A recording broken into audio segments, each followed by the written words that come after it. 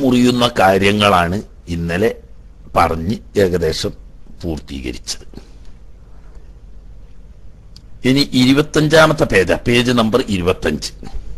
മാ യുന്തബു മിൻഹുൽ വുദൂ എന്നാണ് പാഠത്തിന്റെ തലക്കെട്ട്. ഇപ്പൊ ഉദു മുറിയുന്ന കാര്യങ്ങളിൽപ്പെട്ട വല്ല കാര്യവും ഉണ്ടായാൽ ഉദു ഉജൂബാണ് അപ്പോ നിർബന്ധമാവുന്ന കാര്യങ്ങൾ എന്ന് പറയാ ഉദു മുറിയുന്ന കാര്യങ്ങളെ പറ്റി എന്നതുപോലെ ഉദു ചെയ്യൽ സുന്നത്താക്കപ്പെടുന്ന ചില കാര്യങ്ങളെ പറ്റിയാണ് ഇപ്പോൾ പറയുന്നത്. ഞാൻ ഈ പറയാൻ പോകുന്ന കാര്യങ്ങൾ സംഭവിച്ചാൽ അതുമൂലം ഉദു ചെയ്യൽ സുന്നത്തുണ്ട്. ഉദു മുറിയൊന്നുമില്ല എങ്കിലും ഉദു എടുക്കൽ സുന്നത്താണ്. അപ്പോ മാ ചില കാര്യങ്ങൾ എന്നാണ് ഇപ്പൊ അതിനർത്ഥം വെക്കുക. മാ ചില കാര്യങ്ങൾ.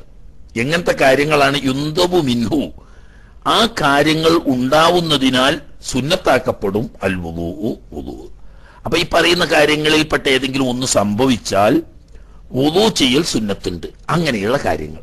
മുറിയില്ല നിയമപരമായിട്ട് മുറിയില്ല എങ്കിലും വുദൂ എടുക്കൽ സുന്നത്തുണ്ട്. അപ്പൊ പിന്നെന്താ?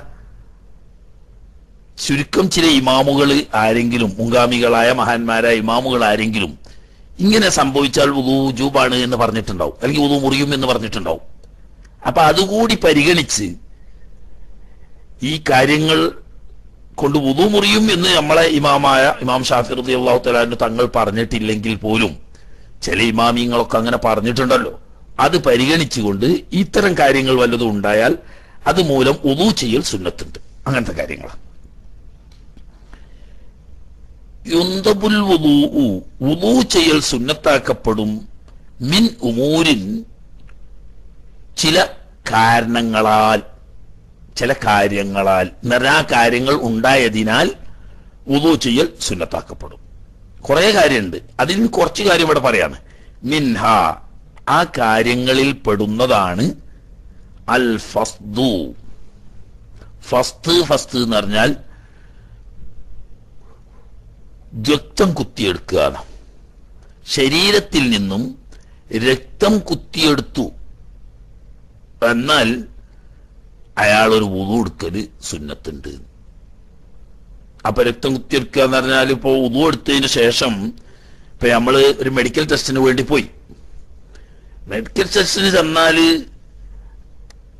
അവിടെ മുഖ്യമായിട്ട് നടത്തേണ്ട ചിലോൽ കുറച്ച് മതിയെങ്കിൽ വിരലിന്റെ തുഞ്ചത്ത് ഒരു സൂചിയോടൊന്ന് കുത്തിയിട്ട് ഒന്നിങ്ങനെ ഞെക്കും. അപ്പൊ ചോര കുറച്ച് വരും. ആ ചോര ഒരു ചില്ലുമൽ മറ്റോ തുടക്കും അതേ സമയത്ത് മറ്റ് ടെസ്റ്റുകൾ കൂടി ആവശ്യമുണ്ടെങ്കിൽ കയ്യിന്റെ ഒരു ഞരമ്പിൽ ഒരു സിറിഞ്ച് ഒരു സൂചി കുത്തി കയറ്റി അതുകൊണ്ട് രക്തം വലിച്ചെടുക്കും. എന്നിട്ട് അത് ടെസ്റ്റിന് വേണ്ടിയിട്ട് ഉപയോഗപ്പെടുത്തും. ഇത് തുടങ്ങിയിട്ട് നമ്മൾ രക്തദാനം ചെയ്യുന്നു. ഒരു രോഗിയുടെ അടിയന്തര ഘട്ടത്തിൽ ജീവൻ രക്ഷിക്കേണ്ടതുള്ളത് കൊണ്ട് ആ രോഗിക്ക് രക്തം കൊടുക്കാൻ വേണ്ടിയിട്ട് ചോര കുത്തിയെടുക്കുന്നു. ഇങ്ങനെയുള്ള ഇതൊക്കെ ഫസ്ദ് എന്ന് പറഞ്ഞതിൽ പെട്ട് അപ്പൊ രക്തം കുത്തിയെടുക്കുക. അതുകൊണ്ട് ഇപ്പൊ എന്തിനാ ഒന്ന് കൊടുക്കണമെന്ന് ചോദിക്കണ്ട. ഇമാം അബു ഹനീഫ റബി അള്ളാഹു തലാനുവിന്റെ മതം അനുസരിച്ച് ചോര ഒലിച്ചാൽ ശരീരത്തിന്റെ അകത്ത് നിന്ന് ചോര പുറത്തേക്ക് പൊടിഞ്ഞാ മുറിയില്ല ഒലിച്ചാൽ രക്തം ഏഹ്, ഒലിച്ചാ അതുകൊണ്ട് ഉതു നമ്മക്കിപ്പോ അങ്ങനെ മതമൊന്നുമില്ല ഒതുമുറിയുന്നു. എങ്കിലും അത് പരിഗണിച്ചുകൊണ്ട് വുതു ചെയ്യാം. രക്തം കുത്തിയെടുത്ത ആൾ വുതു മുറിയില്ലെങ്കിൽ പോലും വുതു എടുക്കൽ സുന്നത്താണ്. രണ്ടാമത്തു അൽ ഹിജാമത്തു കൊമ്പുവെപ്പ് അതൊരു ചികിത്സാ രീതിയാണ്. നാട്ടിലൊന്നും പോലെ ഇല്ലാണ്ടായി ഏകദേശം. അതേസമയത്ത് ഇവിടങ്ങളിലൊക്കെ എപ്പോഴും വ്യാപകമായി അതുണ്ട്. അതിന്റെ വിദഗ്ധരായ ചില ആളുകളുണ്ട്. അതിൽ നിന്ന് ആധുനിക ഉപകരണങ്ങളും ഉണ്ട്. രക്തം ശരീരത്തിന്റെ രോഗമുള്ള ചില ഭാഗങ്ങളിൽ അവിടുത്തെ രോമം നീക്കി ചെറുതായി മുറിപ്പെടുത്തി അതിന്മേൽ വെച്ച് വലിച്ചെടുക്കാൻ പറ്റുന്ന ഒരു ഉപകരണമുണ്ട്. ആ അതുകൊണ്ട് രക്തം വലിച്ചെടുക്കുക. ഈ വലിച്ചെടുക്കുന്ന രക്തം പുറത്തു വരുന്നത് വളരെ കട്ടിയായ കറുത്ത ഒരു തരം രക്തമാണ് അതിൽ പുറത്തു വരിക. ഇതൊരു ചികിത്സാ രീതിയാണ് അതിലും സംഗതി നേരത്തെ ഫസ്റ്റിൽ രക്തം കുത്തിയെടുക്കുകയാണെങ്കിൽ ഇത് കുത്തിയെടുക്കുകയല്ല കൊത്തി ചെറിയ മുറിവുകൾ ഉണ്ടാക്കിയിട്ട് അതിലൂടെ രക്തം വലിച്ചെടുത്തിട്ട് ആ രക്തം ചീത്തരക്തയിക്കാരം ആ രക്തം വലിച്ച അപ്പൊ അവിടെയും തന്നെ ഈ നേരത്തെ പറഞ്ഞ ചോര ഒലിക്കുക എന്നുള്ള കാരണം ഉണ്ടാവാം. അതുകൊണ്ട് അവിടെയും മുതൂച്ചിയിൽ സുന്നത്തുണ്ട്. അപ്പൊ ഹിജാമത്ത് നല്ല കൊമ്പുവെപ്പ് അപ്പൊ ചികിത്സയാണ് അർത്ഥം പിന്നെ കസുഫുരി നഖം മുറിക്കുക. ഉതുള്ള ഒരാൾ കയ്യിന്റെയും കാലിന്റെയും നഖം മുറിച്ചു. എന്നാ പിന്നെ ഒരു വുളു ചെയ്യൽ സുന്നത്തുണ്ട്. വുളു ചെയ്യുന്നില്ലെങ്കിലോ വുളു മുജുബില്ലല്ലോ. എന്നാൽ വളരെ പ്രധാനപ്പെട്ട ഒരു സുന്നത്താണ് ആ നഖം മുറിച്ച സ്ഥലം കയ്യും കാലും നന്നായി വൃത്തിയായി കഴുകൽ ഒരു സുന്നത്തുണ്ട്. എന്നാൽ വുളു ചെയ്യൽ തന്നെയാണ് പൂർണമായ സുന്നത്ത്. ഇനി ഷാരിബി കസ്സു ശാരിബി എന്നർത്ഥം. മീശ വെട്ടുക. മീശ വെട്ട താടി മീശയൊക്കെ ഒപ്പിക്കുണ്ടല്ലോ അതിൽ മീശ വെട്ടുമ്പം അതിനും തന്നെ ഉതുകൊടുക്കൽ സുന്നത്തുണ്ട്. വഹൽഖുർ റഅസി, തലമുടി കളയുക തല കളയല്ല. ഹൽഖുർ റഅസി അതൊരു പ്രയോഗം. തലമുടി കളയുക എന്ന്. അപ്പൊ തലമുടി കളയുക ഒന്നായിട്ട് വടിച്ചു കളഞ്ഞു. ഇനി അതുപോലെ തന്നെയാണ് ഒന്നായിട്ട് മിഷീൻ വെച്ച് വെട്ടി. ആ ഇരുപത്തഞ്ചാമത്തെ നമ്പർ പേജാണ്. ഇരുപത്തിയഞ്ച് പേജ് ഇരുപത്തിയഞ്ച് അപ്പോ മുടി വെട്ടിച്ചു. താടി നന്നാക്കി മീശപ്പിച്ചു. ഇതിനൊക്കെ ഉതു ഉള്ളപ്പോഴാണെങ്കിൽ ഒരു ഉതു ഇനിയും ചെയ്യൽ സുന്നത്തുണ്ട്.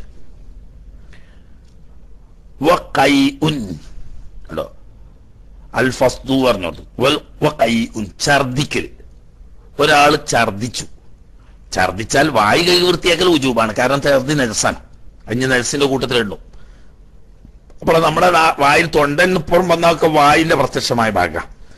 അത് കഴുകി വൃത്തിയാക്കൽ ഉജൂബ എന്നാൽ വെറും കഴുകൽ മാത്രം മതിയാക്കാതെ ഉതു തന്നെ ചെയ്യൽ സുന്നത്തുണ്ട്. എന്നാൽ ഛർദ്ദിച്ചുകൊണ്ട് ഉതു മുറിയോ? ഉതു മുറിയൊന്നുമില്ല. മുറിയില്ലെങ്കിലും ഛർദ്ദിച്ച വ്യക്തി ഒരു ഉതു ചെയ്തിരിക്കൽ സുന്നത്താണ്. ഇനി വഹംലു മയ്യത്തിൻ. മയ്യത്തിനെ ചുമക്കുക. വളരെ പ്രധാനപ്പെട്ട ഒരു സുന്നത്താണ്. ഫർദ് ആണ് മൂമിനീങ്ങളുടെ മേലിൽ എന്നാൽ ആ കൂട്ടത്തിൽ ഓരോരുത്തരും അതിൽ സഹകരിക്കൽ സുന്നത്താണ്. അപ്പൊ മയ്യത്തിനെ ചുമക്കുന്ന ആൾ ഉള്ളതോടുകൂടി ആണ് മയ്യത്ത് ചുമന്നതെങ്കിൽ ഈ മയ്യത്ത് ചുമന്നു എന്നതിന്റെ പേരിൽ ഒരു ഉതു ചെയ്യൽ പ്രത്യേകം സുന്നത്തുണ്ട്. വമസ്സുഹു എന്ന് മാത്രമല്ല മയ്യത്തിനെ തൊട്ടു. മയ്യത്തിന്റെ ശരീരത്തിൽ മറയില്ലാതെ തൊട്ടു. തൊടാൻ പറ്റുന്നവർക്ക് കിട്ടോ തൊടാൻ പറ്റാത്തൊരു പറ്റാ അത് വേറെ വിഷയം. തൊട്ടാൽ അത് ഉതു ചെയ്യൽ സുന്നത്തുള്ള കാര്യമാണ്. അതുപോലെ മയ്യത്തിനല്ല ഈ തൊട്ട വ്യക്തി കിട്ട. അതുപോലെ മുഷ്കിലി. മുഷ്കിൽ എന്ന് പറഞ്ഞാൽ എന്താ? ആണോ പെണ്ണോ എന്ന് തീരുമാനിക്കാൻ പറ്റാത്ത നിലയ്ക്ക് അവ്യക്തതയുള്ള നപുംസകം. മനുഷ്യന്മാര് സാധാരണ രണ്ടാണ് എന്ന് പറഞ്ഞിട്ട് അതിൽ ഒരു മൂന്നാം കക്ഷി ഉണ്ട്. അത് കുറച്ചുള്ളത് കൊണ്ട് അത് അത്ര പ്രശ്നം സൃഷ്ടിക്കുന്നില്ല എന്നുള്ളൂ. മൂന്നാം കക്ഷി എന്ന് പറഞ്ഞാൽ എന്താ? സ്ത്രീയാണെന്നും പറയാൻ വരെ പറ്റി പറ്റൂല. പുരുഷനാണ് എന്ന് പറയാനും പറ്റൂല. അങ്ങനെയുള്ളവര് രണ്ടി അതിണ്ട് ചെറിയ കുട്ടികളാകുമ്പോ ഒക്കെ ഒരുപോലെ തന്നെ. സ്ത്രീകളുടെ ലൈംഗികാവയവവും കുട്ടിക്കുണ്ട് പുരുഷന്റെ ലൈംഗികാവയവവും കുട്ടിക്കുണ്ട്. എന്നാൽ കുട്ടി വളർന്നു വന്ന് പ്രായപൂർത്തി എത്തുമ്പം അധികവും രണ്ടാലൊന്നായി തിരിയും. ഒരുപക്ഷെ പുരുഷന്റെ ലൈംഗിക അവയവങ്ങൾക്ക് വളർച്ചയും അത് പ്രവർത്തന സജ്ജവും ആകും. സ്ത്രീയുടെ ലൈംഗിക അവയവം അവിടെ കാണാണ്ട് എന്നല്ലാതെ അതിന് പ്രത്യേകിച്ചൊരു ചലനവും ഇല്ലാത്ത അവസ്ഥ വരും. എങ്കിൽ അവൻ പുരുഷനാണ്. അതിന് പറയാം ഹുൻസ വാദിഹ എന്ന്. അതും ഹുൻസ തന്നെയാണ് ഹുൻസ വാദിഹ. എന്ന് പറഞ്ഞാൽ ഇപ്പൊ പുരുഷനാണെന്ന് തിരിഞ്ഞു. അല്ല മറ്റു ചിലരെന്താവും?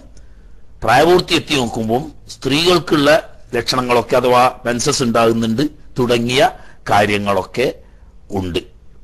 അപ്പൊ നാ ഈ ഹുൻസ സ്ത്രീയാണെന്ന് സ്ഥിരപ്പെട്ടു. അതോടുകൂടി പ്രശ്നം തീർന്നു. പുരുഷനാണെന്ന് വ്യക്തമായ പുരുഷന്റെ വിധിയായി. സ്ത്രീയാണെന്ന് വ്യക്തമായ സ്ത്രീയുടെ വിധിയായി. എന്നാൽ ചെറിയൊരു ഭാഗം. സ്ത്രീയുടെയും പുരുഷന്റെയും രണ്ടിന്റെ ലൈംഗിക അവയവമുണ്ട്. ഒന്ന് വ്യക്തമാകുന്നില്ല. ഇത് പുരുഷനാണെന്ന് ഉറപ്പിക്കാൻ തെളിവൊന്നും കാണുന്നില്ല. സ്ത്രീയാണെന്നും ഉറപ്പിക്കാൻ നിവൃത്തിയില്ല. അത് രണ്ട് രീതിയിൽ വരും. അപൂർവ സംഭവമായതുകൊണ്ട് ആണെങ്കിലും സംഗതി പഠിക്കാതെ വൃത്തിയില്ല എന്താ ചില ഒരു രണ്ട് ലൈംഗിക ലൈംഗികാവയവും പ്രവർത്തന സജ്ജാവും അതായത് സ്ത്രീകളെ പോലെ മെൻസസ് ഉണ്ടാകുന്നുണ്ട്. മറ്റു കാര്യങ്ങളൊക്കെ ഉണ്ട്. പുരുഷന്റെ ലൈംഗികാവയവം ഉദ്ധരിക്കുന്നുണ്ട്. സ്ഖലനം ഉണ്ടാകുന്നുണ്ട്. പിന്നെ ഇനിയിപ്പോ എന്താട്ടുക അപ്പൊ ആണാന്നും പറയാൻ വയ്യ പെണ്ണാന്നും പറയാൻ വയ്യ കാരണം രണ്ടും ഒരുപോലെ പ്രവർത്തിക്കുന്നുണ്ട്. വേറൊരു കൂട്ടി രണ്ടാഴ്ച ഒന്നിനെ പ്രായപൂർത്തി എത്തിയിട്ട് എത്ര വയസ്സായിട്ട് അതിനൊരു അടയാളം കാണില്ല രണ്ടുമൊരു പുരുഷന് ന്റെ അടയാളമായിട്ട് അതും തെളിഞ്ഞു കാണുന്നില്ല സ്ത്രീയുടെ അടയാളമായിട്ട് അതും കാണില്ല ആൾക്ക് മനസ്സും ഉണ്ടാകണില്ല അതുപോലെ തന്നെ ലൈംഗിക അവയവം ഉദ്ധരിക്കുന്നുമില്ല. അങ്ങനെ പെണ്ണിന്റെ അടയാളവും ആണിന്റെ അടയാളവും തിരിയുന്നില്ല. അപ്പൊ രണ്ടും പ്രവർത്തന സജ്ജമായിട്ട് അങ്ങനെയും തിരിയാതെ വരും. രണ്ടും പ്രവർത്തിക്കാതെ അങ്ങനെയും തിരിയാതെ വരും. ഈ രണ്ടാലൊന്നും തീരുമാനിക്കാൻ കഴിയാത്ത നിലയ്ക്ക് നിൽക്കുന്നതിനെ പറ്റിയാണ് ഹുൻസ മുഷ്കിൽ എന്ന് പറയുന്നത്. അത് ഒരുപാട് പ്രശ്നം തന്നെ ഉണ്ട്. അതിനെപ്പറ്റി സ്വന്തം ഒരു ദിവസത്തെ ഒരു പ്രധാന ചർച്ചാ ക്ലാസ് ആക്കണം എന്നൊരു കുറെ കൂട്ടുകാർ ആവശ്യപ്പെട്ടിരുന്നു. കാരണം അതൊരു ഒരു അത്ഭുത വിഷയമാണത് ഒരുപാട് ഒരുപാട് കാര്യങ്ങളിൽ അനന്തരാവകാശത്തിൽ തുടങ്ങിയിട്ട് ഒതുമുറിയുന്ന കാര്യത്തിൽ തൊട്ടു പോന്നിട്ട് ഇങ്ങനെ ഒരുപാട് ഒരുപാട് കെട്ടുന്നതും കെട്ടിക്കുന്നതും ഒക്കെ തൊട്ട ഒതുമുറിയുന്ന ഒക്കെ വിഷയത്തിൽ അവർക്കായിട്ട് ഒരു സ്പെഷ്യൽ കാറ്റഗറിയാണത് ആണിന്റെ കൂട്ടത്തിലും പൂർണമായിട്ട് അവനെ ഉൾപ്പെടുത്താൻ വയ്യ പെണ്ണിന്റെ കൂട്ടത്തിലും പൂർണമായിട്ട് ഉൾപ്പെടുത്താൻ വയ്യാത്ത ഒരു അവ്യക്തത. അതിപ്പോ പറയുന്നില്ല ഇപ്പോ ഇങ്ങനത്തെ ഒരാളെ തൊട്ടു. ഇങ്ങനത്തെ ഒരു വ്യക്തിയെ പുരുഷൻ തൊട്ടാലും മുതുമുറിയില്ല സ്ത്രീ തൊട്ടാലും മുതുമുറിയില്ല അതുപോലെ തന്നെ ഇവൻ സ്ത്രീയെ തൊട്ടാലും മുതുമുറിയില്ല അവന്റെത് പുരുഷനെ തൊട്ടാലും മുതുമുറിയില്ല കാരണം എന്താ അവൻ ആണോ വേണോ എന്ന് ഉറപ്പില്ലല്ലോ. സ്ത്രീയാണെന്ന് ഉറപ്പുള്ള ഒരാളെ പുരുഷനാണെന്ന് ഉറപ്പുള്ള ഒരാൾ തൊട്ടുമ്പോഴാണ് ഇപ്പൊ ഈ മുതുമുറി അറിയുന്നത്. ഇവൻ ഇപ്പൊ സ്ത്രീയാണോന്നും പറയാൻ കഴിയൂല പുരുഷനാണോ എന്നും പറയാൻ കഴിയൂല. അപ്പൊ പുരുഷനെ തൊട്ടപ്പോഴോ ഇവൻ ചിലപ്പോ ആണെങ്കിൽ പുരുഷനാണെങ്കിൽ രണ്ടാളും ഒരു പുരുഷൻ പുരുഷനെ തൊട്ടില്ലേ ഉള്ളൂ.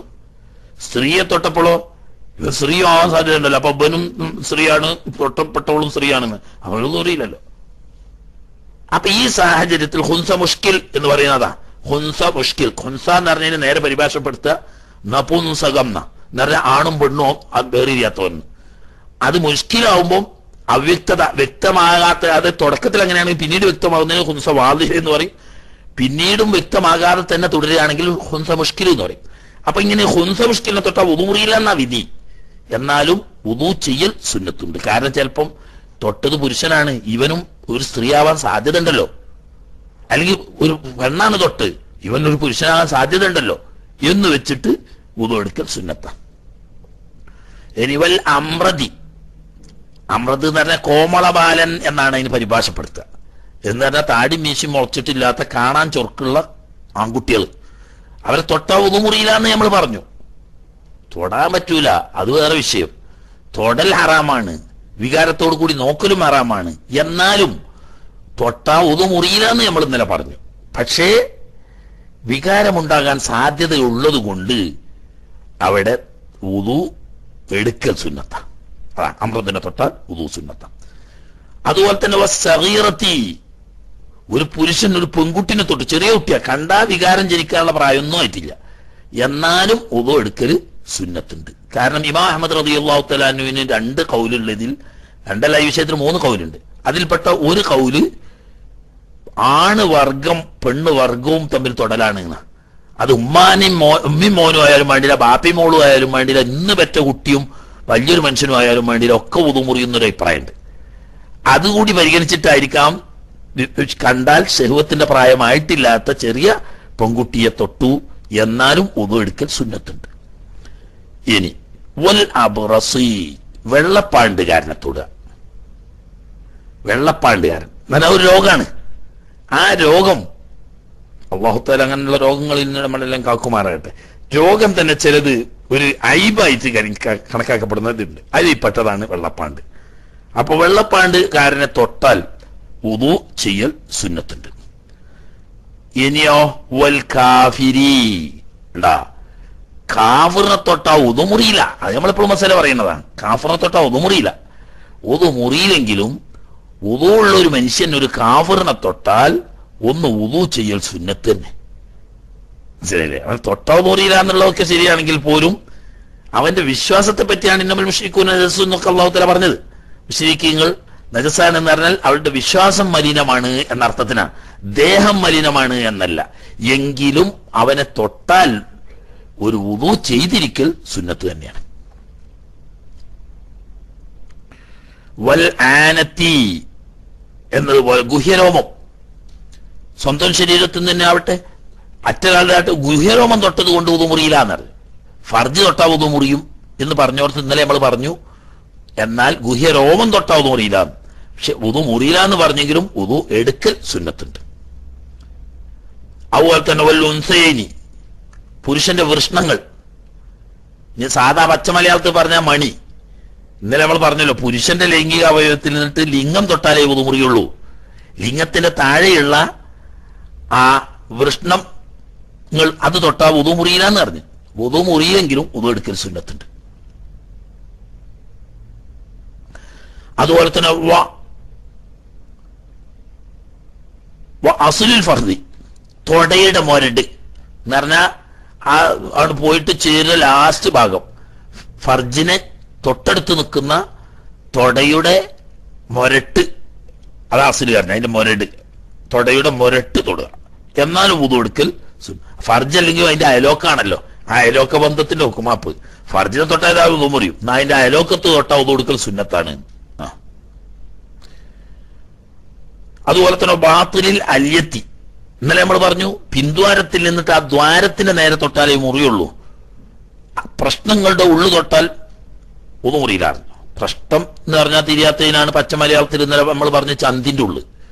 ദ്വാരമല്ലാത്ത ആ ബാത്തിനുലല്യത്ത് തൊട്ടാലും ഉതുവെടുക്ക് സുന്നത്തുണ്ട്. ഇനി വശേരിൽ അജ്നബി വശേരിൽ അജ്നബിയെത്തി. ഷാരിൽ അജ്നബിയത്ത് എന്ന് പറഞ്ഞാൽ ഇപ്പൊ നമ്മൾ അന്യൊരു പുരുഷൻ അന്യൊരു സ്ത്രീയെ തൊട്ടു. തൊലി തമ്മിൽ തൊട്ടാലേ ആ കൂടിയുള്ളൂ പല്ല് നഖം മുടി എന്നിവ തൊട്ടാൽ ഉതു മുറിയില്ല എന്ന് നമ്മൾ ഇന്നലെ പറഞ്ഞു. എന്നാൽ മുടി തൊട്ടാൽ ഉതു മുറിയില്ലെങ്കിലും മുടി തൊട്ടാൽ അന്യപുരുഷൻ അന്യ സ്ത്രീയുടെ മുടി തൊട്ടാൽ അല്ലെങ്കിൽ അന്യ സ്ത്രീ അന്യ പുരുഷന്റെ മുടി തൊട്ടാൽ ഉതു എടുക്കൽ സുന്നത്ത് തന്നെ. അതുപോലെ തന്നെ വഫ്രിഹ അന്യ പെണ്ണിന്റെ നേന്തൊട്ടാവ് നോറിയിൽ അറിഞ്ഞു നേന്തൊട്ടാ ഉതോടുക്കൽ സുന്നത്താണ്. വസിന്യാത്തോട് പല്ലൊട്ട് നേരെ അവിടെ മൂന്നും ഉതുമുറിയില്ലാന്ന് പറഞ്ഞിരുന്നു. തൊലി തൊട്ടാലേ ഉതുമുറിയുള്ളൂ പക്ഷേ മുടി തൊടുകയോ നഖം തൊടുകയോ പല്ല് തൊടുകയോ ചെയ്താലും ഉതു ചെയ്യൽ സുന്നത്ത് തന്നെ. ഇനി വൽ മുബാനി മിൻഹ. ഒരു സ്ത്രീയിൽ നിന്നും വേർപ്പെടുത്തപ്പെട്ട അവയവം. സ്ത്രീയുടെ ശരീരത്തിൽ നിന്നിട്ട് മുറിച്ച് വേർപ്പെടുത്തപ്പെട്ട ഒരു അവയവം. ആ അവയവത്തെ തൊട്ടാ ഉതു മുറിയില്ല എന്ന് ഇന്നലെ നമ്മൾ പറഞ്ഞു. എന്നാൽ ഒന്നും എടുക്കൽ സുന്നത്താണെന്ന് അപ്പൊ ഇന്ന് പറയുന്നത്. മുറിയിലാണുള്ള ശരി പക്ഷെ മുറിയില്ലെങ്കിലും അവിടെ ഉതു എടുക്കൽ സുന്നത്തുണ്ട്. അതുപോലെ തന്നെ പുരുഷന്റെ ശരീരത്തിൽ നിന്ന് വേർപ്പെടുത്തപ്പെട്ട അവയവം സ്ത്രീ തൊട്ടാലും അതന്നെ വിധി. ഇത് പെണ്ണിന്റെ മാത്രം നിയമല്ല. പെണ്ണിന്റെ ശരീരത്തിൽ നിന്ന് വേർപ്പെടുത്തപ്പെട്ട ഒരു അവയവം പുരുഷൻ തൊട്ടാ പുരുഷന് ഉദു സുന്നത്തുണ്ട്. പുരുഷന്റെ ശരീരത്തിൽ നിന്നും ഏർപ്പെടുത്തപ്പെട്ട ഒരു അവയവം സ്ത്രീ തൊട്ടാൽ ഉതു എടുക്കൽ സ്ത്രീക്കും സുന്നത്തുണ്ട്. ഉതു മുറിയില്ല എന്ന് ഇന്നലെ പറഞ്ഞ കാര്യങ്ങളാണ് അതൊക്കെ. അതുപോലെ തന്നെ ഓ ഫർജിൽ ബഹീമത്തി. മൃഗത്തിന്റെ ഫർജ് തൊട്ടാലും ഉതൊടുക്കൽ സുന്നത്തുണ്ട്. അത് തൊട്ടാ ഉതു മുറിയില്ല എന്ന് ഇന്നലെ നമ്മൾ പറഞ്ഞു. ഒക്കെ ആയിപ്പെട്ടന്നെ തൊട്ടാ ഉതു മുറിയില്ലെങ്കിലും ഇപ്പത്തെ കാലത്തൊക്കെ പേടിക്കണം. എന്നുവെച്ചാൽ നാക്കാലിനാട്ടിലും താന്നിട്ട് എന്തൊക്കെയാണെന്ന് പത്രങ്ങൾ നോക്കാൻ വയ്യ മനുഷ്യന്റെ ഇടയിൽ ഇരുന്നിട്ട് അല്ലെങ്കിൽ സ്വന്തം ഭാര്യയും മക്കളും എടുക്കണോർത്ത് നിന്ന് ദിനപത്രം വായിക്കാൻ വയ്യാത്ത അവസ്ഥയാണ്. അവിടെ അത്രയും മനുഷ്യൻ തരന്താന്ന് കഴിഞ്ഞു. അപ്പോ ഈ മൃഗത്തിന്റെ ഒരു പശു അല്ലെങ്കിൽ ഒരു എരുമ അല്ലെങ്കിൽ ഒരു ആട് അതിന്റെയൊക്കെ ഫർജും തന്നെ തൊട്ടാൽ ഉതൊന്നും മുറിയില്ല. പക്ഷേ എന്നാലും അവിടെ ഉതൊടുക്കൽ സുന്നത്തുണ്ട്. ഇനി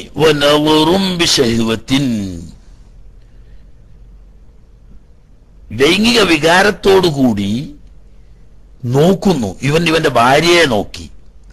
അതല്ലെങ്കിൽ മറ്റൊരാളെ നോക്കി. ഭാര്യയാണെങ്കിൽ പശുവത്തോടു കൂടി നോക്കലും തൊടലും അതുപോലെ തന്നെ ലൈംഗിക ആഗ്രഹം പൂർത്തിയാക്കലും ഒക്കെ ജായിസാണ് അള്ളാഹലാക്കിയതാണ് എന്നാലും വേണ്ടിയില്ല ആ നോട്ടം. നീ അന്യരിലേക്ക് സ്വന്തം ഭാര്യയല്ലാത്ത ഏതൊരാളിലേക്കും ക്ഷേമത്തോടു കൂടി നോക്കൽ ഹറാമാണ്. അത് സ്വന്തം മകളാവട്ടെ സ്വന്തം ഉമ്മയാവട്ടെ അല്ലെങ്കിൽ സ്വന്തം മകനാവട്ടെ ആരാവട്ടെ. ശൈവത്തോടു കൂടി നോക്കൽ ഹറാമ് തന്നെയാണ്. അപ്പോ ഭാര്യന്റെ നോക്കൽ ഹലാലാണ്. അന്യവരെ നോക്കൽ ശൈവത്തോടു കൂടി നോക്കൽ ഹറാം. രണ്ടായാലും അതുകൊണ്ട് ഉതവും മുറിയില്ല. പക്ഷേ ശൈവത്തോടു കൂടി നോക്കിയാൽ ഉതു എടുക്കൽ സുന്നത്ത് ഇനിയോ കുറ്റകരമായ വാക്കുകൾ പറയുക. അപ്പോഴും ഒന്ന് കൊടുക്കൽ സുന്നത്ത. ഇതുപോലെ റീബത്ത് അറിയാം. ഒരാൾ വേറൊരാളുടെ റീബത്ത് പറഞ്ഞു. ഓന്റെ കുറ്റും കുറവും. ഇന്നിപ്പോ ഇല്ലാത്ത ലോകമില്ല. അങ്ങനെ വന്നുപോയി. വലിയ സ്റ്റേജൊക്കെ കെട്ടിയിട്ട് ലക്ഷങ്ങൾ മുടക്കി ജനങ്ങളോട് പിരിവെടുത്ത് ലക്ഷങ്ങൾ മുടക്കി സ്റ്റേജ് കെട്ടിയിട്ട് വലിയ വലിയ വലിയ വലിയ ആലിമീങ്ങളെയും ദീനിന്റെ ഹാദിമീങ്ങളെയും പച്ചർച്ചി കടിച്ചു പറിച്ച് തിന്നണ റീബത്താണ് ഇന്നത്തെ ലോകത്ത് പരക്കെ നടന്നുകൊണ്ടിരിക്കുന്ന അള്ളാഹു തല നമ്മളെ കാത്തിരക്ഷിക്കുമാറാകട്ടെ. അപ്പോ അങ്ങനെ ഒരു മനുഷ്യൻ ഒരു നാവ് കൊണ്ട് റീബത്ത് പറഞ്ഞു പോയാൽ അല്ലെങ്കിൽ ഏഷണി നമീമത്ത് ഏഷണി പറഞ്ഞു പോയാൽ ഏഷണി അല്ലെങ്കിൽ ഫുഷ് എന്ന് പറഞ്ഞാൽ അശ്ലീലം പറഞ്ഞുപോയി അല്ലെങ്കിൽ കെതിപ്പ് കറി കളവ് പറഞ്ഞുപോയി അല്ലെങ്കിൽ മറ്റുള്ളവരെ ചീത്തവാക്ക് വഴക്ക് പറഞ്ഞു. അതുപോലെ തന്നെ വ്യഭിചാരോപണം നടത്തി. ഇങ്ങനെയുള്ള ഹറാമായ സംസാരങ്ങൾ സംസാരിച്ചാൽ ഉതു മുറിയുന്ന ജാതിയാണ്. പക്ഷെ ഉതു മുറിയുന്നെന്ന് നമ്മൾ പച്ചേ പറയുന്നില്ല. എന്നാലും ഉതു എടുക്കൽ സുന്നത്താണ്. അപ്പോൾ തലഫുതുമ്പി മാസുക എന്ന് പറഞ്ഞാൽ കുറ്റകരമായ വാക്കുകൾ മൊഴിയുക. അതിന്റെ ഉദാഹരണം അവിടെ തന്നെ താഴത്ത് പറഞ്ഞിട്ടുണ്ട്. റീബത്ത് പറയാ യേശനി നമീമത്ത് പറയാ ഫുഷ് പറഞ്ഞ അശ്ലീലം പറയാ കെതിബ് പൊള്ളു അറിയാ ഷത്തുമ് എന്ന് പറഞ്ഞാൽ വഴക്ക് വരെ ചീത്ത അറിയാന്നൊക്കെ പറയണത്. കതുഫ് വ്യഭിചാരോപണം നടത്തുക പുറത്ത്. ആട്ടെ.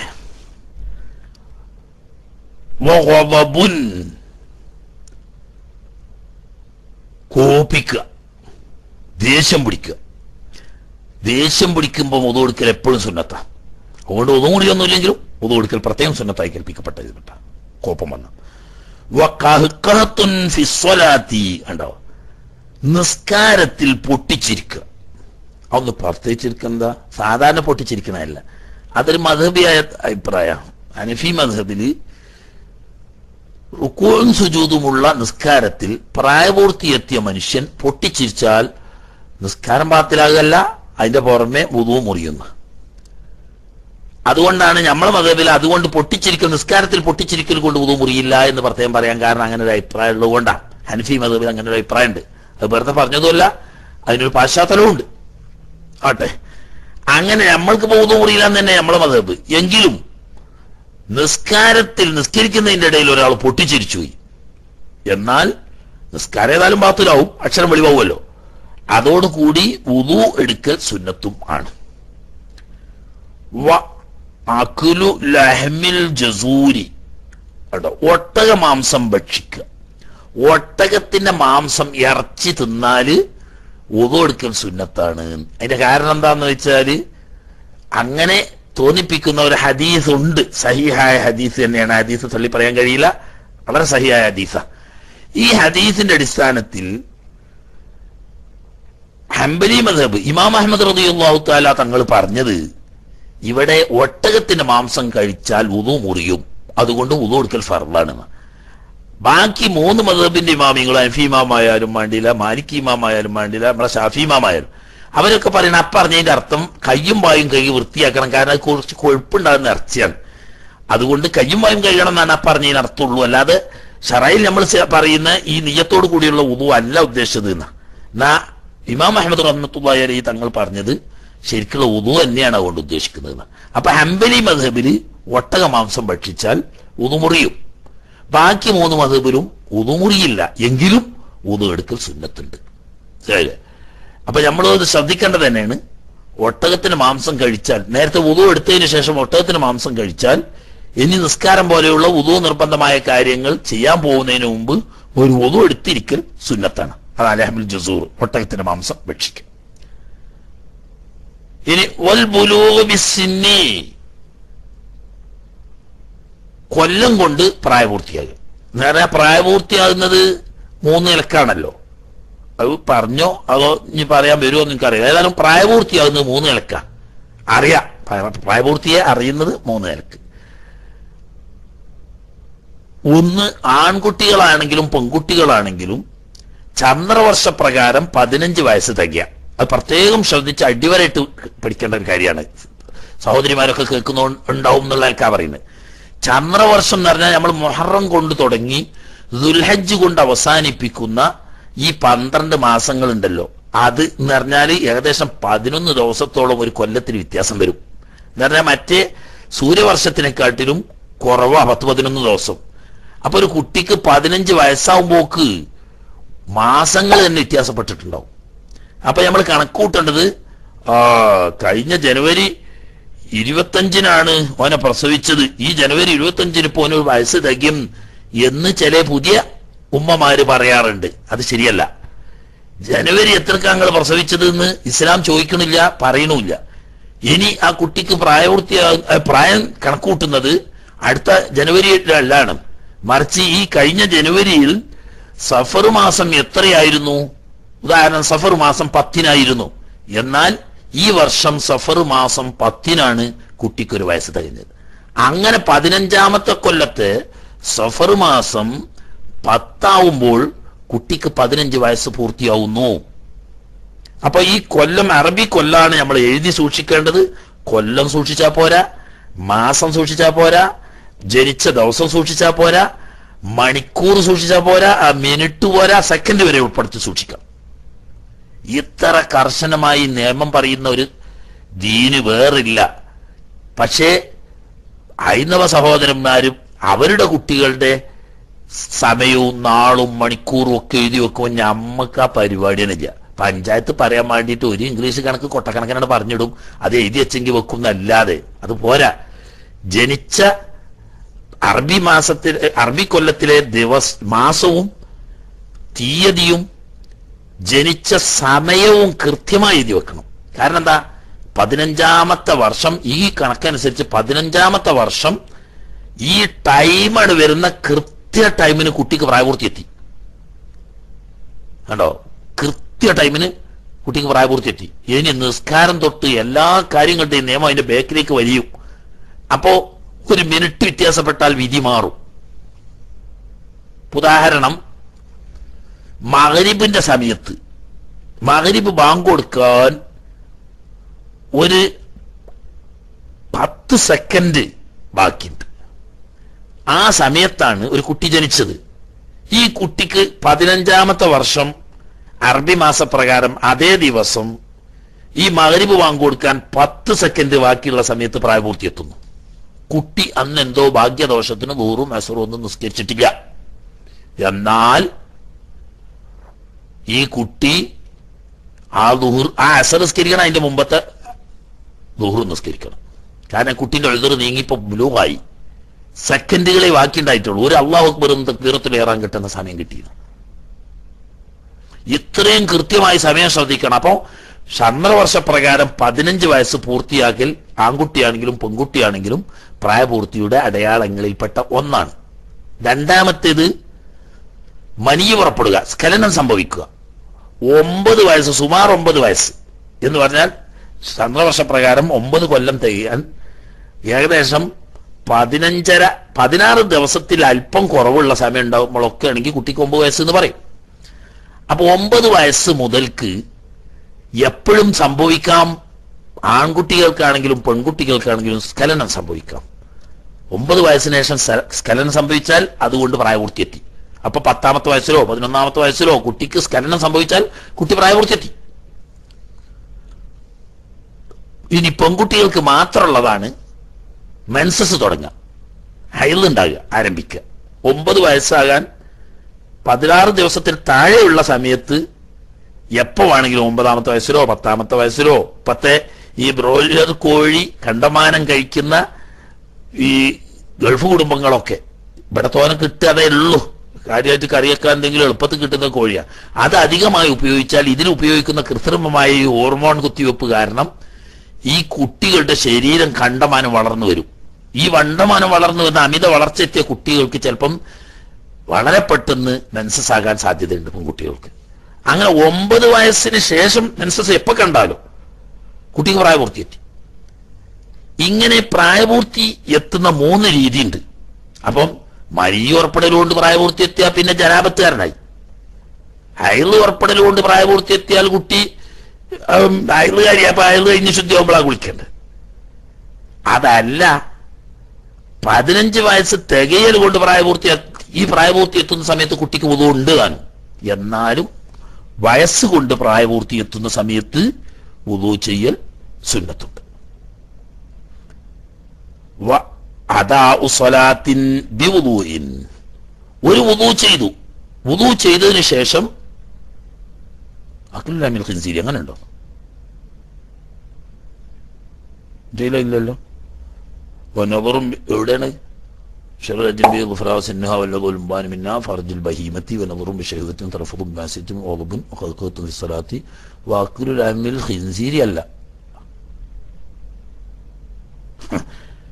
സലാത്ത് കഴിഞ്ഞിട്ട് അത് എഴുതിയതാണെങ്കിൽ എഴുത്തിൽ തെറ്റാണ്. ചെടിപ്പശകാണ് അക്കുലു ലഹമിൽ ജസൂരിയാണ്. ജസൂർ ഹിൻസീർ അല്ല മച്ചോനെ അക്കുലു ലഹമിൽ ഹിൻസീർ എന്ന് പറഞ്ഞിട്ടുണ്ടെങ്കിൽ ആകെ അല്ലെങ്കിൽ തന്നെ നമ്മളത് എന്തെങ്കിലും ഒന്ന് കിട്ടാൻ നിൽക്കുക മറ്റുള്ള സ്റ്റേജുമ്പോൾ കയറിയിട്ട് ചീത്തറിയാൻ അപ്പൊ അതില്ല. അത് എഴുതി തെറ്റിയതാ. അക്കുലു ലഹമിൽ ജസൂരിന്നാ അല്ല അവിടെ അടിച്ച പബ്ലിക്കിൽ അടിച്ച ഇതിൽ കാണുന്നത് വക്കുലു ലഹമിൽ ഹിൻസീരി എന്നാ. ഞാനത് ശ്രദ്ധിച്ചിട്ടില്ല. എവിടുന്നാ ഇന്ന് കരുതിയത് അങ്ങനെയല്ല ജസൂർ ജസൂർ എന്നാ ജീമ് സാൽ. പിന്നെ മദ് ചെയ്യാനുള്ള വാവും പിന്നെ റാവും. ഒട്ടകം എന്നാണ് അതിന്റെ അർത്ഥം. അപ്പറഞ്ഞ ആ എഴുത്തിൽ വന്ന തെറ്റാ. പിന്നെ വ അദാഉ സ്വലാത്തിന്റെ വുദൂയിൻ ഒരു വുദൂ ചെയ്തുകൊണ്ട് നിസ്കാരം നിർവഹിക്കുക. എന്ന് പറഞ്ഞാലോ ഇപ്പൊ നമ്മൾ ഉദൂ എടുത്ത് രണ്ടറക്കാത്ത സുന്നത്ത് സ്കരിച്ചു പിന്നെ ഫർദ് സ്കരിക്കാൻ വേണ്ടിയിട്ട് വേറൊരു ഉദൂ എടുക്കൽ സുന്നത്തുണ്ട്. അങ്ങനെ ഫർദ് സ്കരിച്ചു ഇനി ശേഷമുള്ള സുന്നത്ത് സ്ഥിരിക്കാൻ വേണ്ടിയിട്ട് വേറൊരു ഉതു കൊടുക്കൽ അങ്ങനെ ഓരോ നിസ്കാരവും നിർവഹിച്ചു കഴിഞ്ഞാൽ അടുത്ത നിസ്കാരത്തിന് വേണ്ടി വേറെ ഉതു കൊടുക്കൽ അങ്ങനെ വേറെ ഉതു കൊടുക്കൽ പ്രത്യേകം സുന്നത്തുണ്ട്. അങ്ങനെ ഉദുവിന്റെ സുന്നത്ത് അല്ലാത്ത അത് പ്രത്യേകമാണ് ഉദുവിന്റെ സുന്നത്ത് അല്ലാത്ത ഒരു നിസ്കാരം ഫർദോ സുന്നത്തോ ആയ നിസ്കാരം നിർവഹിച്ചാൽ വീണ്ടും ഉദു ചെയ്യൽ സുന്നത്തുണ്ട്. അതിന് തജ്ദീദിന്റെ ഉദു എന്നാണ് പറയാ. ഇത്രയും അപ്പോൾ ഒരു ഉദു കൊണ്ട് ഒരു നിസ്കാരം നിർവഹിക്കുക. ഇങ്ങനെയുള്ള കാരണങ്ങൾ ഉണ്ടായാൽ അതിനെ തുടർന്ന് ഉറു ചെയ്യൽ സുന്നത്താണ്. ഇതൊന്നും ഇപ്പൊ മനസ്സിലാക്കാൻ പ്രയാസമുള്ള കാര്യങ്ങളൊന്നുമില്ല. അടുത്തൊരു പാഠം കൂടി വായിക്കാന്നാണ് തോന്നുന്നത്. പത്ത് മിനിറ്റ് കൊണ്ട് തീരും. മാ യുസന്നു ലഹുൽ ഉദു രണ്ടും തമ്മിൽ പെട്ടെന്ന് നോക്കുമ്പോ കൺഫ്യൂഷൻ തോന്നും. യഥാർത്ഥത്തിൽ കൺഫ്യൂഷൻ അല്ല രണ്ടും രണ്ട് വിഷയ ഇവിടെ നമ്മൾ പറഞ്ഞ പാഠത്തിൽ പറഞ്ഞപ്പോ എല്ലാവർക്കും മനസ്സിലായല്ലോ. ഒരു കാര്യം സംഭവിച്ചാൽ അതുമൂലം ഉദു സുന്നത്താവുന്നതാണ്. ഇനി നമ്മൾ ഉദു ഉദു ചെയ്യൽ നിർബന്ധമുള്ള കുറെ കാര്യങ്ങളുണ്ട്. നിസ്കരിക്കണമെങ്കിൽ ഉദു നിർബന്ധമാണ്. കാബ തോഫ് ചെയ്യണമെങ്കിൽ ഉദു നിർബന്ധമാണ്. ഖുർആൻ തൊടാനും അത് ചുമക്കാനും ഉദു നിർബന്ധമാണ്. തുടങ്ങിയ ഉദു നിർബന്ധമുള്ള കാര്യം. ഇനി പറയുന്ന ചില കാര്യങ്ങൾ ചെയ്യാൻ വേണ്ടി ഉദു എടുക്കൽ സുന്നത്തുണ്ട്. ഉദു ഇല്ലെങ്കിലും അത് ചെയ്യാൻ പറ്റും. പക്ഷേ ഉദു എടുത്തിരിക്കൽ സുന്നത്തായ കാര്യം. അതാ മാ ചില കാര്യങ്ങൾ. യുസന്നു ലഹു ആ കാര്യത്തിന് വേണ്ടി സുന്നത്താക്കപ്പെടും ഉദു കേട്ടോ? മറ്റേ ഇന്ദബു മിൻഹു എന്നാ പറഞ്ഞു. യുന്തബു ഇസന്നു രണ്ടും ഒരേ അർത്ഥത്തിനാണ് ഉപയോഗിക്കുന്നത്. പക്ഷെ അവിടെ പ്രയോഗിച്ച ശൈലി അവിടെ പറഞ്ഞ മിൻഹു ആണ് ഇവിടെ ലഹു ആണ്. മാ യുസന്നു ലഹു ആ കാര്യത്തിന് വേണ്ടി സുന്നത്താക്കപ്പെടും ഉദു ശേഷം പറയുന്ന കാര്യങ്ങൾ ചെയ്യാൻ ഉദു എടുത്തിരിക്കൽ സുന്നത്താണ് എന്നർത്ഥം. ഓട്ടെ യുസന്നുൽ ഉദു നിർവഹിക്കൽ സുന്നത്താക്കപ്പെടും ഉമൂരിൻ ചില കാര്യങ്ങൾക്കൊക്കെ. എന്ന് പറഞ്ഞാൽ ഈ പറയുന്ന കാര്യങ്ങൾ ചെയ്യാൻ ഉദു ഇല്ലാതെയും ചെയ്യൽ ജായിസാണ്.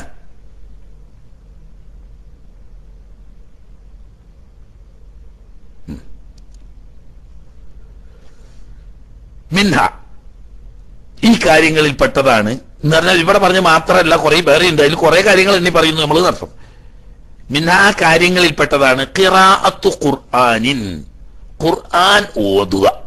ഖുർആൻ ഓതാൻ വേണ്ടിയിട്ട് ഉദു എടുക്കൽ സുന്നത്ത. മുസാഫ് തൊടണമെങ്കിൽ ഉദു ഉജൂബാണ് ചുമക്കണമെങ്കിൽ ഉദു ഉജൂബാണ് ഒരാൾ തൊടുന്നില്ല ചുമക്കുന്നുമില്ല. കാണാപ്പാടം ഉദാണ് എന്നാ സുന്നത്ത്. ഇനി കാണാപ്പാടല്ല മുസാഫ് അവിടെ മറച്ചിട്ട് ഇവൻ തൊട്ടിട്ടൊന്നുമില്ല. മറച്ചുവെച്ച മുസാഫിൽ നോക്കിയിട്ട് ഓതുന്നു. എന്നാലും സുന്നത്താണ്. അപ്പോ തൊടാകയോ ചുമക്കുകയോ ചെയ്യാതെ മനപ്പാടമായിട്ടോ നോക്കിയിട്ടോ തൊട്ട തൊടാത്ത നിലയ്ക്ക് ഒരാൾ ഖുർആൻ ഓതുകയാണെങ്കിൽ ഉതു ഉണ്ടാകൽ സുന്നത്ത. ഉതുവോട് കൂടി ഓതൽ സുന്നത്ത. ഉദു ഇല്ലാതെ ഓത ആറാമൊന്നുമില്ല പക്ഷേ സുന്നത്തിന് മാറ്റാണ് മാത്രം അതുപോലെ തന്നെ വരിവാറ്റി ഹദീസിൻ. തിരുനബി സല്ലല്ലാഹു അലൈഹി വസല്ലമ തങ്ങളുടെ ഹദീസ് ഉദ്ധരിക്കാൻ. അതിനും ഖുർആൻ പോലെ തന്നെ തിരുനബി സല്ലല്ലാഹു അലൈഹി വസല്ലം തങ്ങളുടെ ഷറഫാക്കപ്പെട്ട സുന്നത്താണല്ലോ. ആ സുന്നത്ത് പാരായണം ചെയ്യണമെങ്കിൽ അതിനു വേണ്ടിയിട്ടും ഉതു ഉണ്ടായിരിക്കൽ സുന്നത്താണ് ഇത് രണ്ടും ഓതാൻ മാത്രല്ല. കണ്ടോ? ഖുർആൻ ഓതുന്നത് കേൾക്കുമ്പോഴും അവർക്കും ഉതു ഉണ്ടായിരിക്കൽ സുന്നത്തുണ്ട്. അതുപോലെ തന്നെ ഹദീസ് ഷെരീഫ് തിരുനബി സല്ലല്ലാഹു അലൈഹി വസല്ലമ തങ്ങളുടെ തിരുവചനങ്ങളാവുന്ന ഹദീസ് ഷെരീഫിനെ കേൾക്കാനും അപ്പൊ ഖുർആാനു ഷെരീഫും ഹദീസ് ഷെരീഫും ഓതാനും ഉദു സുന്നത്തുണ്ട്. അത് കേട്ടിരിക്കുന്നവർക്ക് അത് കേട്ടിരിക്കുമ്പോഴും ഉദു ഉണ്ടായിരിക്കൽ സുന്നത്തുണ്ട്. അള്ളാഹു ദിക്കറ് ദിക്ർ ചെല്ലുന്നു. നമ്മളിപ്പോ തെഹ്ലീൽ ചെല്ലുന്നു അല്ലെങ്കിൽ അദ്ദാദി ചെല്ലുന്നു പോലെയുള്ള ദിക്റുകളൊക്കെ ഉണ്ടല്ലോ. ഈ ദിക്ർ ചെല്ലുമ്പോഴും അല്ലെങ്കിൽ സ്വലാത്ത് ചെല്ലുന്നു ഇതൊക്കെ ഉതുണ്ടായിരിക്കൽ സുന്നത്ത. എന്ന് മാത്രമല്ല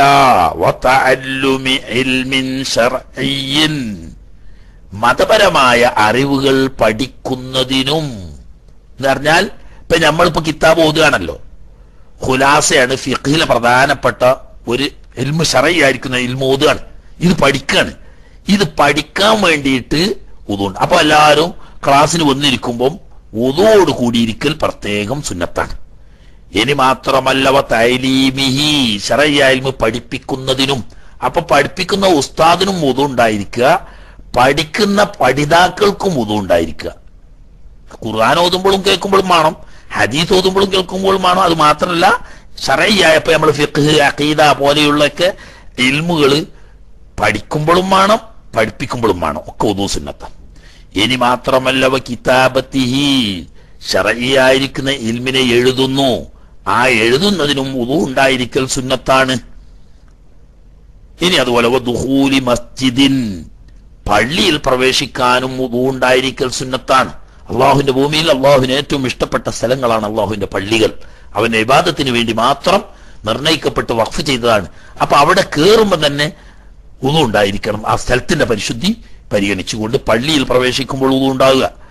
എന്ന് മാത്രമല്ല വസല്ലം.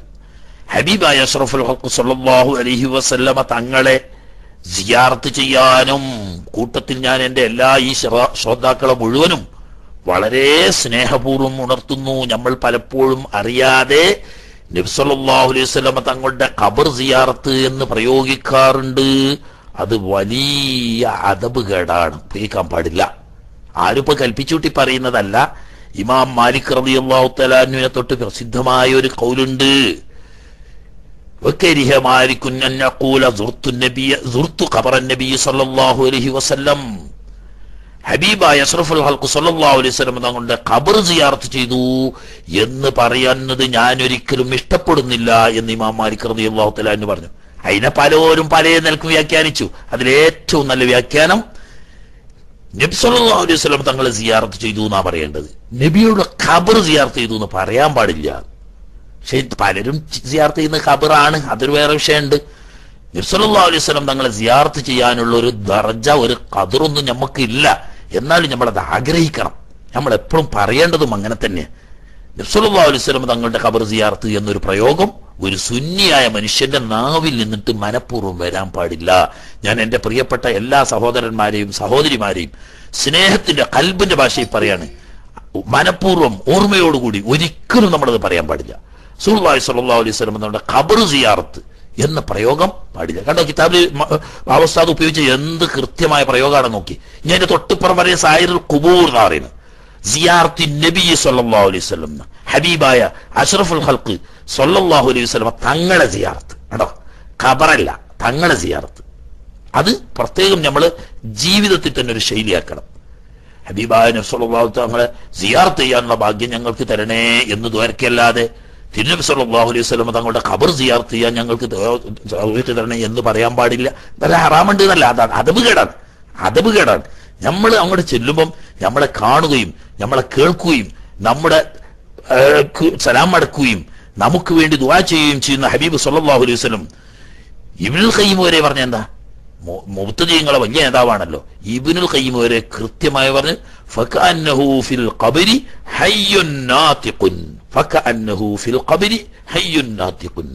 ഹബീബായ മുത്തു മുസ്തഫായ റസൂലുള്ളാഹി സ്വല്ലല്ലാഹു അലൈഹി വസല്ലം തങ്ങൾ അവിടുത്തെ ഖബർ ഷരീഫിൽ ഹയാത്തോടു കൂടി സംസാരശേഷിയോടുകൂടി നമ്മൾ പറയുന്നതിന് മറുപടി പറഞ്ഞുകൊണ്ടും നമ്മൾക്ക് വേണ്ടി ദ്വാ ചെയ്തുകൊണ്ടും നമ്മുടെ സലാം പറഞ്ഞുകൊണ്ടുമാണ് അവിടെ ഉള്ളത്.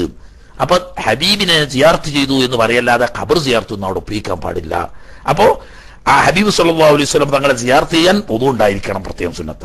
ഇനി പറയട്ടെ വക്കതാ അപ്രകാരം തന്നെ സിയാർത്തി സായിരിൽ കുബൂർ എന്തൊരു നല്ല പ്രയോഗമാണത് ബാക്കിയുള്ളവർക്കൊക്കെ കബർ എന്ന് പറഞ്ഞു. ബാക്കിയുള്ളവരെയൊക്കെ സിയാർത്ത് ചെയ്യുന്നവർക്ക് കബർ എന്ന് പറഞ്ഞു. മറ്റ് കബർ സിയാർത്ത് നമ്മളെ വാപ്പാന്റെ കബർ സിയാർത്ത് അല്ലെങ്കിൽ നമ്മളെ ഉമ്മാന്റെ കബർ സിയാർത്ത് അല്ലെങ്കിൽ നമ്മളെ ഭാര്യന്റെയോ നമ്മളെ മക്കളെയോ നമ്മളെ ഏട്ടാഞ്ചന്മാരുടെയോ അല്ലെങ്കിൽ നമ്മളെ ഉസ്താദന്മാരുടെയോ അല്ലെങ്കിൽ ഔലിയാക്കന്മാരുടെയോ അവരുടെയൊക്കെ കബർ സിയാർത്ത് ഹബീബിന്റെ അവിടെ എത്തുമ്പോൾ ആണ് വിടുക. ഹബീബിന്റെ അവിടെ എത്തുമ്പോൾ പറയാ ഹബീബ് സല്ലല്ലാഹു അലൈഹി വസല്ലം തങ്ങളെ സിയാർത്ത് അവിടെ കബർ വേണ്ട. വേണ്ട. അലാമാകാലബാദുൽ ചില ഇമാമിയങ്ങൾ പറഞ്ഞത് അതന്നെയാണ് അതിന് ശരിയും. ചില ഇമാമിയങ്ങൾ പറഞ്ഞതനുസരിച്ച് മറ്റേതൊരു മൂമിനായ മനുഷ്യന്റെയും കബർ സിയാറത്ത് ചെയ്യുമ്പോൾ അവിടെയും ഉതു ഉണ്ടായിരിക്കൽ സുന്നത്ത് തന്നെ. ഇനി.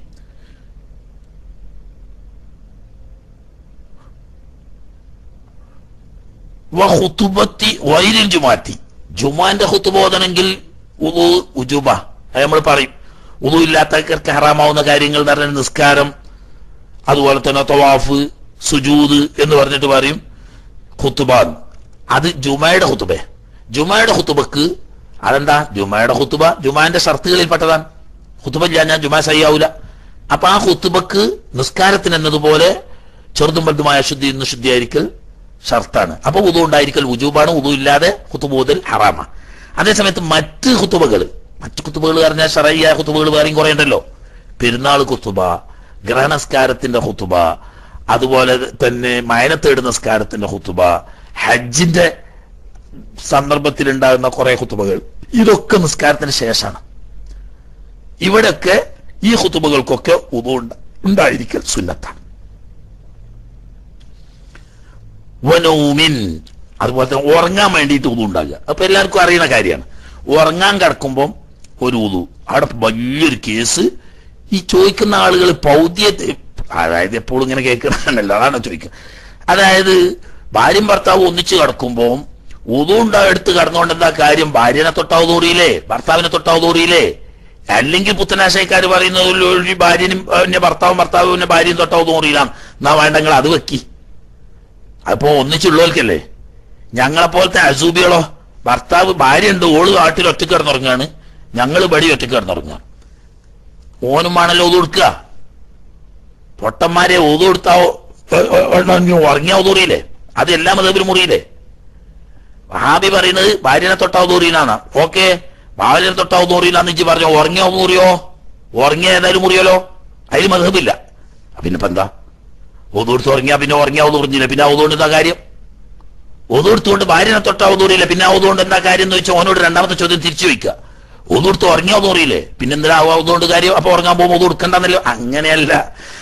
അതായത് ഇവൻ ഉറങ്ങാൻ വേണ്ടിയിട്ട് കിടപ്പറയിൽ ചെല്ലുന്നത് ഉതുവോടുകൂടി ഉതുവോടുകൂടി അവ ബിസ്മിക റബ്ബി വലായത്തു ജംബി ഒബിക്ക റഫാഹു ഇന്നം സക്ത നഫ്സി റഹമ്മ എന്ന് പറയുന്നുണ്ടല്ലോ. അപ്പൊ എന്റെ ശരീരത്തെ നിന്നിലേക്ക് ഞാൻ ഇതാ സമർപ്പിക്കുന്നു എന്ന് പറയും ഈ സമർപ്പണം ഉതോടുകൂടിയായിരിക്കുക പിന്നെ ഭാര്യനെ തൊട്ടാൽ അതാ വ്യക്തമായിട്ട് പറയുന്നു നമ്മളെ മഹദൂമ് തങ്ങൾ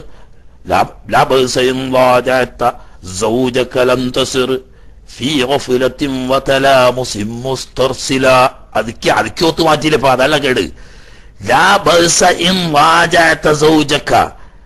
നിന്റെ ഇണയുമായി ഒന്നിച്ചു കൂടിക്കിടക്കുന്നത് കൊണ്ട് ഈ ഉദുവിന് തകരാറില്ല. കേട്ടോ? അപ്പൊ കൂടി കിടക്കുക പക്ഷെ ജനാപത്തുണ്ടായാൽ ഒന്നിച്ച് ഒന്നിച്ച് കുളിച്ചിട്ട് കിടക്കണം. കുളിക്കുന്നില്ലെങ്കിൽ ഉതു കൊടുത്തിട്ട് കിടക്കണം. അത് വേറെ വിഷയം. അപ്പൊ ഉറങ്ങാൻ വേണ്ടിയിട്ട്.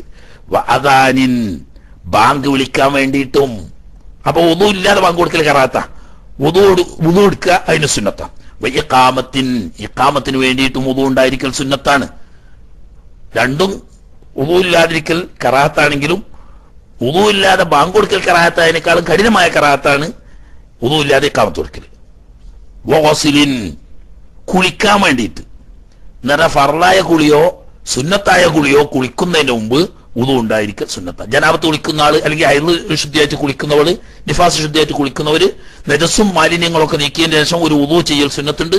എന്നിട്ട് ആ ഉതുവിന്റെ ശേഷം കുളിക്കണം. ഞാൻ അതുപോലെ തന്നെ വെള്ളിയാഴ്ച ജുമാക്ക് പോകാൻ വേണ്ടിയിട്ടുള്ള കുളി അതല്ലെങ്കിൽ പെരുന്നാൾ സ്കാരത്തിന് വേണ്ടിയിട്ടുള്ള കുളി അല്ലെങ്കിൽ അജ്ജനും നമ്മൾക്ക് ഇറാൻ ചെയ്യാൻ വേണ്ടിയിട്ടുള്ള കുളി ഇതൊക്കെ സുന്നത്തായ കുളിയാണ് ഈ സുന്നത്തായ കുളിയൊക്കെ മുമ്പ് ഉതു എടുക്കൽ സുന്നത്തുണ്ട്.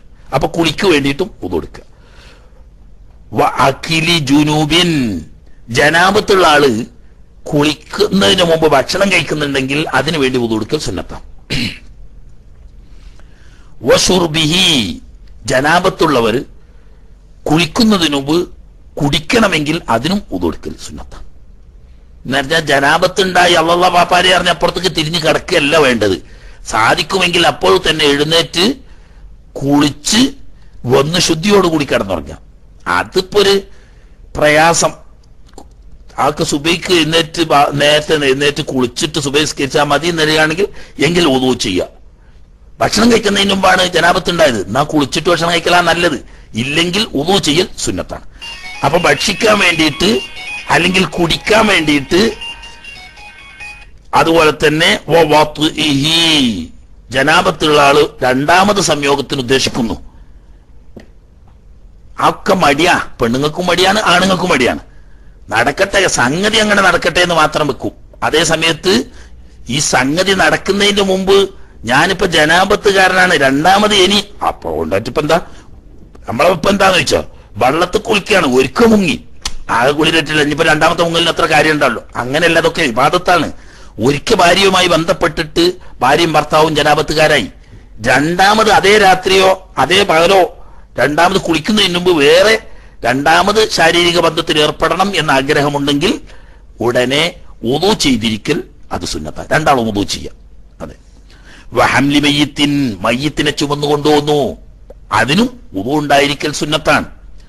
വഹംലി കുത്തുബി തഫ്സീരി. ഖുർആൻ തൊടൻ ഉതു ഉജൂബാണ് എന്നാ ഖുർആന്റെ വ്യാഖ്യാന ഗ്രന്ഥമാവുന്ന തഫ്സീറിന്റെ കിതാബുകളുണ്ട്. ആ തഫ്സീറിന്റെ കിതാബുകളെ ചുമക്കാൻ വേണ്ടിയിട്ട് ഉതു എടുക്കൽ പ്രത്യേകം സുന്നത്താണ്. ഇനി വസായിൻ കാരണം തൊവാഫ് ചെയ്യാൻ ഉതു ഉണ്ടായിരിക്കൽ ഷർത്താണ്. ഉതു ഇല്ലാതെ ചെയ്യൽ ഹറാമാവും. അതേ സമയത്ത് തൊവാഫിനോ ഉതു സുന്നത്താണ് പറയുന്നത്. സയ്യിൻ സൈ ചെയ്യാൻ വേണ്ടിയിട്ട് ഉതു ഉണ്ടായിരിക്കൽ സുന്നത്താണ്. അറഫത്ത ഹജ്ജിന്റെ അറഫയിൽ നിൽക്കുന്ന ഒരാൾ അതിന് അറഫയിൽ നിൽക്കാൻ വേണ്ടിയിട്ട് ഉതു എടുക്കൽ സുന്നത്താണ്. പക്ഷേ ഹൈദോ നിഫാസമുള്ള സ്ത്രീയാണ് അറഫയിൽ നിൽക്കുന്നതെങ്കിൽ അവർ ഉതു എടുക്കാൻ പാടില്ല. അവർക്ക് നിൽക്കാൻ നിൽക്കുന്നതിന് കേടില്ല പക്ഷേ ഒന്നും എടുക്കാൻ പാടില്ല. ജിമാരിൻ ജംറകൾ എറിയാനും മിനയിൽ കല്ലെറിയാന് അതിന് ഉതു ഉണ്ടായിരിക്കൽ സുന്നത്താണ്. ഇത്രയും കാര്യങ്ങൾക്കൊക്കെ ഉതു ചെയ്യൽ സുന്നത്താണ്. അപ്പൊ നാ ഈ സുന്നത്തല്ലേ ഉള്ളൂ? അപ്പൊ നാ എന്താ നെയ്യത്ത് ചെയ്യേണ്ടത്? ഈ സുന്നത്തായ ഉതു ചെയ്യുന്നിടത്തൊക്കെ അവൻ കൊണ്ടുവരണം.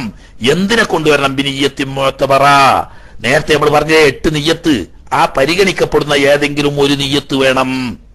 എട്ട് നിജത്ത് കൊണ്ട് നമ്മൾ പറഞ്ഞു അതിൽപ്പെട്ട ഏതെങ്കിലും ഒന്ന്. ഏതുപോലെ കറഫിൽ അതിഥി അശുദ്ധി ഉയർത്തുന്നു എന്നതുപോലെയോ? ഓ ഫർദിൽ ഉദു ഈ ഉദുവിന്റെ ഫർദിനെ വീട്ടുന്നു എന്നതോ പോലെയുള്ള നിയ്യത്ത് തന്നെ വേണം.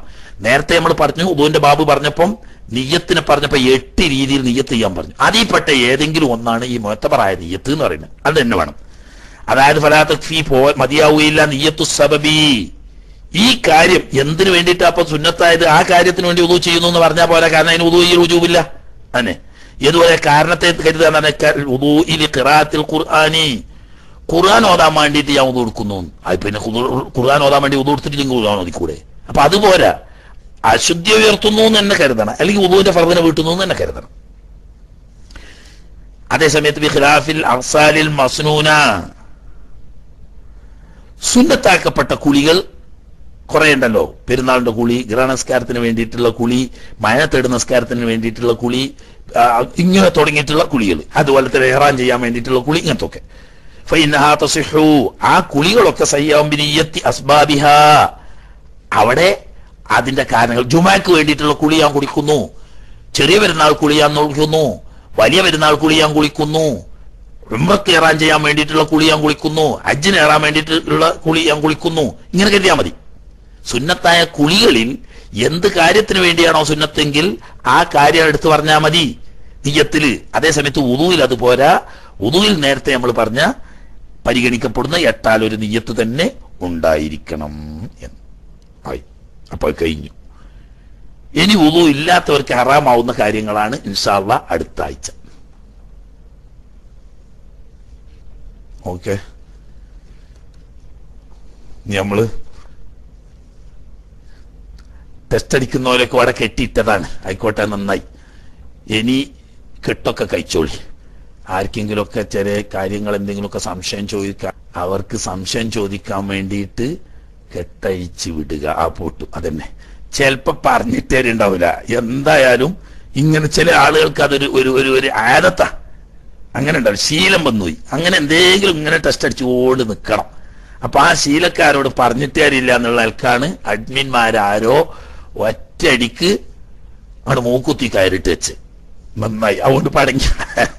ഇനിയിപ്പോ അതൊക്കെ കഴിഞ്ഞ് ഇനി ആട്ടെ ഇനിയൊക്കെ ചോദിക്കാനുള്ള ഒരു ടെസ്റ്റ് ആവശ്യമില്ലാത്ത ടെസ്റ്റ് ചെയ്തല്ലോ അടിക്കണം. നിങ്ങൾ അടിച്ചതിൽ എനിക്ക് പേടില്ല കേട്ടോ. ഞാൻ കാരണം എനിക്ക് ചിന്തിക്കില്ല തന്നെ ഞങ്ങൾ അവിടെ എന്തടിച്ചാലും ഞാൻ എനിക്ക് ഛർദിക്കൂല എന്നാലും അത് നല്ലതല്ലല്ലോ ഒരു ഇരുമിന്റെ മജ്ലിസ് അല്ലേ അതിന്റെ ഹെർമത്തിന് പറ്റുന്നതൊക്കെ അടിക്കാവൂ എന്ന് ഒരു സ്നേഹത്തിന്റെ നിരക്ക് ഉണർത്തുകയാണ് എനിക്കൊരു പ്രയാസമില്ല ഞങ്ങൾ എന്തടിച്ചാലും എനിക്കത്ര ശ്രദ്ധിക്കില്ല. അപ്പൊ സംശയം ചോദിക്കാനുള്ള ആളുകൾക്കുള്ള സമയമായതുകൊണ്ട് ഇൻഷാള്ള ഫലപ്രദമായ നമുക്ക് സ്വന്തം പഠിക്കാനും മറ്റുള്ളവർക്ക് കൂടി പഠിക്കാനും ഫലപ്രദമാവുന്ന ചോദ്യങ്ങളായാൽ നമുക്ക് എല്ലാവർക്കും പറയുന്നവർക്കും ചോദിക്കണവർക്കും കേൾക്കണവർക്കും ഒക്കെ ഫലം പെടും. അള്ളാഹു സുബാനോ തല കബൂലാക്കുമാറാകട്ടെ.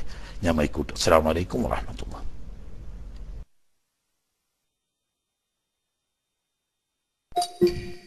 അസ്സലാമു അലൈക്കും ആദ്യം തന്നെ ഞാൻ തന്നെ തുടങ്ങാം. കാരണം ചോദിച്ചിട്ട് പിന്നെ വാങ്ങ് കൊടുക്കാൻ പോകാം വാങ്ങ് കൊടുത്തുന്നതിന്റെ ഇടയിൽ ചോദിക്കണ്ട.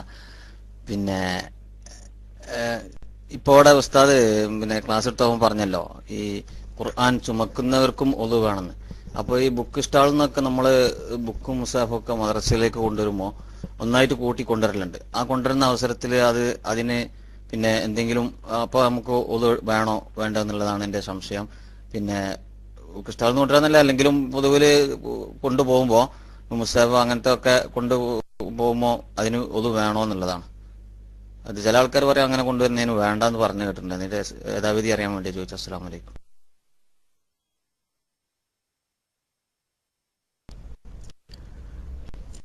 വാലൈക്കും അസ്സലാം. അത് നാളത്തെ പാഠത്തിൽ വരുന്ന ഭാഗമാണ് ശരിയെ. അതായത് ഉദോ ഇല്ലാത്തവർക്ക് ഹറാമാവുന്ന കാര്യങ്ങൾ എന്തൊക്കെയാണ്? എന്നും ഉദോ ഇല്ലാത്തവർക്ക് കറാഹത്താവുന്ന കാര്യങ്ങൾ എന്താണെന്നും അടുത്ത നാളത്തെ പാഠത്തിൽ വരും. അതിൽ പെട്ടതാണ് ഈ ചർച്ച. എന്നാലും ചോദിച്ച സ്ഥിതിക്ക് ഇന്ന് ഇന്നൊരുക്കണവർക്കൊക്കെ ഇപ്പൊ നാളെ വരാൻ പറ്റിക്കൊള്ളണം എന്നില്ലല്ലോ. അതുകൊണ്ട് മുസാഫ് സ്വന്തമായി ചുമക്കണമെങ്കിൽ ഉതു വേണം എന്നത് നിർബന്ധം തന്നെയാണ്. അതേ സമയത്ത് വേറെ പല സാധനങ്ങളും ഉണ്ട്. കൂട്ടത്തിൽ ഒരു ഖുർആാനും ഉണ്ട്. എന്നാൽ അവിടെ ഉദു ഉണ്ടാവൽ നല്ലതാണ് സുന്നത്താണ് വുജൂബില്ല. അഥവാ മറ്റു വസ്തുക്കളുടെ കൂട്ടത്തിൽ ഖുർആൻ ചുമക്കുമ്പോൾ ഉതു ഉണ്ടായിരിക്കൽ സുന്നത്തേ ഉള്ളൂ വുജൂബില്ല. ഓക്കെ. അത് വരും ആ ഭാഗം നാളത്തെ പാഠത്തിൽ ചർച്ച വരികയും ചെയ്യും കൂടുതൽ ഇൻഷാ അള്ളാ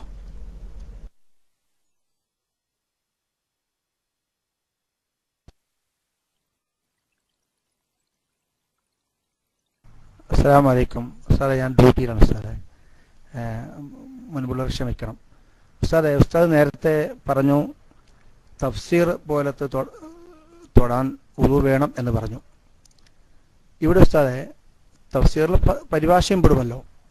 എന്നാൽ ഇന്ന് കേരളത്തിലുള്ള മിക്ക പരിഭാഷകളും അതിന്റെ നടുവിൽ ഖുർആാനും സെയ്ഡിന് പരിഭാഷയും എഴുതിയിട്ടുള്ളതാണ്.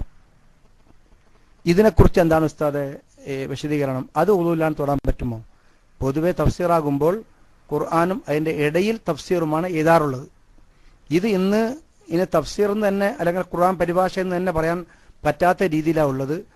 വക്കത്തെ എഴുതിയ മുസ്താഫ് എന്ന് വേണമെങ്കിൽ പറയാം. ഇതിനെ ഉളവില്ലാണ്ട് തൊടാൻ പറ്റുമോ ഉസ്താദെ? ഒന്നത് ഉസ്താദ് വിശദീകരിച്ചാൽ നന്നായിരുന്നു. എല്ലാ പരിഭാഷയും ഇന്ന് അങ്ങനെയാണ്. പൊതുവെ ആൾക്കാർ ധരിച്ചിരിക്കുന്നത് ഖുർആാനേക്കാളും കൂടുതൽ പരിഭാഷ ഉള്ളതുകൊണ്ട് തൊടാൻ പറ്റും എന്നാണ്. ഈ ധാരണ ഒന്ന് ഉസ്താദ് തിരുത്തി തന്നാൽ ഉപകാരമായിരിക്കും. അസ്സാം വലൈക്കും വറഹമത്തല്ലാഹി വാത്തു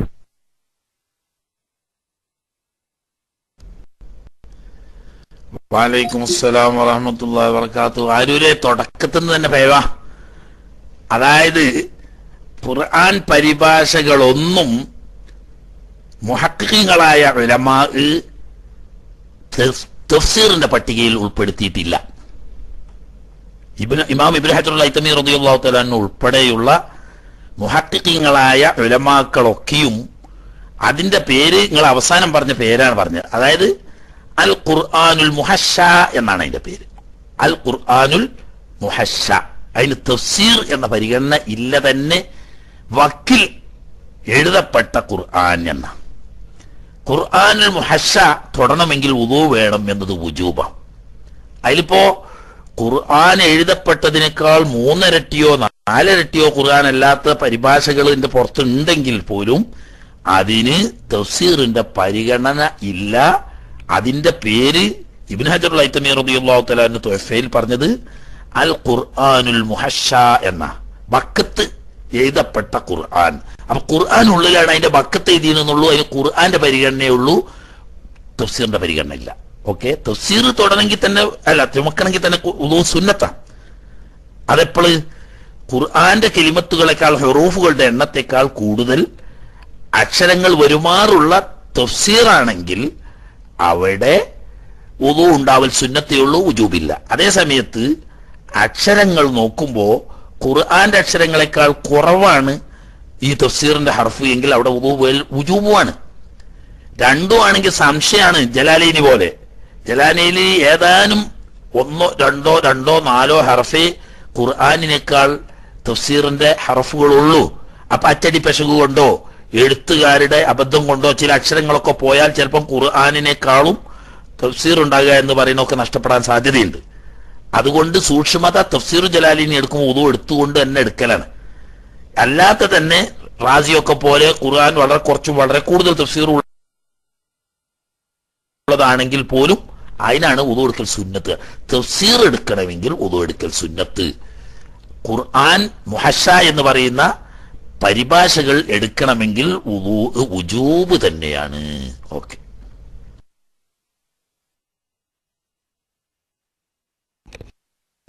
അസ്സാം വലൈക്കും വറഹമത്തുള്ള. നേരത്തെ പറഞ്ഞല്ലോ ജനാപത്തുകാരനായിരിക്കെ കുളിക്കാൻ ഉടനെ കുളിക്കാൻ പറ്റാത്ത സാഹചര്യമാണെങ്കിൽ ഒതു ചെയ്തിട്ട് കിടന്നാൽ മതി. അങ്ങനെ ഒരു സംസാരം. അങ്ങനെ വേറെ ഒരു സ്ഥലത്ത് നിന്ന് കേട്ടിട്ടുണ്ട്. പിന്നെ ജനാപത്തുകാരനായിരിക്കുകയാണോ അതോ ആർത്തവകാരിക്കാണോ എന്നറിയില്ല ആർത്തവകാരിക്കാണെന്നാണ് എന്റെ ഓർമ്മ. ആർത്തവകാരി ഒലു ചെയ്യൽ ഹറാമാണ് എന്ന് കേട്ടതായിട്ട് ഓർക്കുന്നത് അങ്ങനെ ഉണ്ടോ?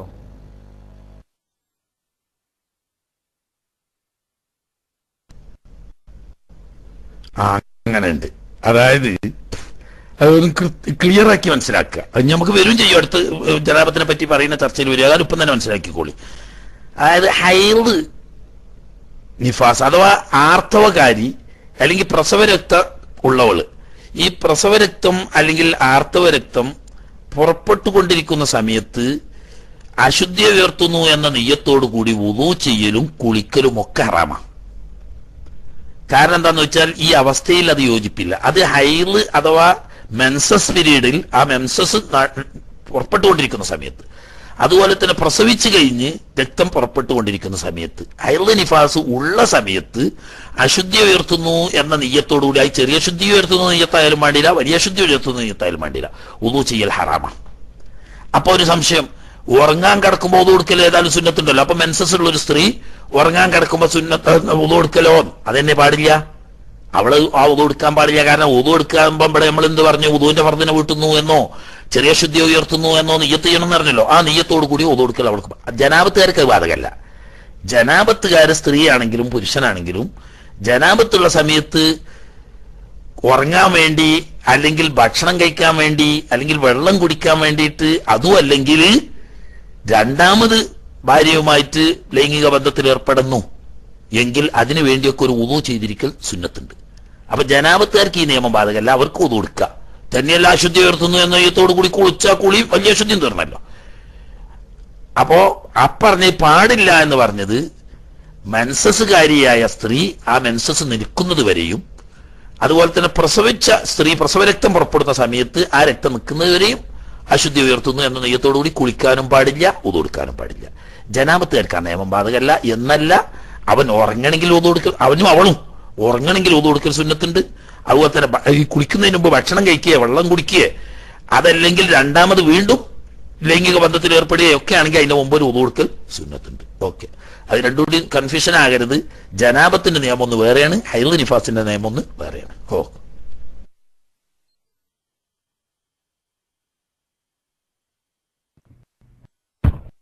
അസ്സലാമലൈക്കും സാർ ജനാബത്തുകാരനെ ഒതുവെടുത്ത് കിടക്കുന്ന സമയത്ത് ഉറക്കിൽ മറ്റേ കിടക്കിൽ മറ്റേ തലയുന്ന മറ്റേ രോമങ്ങൾ മറ്റേ ഒഴിഞ്ഞു പോയിട്ടുണ്ടെങ്കിൽ എന്താണ് അതിന്റെ വിധി? അതിനെ കുളിപ്പിക്കാൻ എടുക്കണോ? അതുപോലെ ഹയൽ കാര്യവും സമയത്ത് ഉണ്ടാകുന്ന പുറത്തു പോകുന്ന ഈ രോമങ്ങൾ ശരീരത്തിൽ നിന്ന് പോയി കഴിഞ്ഞാൽ എന്താ അതിന്റെ വിധി?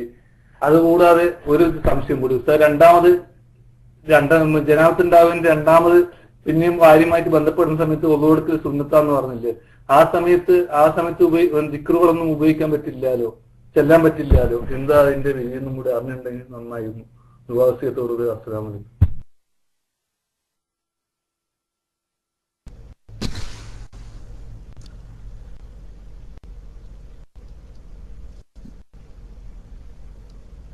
രണ്ടാമത് ബന്ധപ്പെടുമ്പോ അല്ലെങ്കിൽ ബന്ധപ്പെടാൻ വേണ്ടിയിട്ട് അഥവാ ജനാപത്തോടു കൂടി ജനാപത്തിൽ നിന്നിട്ട് ശുദ്ധിയാകാൻ വേണ്ടിയിട്ടല്ല ചെറിയ ശുദ്ധി ഉയർത്താൻ വേണ്ടിയിട്ട് ഉദു ചെയ്യാം.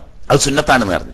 ഈ സുന്നത്തായ ഉദു ചെയ്യുമ്പോൾ ദിക്റ് എന്ന നിലയ്ക്ക് അഴുതും ബിസ്മി ചെല്ലുന്നത് കൊണ്ടോ ദിക്റ് ചെല്ലുന്നത് കൊണ്ടോ വിരോധമില്ല. ഖുറാൻ ഓതാൻ പാടില്ല എന്നുള്ളൂ. ജനാപത്തുകാർക്ക് പാടില്ലാത്തത് ഖുറാൻ ഓതാൻ പാടില്ലാത്തുള്ളൂ. ഖുറാൻ ഓതാൻ പാടില്ല. അതേ സമയത്ത് ദിക്ർ ചെല്ല. അപ്പൊ ബിസ്മി ഖുറാനിൽ പെട്ടതല്ലേ വെച്ചു ഇവിടെ ബിസ്മി ഖുർആൻ ഓതാന്നുള്ള നിലക്കല്ല. ഉദൂഇന്റെ തുടക്കത്തിൽ ചൊല്ലൽ സുന്നത്തുള്ള ദിക്ർ എന്ന നിലക്കാണ് റജീം റഹീം എന്ന് പറയുന്നത്. അപ്പൊ അത് ദിക്റാണ്. അതിന്റെ ശേഷം പറഞ്ഞ അഷ്ഹദു അല്ലാ ഇലാഹ ഇല്ലല്ലാഹു വഹ്ദഹു ലാ ശരീക ലഹു തുടങ്ങിയിട്ട് ജഅലൽ എന്ന് വരെയുള്ളതൊക്കെ ദിക്റുകളാണ്. ദിക്ർ ജനാപത്തുള്ളവർക്ക് ചെല്ലുന്നതുകൊണ്ട് വിരോധമില്ല. അതേസമയത്ത് ഖുർആൻ ഓതാൻ പറ്റൂല. ഖുർആൻ ഒത്ത് വരുന്നുമില്ലല്ലോ. ഓക്കെ. ഒന്നിച്ച് ചോദിക്കൽ ഓരോ ചോദ്യം ചോദിക്കുക. രണ്ടാമത് നിങ്ങൾക്ക് അങ്ങനെ എമർജൻസി ഉള്ളതാണെങ്കിൽ ഉണർത്തിയാൽ രണ്ടാമത് നിങ്ങൾക്ക് എന്നെ മൈക്ക് എടുക്കാൻ വേണ്ടി ചാൻസ് തരാം. എന്നാലും ഒന്നിച്ച് ചോദിച്ചാൽ എനിക്ക് നിങ്ങൾ ഇപ്പൊ തന്നെ ആദ്യം ചോദിച്ചാൽ എന്താണെന്ന് എനിക്ക് ഓർമ്മയില്ല. അവസാനത്തത് എന്റെ ഓർമ്മ കിട്ടിയിട്ടുള്ളൂ. അത് പറഞ്ഞിട്ടുള്ളൂ. അത് കൽപ്പിച്ചുകൂടി ചെയ്യല്ല അങ്ങനെയാണത്. അത് ഓർമ്മ കിട്ടൂല. രണ്ടുകൂടി ഓർമ്മ വെക്കാൻ കഴിയില്ല. അപ്പൊ നിങ്ങൾക്ക് രണ്ടാമത്തെ ചോദ്യം ഉണ്ടെങ്കിൽ പറഞ്ഞാൽ എന്നാ പിന്നെ നിങ്ങൾ എടുത്തിട്ടേ ബാക്കിയുള്ളവർ മൈക്ക് എടുക്കുള്ളൂ. എല്ലാരോടും അറിയണ്ടോ? പറഞ്ഞ ആളോട് മാത്രമല്ല. മൊത്തം എല്ലാരോടും അറിഞ്ഞു. ഓക്കെ.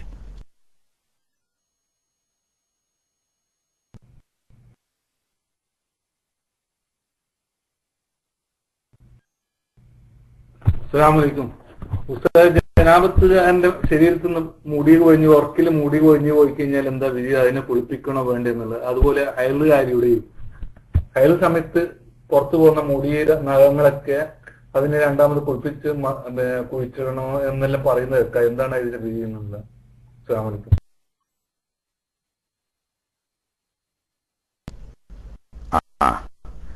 ജനാപത്തുള്ള മനുഷ്യന്റെ ശരീരത്തിൽ നിന്ന് അല്ലെങ്കിൽ ഹൈലോ നിഫാസോ ഉള്ള സഹോദരിയുടെ ശരീരത്തിൽ നിന്ന് മുടി കൊഴിഞ്ഞുപോയി എങ്കിൽ അതുകൊണ്ട് പ്രത്യേകിച്ച് ഒന്നും ചെയ്യാനില്ല അത് അവിടെ കിടന്നോട്ടെ. പെണ്ണുങ്ങളുടെ പിന്നെ ഏത് മുടിയും പുറത്തിടാൻ പാടില്ല. മറക്കൽ ഉജൂബാണ്. അല്ലാതെ ജനാപത്തുമായി നിഫാസുമായിട്ട് ബന്ധപ്പെട്ട് പ്രത്യേക നിയമമില്ല എന്നാ പറഞ്ഞതിന്റെ അർത്ഥം. അപ്പോ അങ്ങനെ വീണ് പോയിട്ടുണ്ടെങ്കിൽ അത് പൊയ്ക്കോട്ടെ എന്നല്ലാതെ അത് എടുത്തു വെക്കുകയോ അത് രണ്ടാമത് ജനാബത്ത് കുളിക്കുന്ന സമയത്ത് രണ്ടാമത് ആ കുളിക്കുന്ന കൂട്ടത്തിൽ ഇതിനെ കഴുകുകയോ ഒന്നും ചെയ്യേണ്ട കടമയില്ല. മറിച്ച് എന്താന്ന് വെച്ചാൽ ജനാപത്തുള്ള സമയത്ത് അതുപോലെ തന്നെ ഹൈദുൻ നിഫാസും ഉള്ള സമയത്ത് പ്രത്യേക കാരണങ്ങൾ ഇല്ലെങ്കിൽ മനഃപൂർവം മുടി നീക്കൽ കറാത്ത. ഉദാഹരണം ഉദാഹരണം ജനാപത്തുണ്ട് കുളിക്കുന്നതിന് മുമ്പ് ഒരു താടി ഒപ്പിക്കണം. മീശ വെട്ടണം. അല്ലെങ്കിൽ നഖം മുറിക്കണം. എന്നാൽ മനഃപൂർവമാണല്ലോ ഇപ്പൊ നമ്മളാ ചെയ്യുന്നത്. ആ നഖം മുറിക്കലാണെങ്കിലും അതുപോലെ തന്നെ ആ മീശ വെട്ടലാണെങ്കിലും ആ താടി ഒപ്പിക്കലാണെങ്കിലും അതൊക്കെ ഇപ്പൊ മനഃപൂർവമാണല്ലോ ചെയ്യുന്നത്. ഈ മനഃപൂർവം ചെയ്യൽ കറാത്ത അപ്പൊ എന്ത് ചെയ്യുക ഒന്നിക്കൽ കുളിച്ചിട്ട് ചെയ്യുക. അതല്ലെങ്കിൽ വലിയ ശുദ്ധി ഉയർത്തുന്നു എന്ന നെയ്യത്തോടു കൂടി നിങ്ങൾ മുഖം കഴുകുക കയ്യും കാലും കഴുകുക. അപ്പോ ആ ഭാഗം ശുദ്ധിയായി. നിങ്ങൾ താടി ഒപ്പിച്ചോളി മീശ വെട്ടിക്കോളി അതുപോലെ തന്നെ കയ്യിന്റെയും കാലിന്റെയും നാമൂർച്ചോളി ഒരു പ്രശ്നമില്ല അല്ലെങ്കിൽ കുളിച്ച് കഴിഞ്ഞിട്ടാകാം അല്ലെങ്കിൽ ഈ ഭാഗം നെയ്യത്തോടു കൂടി കഴുകിയിട്ടാകാം. അല്ലാതെ ഒരാൾ ചെയ്താൽ അത് കറാത്താണ്. ചെയ്താൽ പ്രത്യേകിച്ച് എടുത്തു വെക്കുക പിന്നെ കുളിക്കുന്ന സമയത്ത് കൂട്ടിയൊന്നും വേണ്ട. സ്ത്രീകളും തന്നെ അങ്ങനെയാണ്. ഹൈറുള്ള സമയത്ത് കുളിക്കണമല്ലോ. അശുദ്ധി ഉയർത്തുന്നു എന്ന നെയ്യത്തോടു കൂടിയല്ല. സാധാരണ അധിക സ്ത്രീകൾക്കും ഏഴു ദിവസം ആറു ദിവസം ഒക്കെ ഹൈറുണ്ടാവും മാസത്തിൽ ഇത്രയും ദിവസം കുളിക്കാറക്കാൻ കഴിയുമോ? അതിന് കുളിക്കണതിന് കേടില്ല. അശുദ്ധി ഉയർത്തുന്നു എന്ന നെയ്യത്തോടു കൂടി കുളിക്കാൻ ഞാൻ മതി. ഇങ്ങനെ കുളിക്കുന്ന സമയത്ത് സാധാരണ സ്ത്രീകൾ വലിയ നീണ്ട മുടിയല്ല. ഇപ്പത്തെ ദുന്യാവുമാണ് വേ മുടി കൊഴിച്ചിലിന്റെ ഒരു രോഗം പലർക്കുള്ളതാ. അങ്ങനെ ഈ മുടി കൊഴിച്ചിലിന്റെ അവസ്ഥയുള്ള ഈ സ്ത്രീ കുളിച്ചു കഴിഞ്ഞ് മുടി തോർത്തുമ്പോൾ എന്തായാലും മുടി കൊഴിഞ്ഞു പോരും. അതുപോലെ തന്നെ മുടി ചീകുമ്പോൾ മുടി കൊഴിഞ്ഞു പോരും. അതൊക്കെ എല്ലാ സമയത്തും ഉള്ളതുപോലെ എടുത്ത് അന്യ ആളുകൾ കാണാത്ത നിലയ്ക്ക് കുഴിച്ചിടുകയാണ് വേണ്ടത്. ഇപ്പൊ ഈ ഫ്ലാറ്റ് സംസ്കാരത്തിൽ കുഴിച്ചിടാൻ മണ്ണിട്ടൂല. അങ്ങനെ വരുമ്പം അത് ടിഷ്യൂ പേപ്പറിലോ മറ്റോ നന്നായി പൊതിഞ്ഞ് കുമാമന്റെ അകത്തിടുക. എന്ന് പറഞ്ഞാൽ അന്യ പുരുഷന്മാർ കാണാവുന്ന നിലയ്ക്ക് പുറത്തിടൽ ഹറാമാണ് അത് ചെയ്യണം എന്നല്ലാതെ ഇതെടുത്ത് സൂക്ഷിക്കുക എന്നിട്ട് കുളിക്കുന്ന സമയത്ത് അത് കഴുകുക അങ്ങനെ ഒരു കടമ ഇല്ല. ആവശ്യമുണ്ടെങ്കിൽ ചെയ്യാം ആവശ്യമില്ലെങ്കിൽ ചെയ്യാതിരിക്കുന്ന നല്ല ഉദാഹരണം പറയാ ഒരു സ്ത്രീ നാൽപ്പത് ദിവസം നിഫാസ് രക്തം പുറപ്പെടുന്നു. ഈ നാൽപ്പത് ദിവസം ഈ സ്ത്രീ നാമുറിക്കാതെ കഴിയോ? എന്തായാലും കഴിയൂലല്ലോ. കാരണം നാൽപ്പത് ദിവസം വരെ മുറിക്കാതെന്നാൽ നൈരി പോലെ ആവില്ല ആ പെണ്ണിന്റെ കൈയൊക്കെ പാടെ അപ്പൊ ഈ ചെറിയ ചോര കുഞ്ഞ് പൈതലിന് എടുക്കുമ്പോഴും വെക്കുമ്പോഴും ഒക്കെ ഈ നാം പറ്റിയിട്ട് കുട്ടിക്ക് മുറിയൂല അപ്പൊ അവിടെ മുറിച്ച് കളയാ. അത് ആവശ്യമുള്ളതാണ്. ആവശ്യം കൂടാതെ മുറിക്കാൻ പാടില്ല. അത് കറാത്ത. ഇവിടെ ഇപ്പൊ ആവശ്യമുണ്ട്. അതുകൊണ്ട് നിങ്ങൾ മുറിച്ചാളി. അതുപോലെ തന്നെ ഒരു പെണ്ണ് അജിനേറാൻ ചെയ്തു. ഏറാൻ ചെയ്തപ്പോ ഇവക്ക് മെൻസസ് തുടങ്ങി. അങ്ങനെ ഇവൾ നേരെ ഇവിടെ പോയി? അർഫേ പോയി. അർഫേന്ന് മുസ്ദലിഫേക്ക് വന്ന് മുസ്ദലിഫെ രാപ്പാർക്ക് കഴിഞ്ഞിട്ട് മിനയിൽ വന്ന് ജംറത്തുൽ പേറിഞ്ഞു ഇപ്പൊ ഇനി മുടി മുറിക്കണല്ലോ? ഇപ്പൊ കയ്യിലുണ്ട് നിർത്തിട്ട് മുടി മുറിക്കാൻ നിൽക്കുക മുടി മുറിക്കണം. കാരണം എന്താണ്? അവിടെ കാരണമുണ്ട് ഹജ്ജിന്ന് തല്ലൂരാണ്ട സമയമാണ് തല്ലൂരാണെങ്കിൽ മുടി മുറിക്കണം. അവിടെ മുറിക്കുക ഇങ്ങനെ എന്തെങ്കിലും കാരണം ഉണ്ടെങ്കിൽ ഒരു പ്രശ്നവുമില്ല മുറിക്കാം കാരണം ഇല്ലാതെ മനഃപൂർവം നീക്കാതിരിക്കുക. അതേ സമയത്ത് കുളിക്കുമ്പോഴോ അല്ലെങ്കിൽ മുടി ചീകുമ്പോഴോ അല്ലെങ്കിൽ കിടന്നുറങ്ങുമ്പോഴോ ഒക്കെ മുടി വീണ് പോയിട്ടുണ്ടെങ്കിൽ അത് പ്രത്യേകം എടുത്തു വെക്കുകയോ കുളിക്കുന്ന സമയത്ത് കഴുകുകയോ ഒന്നും ചെയ്യേണ്ട കടമയില്ല. പക്ഷെ സ്ത്രീകൾ എപ്പോഴും മനസ്സിലാക്കേണ്ട വളരെ പ്രധാനപ്പെട്ട ഒരു കാര്യമുണ്ട്. എല്ലാ എന്റെ സഹോദരിമാരും ഇത് കേൾക്കുന്ന എല്ലാവരും ശ്രദ്ധിക്കണം. ജീവിതത്തിൽ ഒരിക്കലും നമ്മുടെ ശരീരത്തിലുള്ള മുടി അന്യര് കാണുന്ന നിലയ്ക്ക് പുറത്തിടൽ ഹറാമാണ്. നമ്മളെ ശരീരത്തിൽ നിൽക്കുമ്പോൾ അത് ഔറത്താണ് അന്യര് കാണാൻ പാടില്ല എന്നതുപോലെ തന്നെ നമ്മളെ ശരീരത്തിൽ നിന്ന് വേർപ്പെട്ടാലും അത് അന്യര് കാണുന്ന നിലയ്ക്ക് പുറത്തിട്ടാൽ ഹറാമാണ്. നമ്മൾ എന്താക്കണം അതെടുത്ത് ഒരു പക്ഷേ മണ്ണിൽ കുഴിച്ചുമൂടുക അല്ലെങ്കിൽ മറ്റാരും കാണാൻ പറ്റാത്ത നിലയ്ക്ക് ടിഷ്യൂ പേപ്പറിലോ മറ്റോ പൊതിഞ്ഞിട്ട് ഹുമാമന്റെ അകത്തിടുക. എന്നിട്ട് അന്യർ കാണാത്ത നിലയ്ക്ക് മറക്കൽ അത് ഉജൂബാണ് അന്യര് കണ്ടൽ കാണുന്ന നിലയ്ക്ക് ഇടൽ ഹറാമാണ്. നമ്മൾ ഔറത്ത് വെളിവാക്കിയ അതേ വിധി വരും. അത് പ്രത്യേകം സൂക്ഷിക്കണം. അല്ലാതെ ജനാ നിഫാസ് ഉണ്ടായി അല്ലെങ്കിൽ ഹൈദ് ഉണ്ടായി അതല്ലെങ്കിൽ ജനാബത്തുണ്ടായി എന്നത് കൊണ്ടിട്ട് മുടി പോയി പോയാൽ അതുകൊണ്ട് നമ്മൾ ഉത്തരവാദികളല്ല. മനഃപൂർവം പോകാതിരിക്കൽ സുന്നത്താണ്. മനഃപൂർവം പോക്കൽ കറാത്താണ്. ഓക്കെ.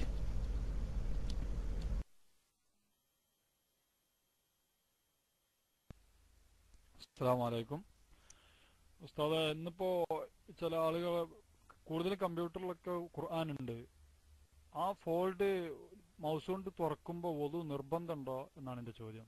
അസ്സാം വലൈക്കും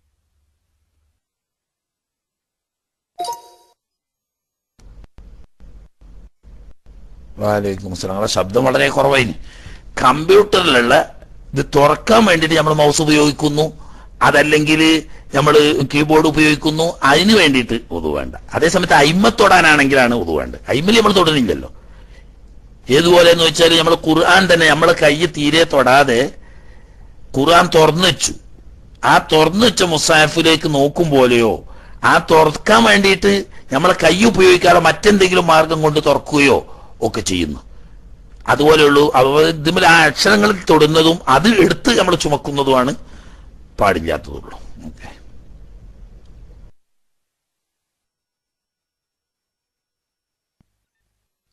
അസ്സാം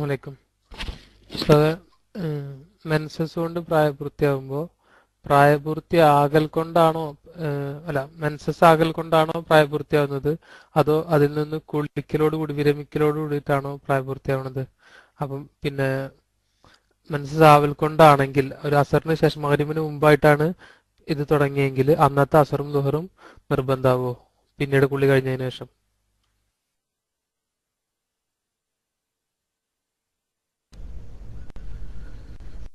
ആ നല്ല ചോദ്യ.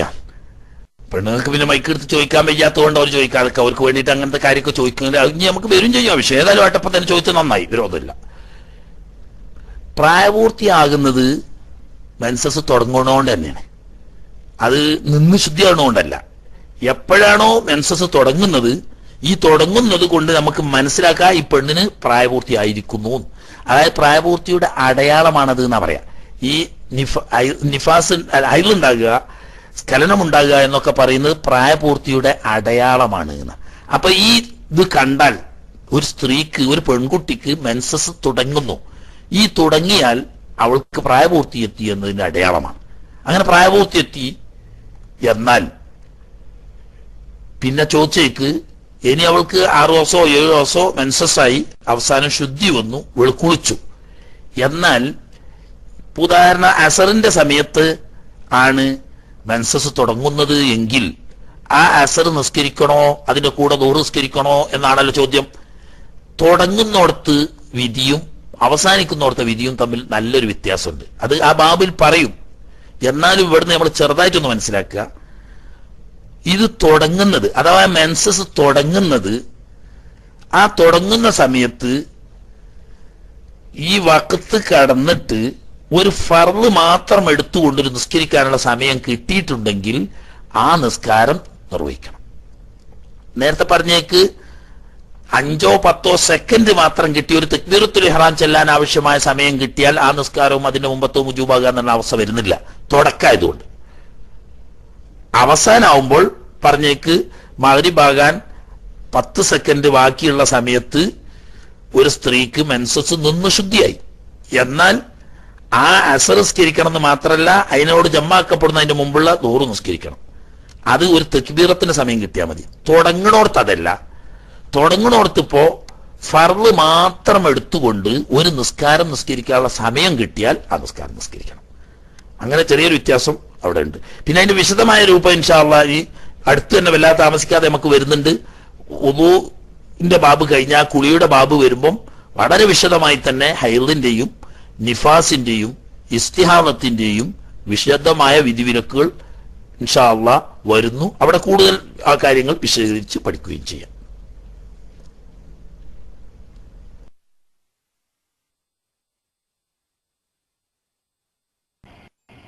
അസ്സാം വലൈക്കും ഉസ്താദ് രണ്ടു വയസ്സിന് താഴെയുള്ള ഒരു കുട്ടിക്ക് അഞ്ചു പ്രാവശ്യം അന്യ അന്യ സ്ത്രീ മുല കൊടുത്താൽ ഉമ്മ ആയിട്ടുള്ളൊരു ബന്ധം വരുമെന്ന് പറഞ്ഞു. ആ സ്ത്രീയുടെ ഭർത്താവ് വാപ്പായി മാറുമെന്ന് പറഞ്ഞു. അപ്പോൾ ഈ സ്വത്തിന് അവകാശമായി മാറുമെന്നുള്ളതാണ് ഈ കുട്ടി. അസ്സാം വലൈക്കും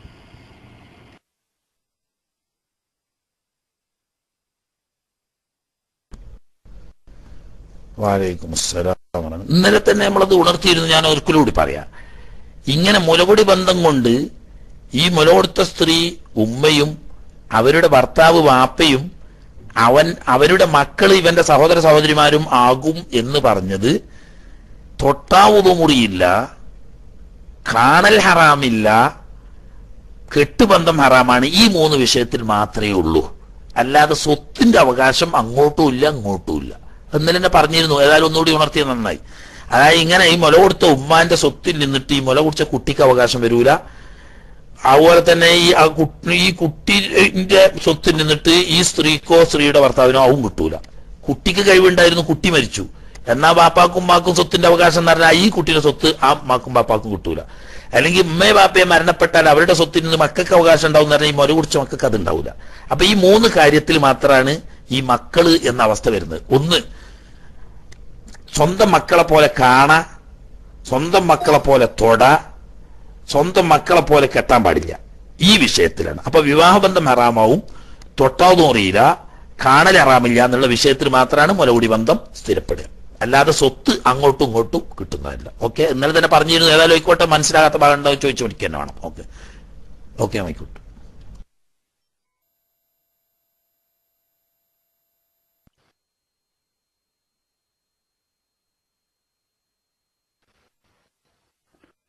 അസ്സാം വലൈക്കും ഉസ്താദിന്റെ സംശയം ഇപ്പോൾ സുബഹി നമസ്കാരം കലായതിനു ശേഷം ദുഹാന്റെ ദുഹാ നമസ്കാരത്തിന്റെ ഇടയിലുള്ള സമയത്ത് നിസ്കാരങ്ങൾ നിഷിദ്ധമാണല്ലോ.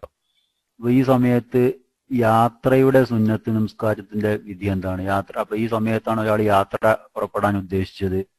അപ്പോൾ ഈ സമയം യാത്ര ഇവിടെ നിസ്കാരം സുബഹി നിസ്കരിക്കുമ്പോൾ ഒന്നിച്ച് കരുതിയിട്ട് ഫർള ഫർളിന്റെ കൂടെ നിസ്കരിച്ചാൽ മതിയോ? അതോ ആ സമയത്ത് കുഴപ്പമില്ലാതെ നിസ്കരിക്കാൻ യാത്ര തുടങ്ങുന്ന സമയത്ത് നിസ്കരിക്കാൻ പറ്റുമോ?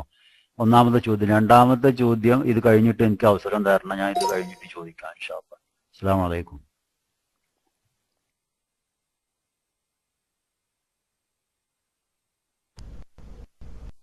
വാലൈക്കും അസ്സലാം വറഹമത്തുള്ള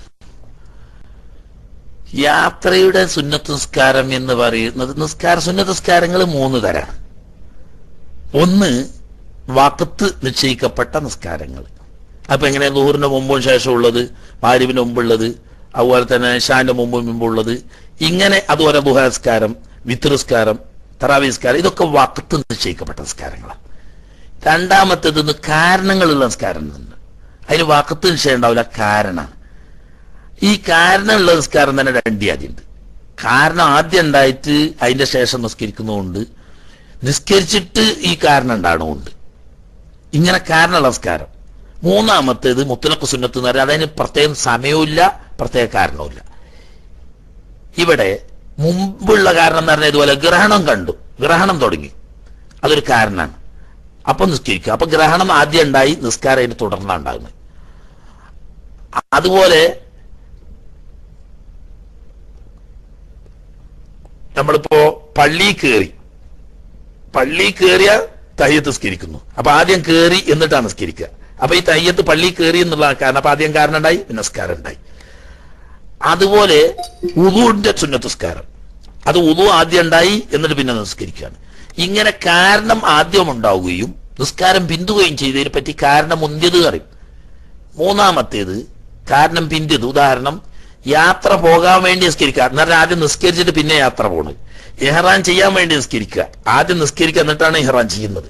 ഇങ്ങനെ കാരണം പിന്നിലുള്ളതും തീരെ കാരണമില്ലാത്ത മുത്തലക്കു സുന്നത്തും ആണെങ്കിൽ അത് ആണ് സുബൈന്റെ ശേഷം ദുഹാൽ വക്കത്താകുന്നത് വരെയും അസറിന്റെ ശേഷം മകനിപ്പാവുന്നവരെയും വെള്ളിയാഴ്ച അല്ലാത്ത ദിവസങ്ങളിൽ നട്ടുച്ച സമയത്ത് നിസ്കരിക്കാൻ പാടില്ല എന്ന് പറഞ്ഞു.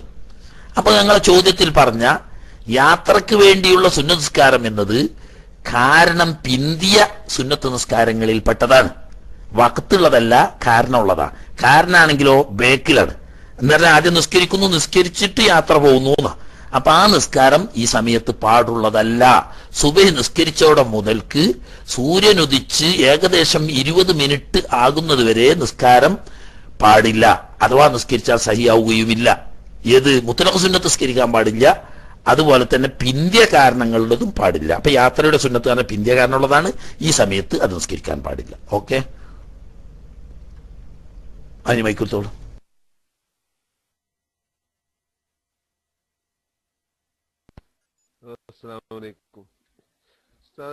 ഏഹ്, നിസ്കാരത്തിൽ മിസ്വാക്ക് ചെയ്യുന്ന രൂപമുണ്ടോ? അല്ല നിസ്കരിക്കുന്നതിന് മുമ്പാണോ ചെയ്യേണ്ടത്? അല്ല നിസ്കാരത്തിൽ ചെയ്യാൻ പറ്റുമോ അപ്പൊ അങ്ങനെ ആകുമ്പോ നിസ്കാരം ബാത്തിലാവൂല? അതിന്റെ രൂപം ഒന്ന് വിശദീകരിച്ചാൽ. എന്നായിരുന്നു കേട്ടോ.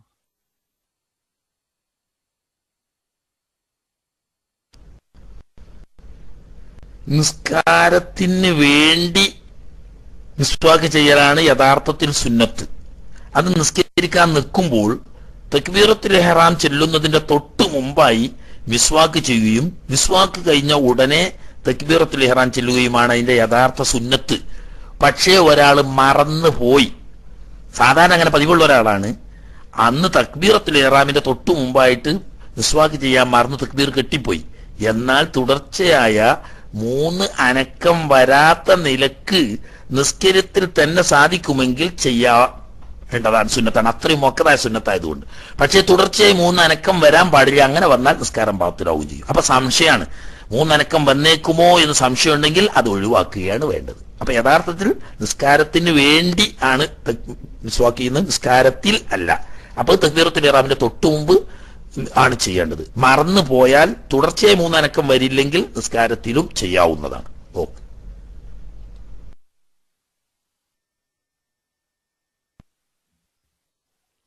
ഉസ്താദിന്റെ രണ്ടാമത്തെ ചോദ്യം ചോദിക്കുന്നതിന് മുമ്പ് വേറെ മൈക്ക് എടുത്തതുകൊണ്ട് എടുക്കാൻ പറ്റിയില്ല. എന്റെ രണ്ടാമത്തെ ചോദ്യം ഇപ്പൊ നമ്മളെ ഗുഹ്യ രോമ രോമങ്ങളൊക്കെ എത്ര ദിവസം വരെ വളർത്താം. ഷെയ്വ് ചെയ്യാതെ എത്ര ദിവസം വരെ പിന്തിക്കാം. അപ്പൊ എത്ര ദിവസം കൂടുമ്പോഴാണ് ഷെയ്വ് ചെയ്യേണ്ടത്? അത് അവിടുന്ന് അങ്ങോട്ട് പോയാൽ കറാഹത്താണോ ഹറാമാണോ എന്നൊന്ന് വ്യക്തമാക്കി തന്നാൽ തിരക്കട്ടില്ല അസ്സാം വലൈക്കും.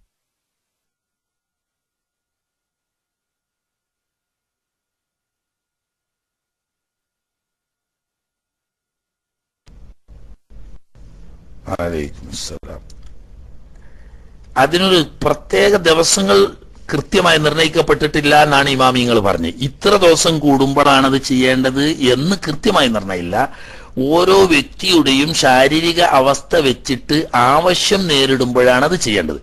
എന്ന് പറഞ്ഞാൽ ചില ആളുകൾക്ക് പെട്ടെന്ന് രോമം വളരും.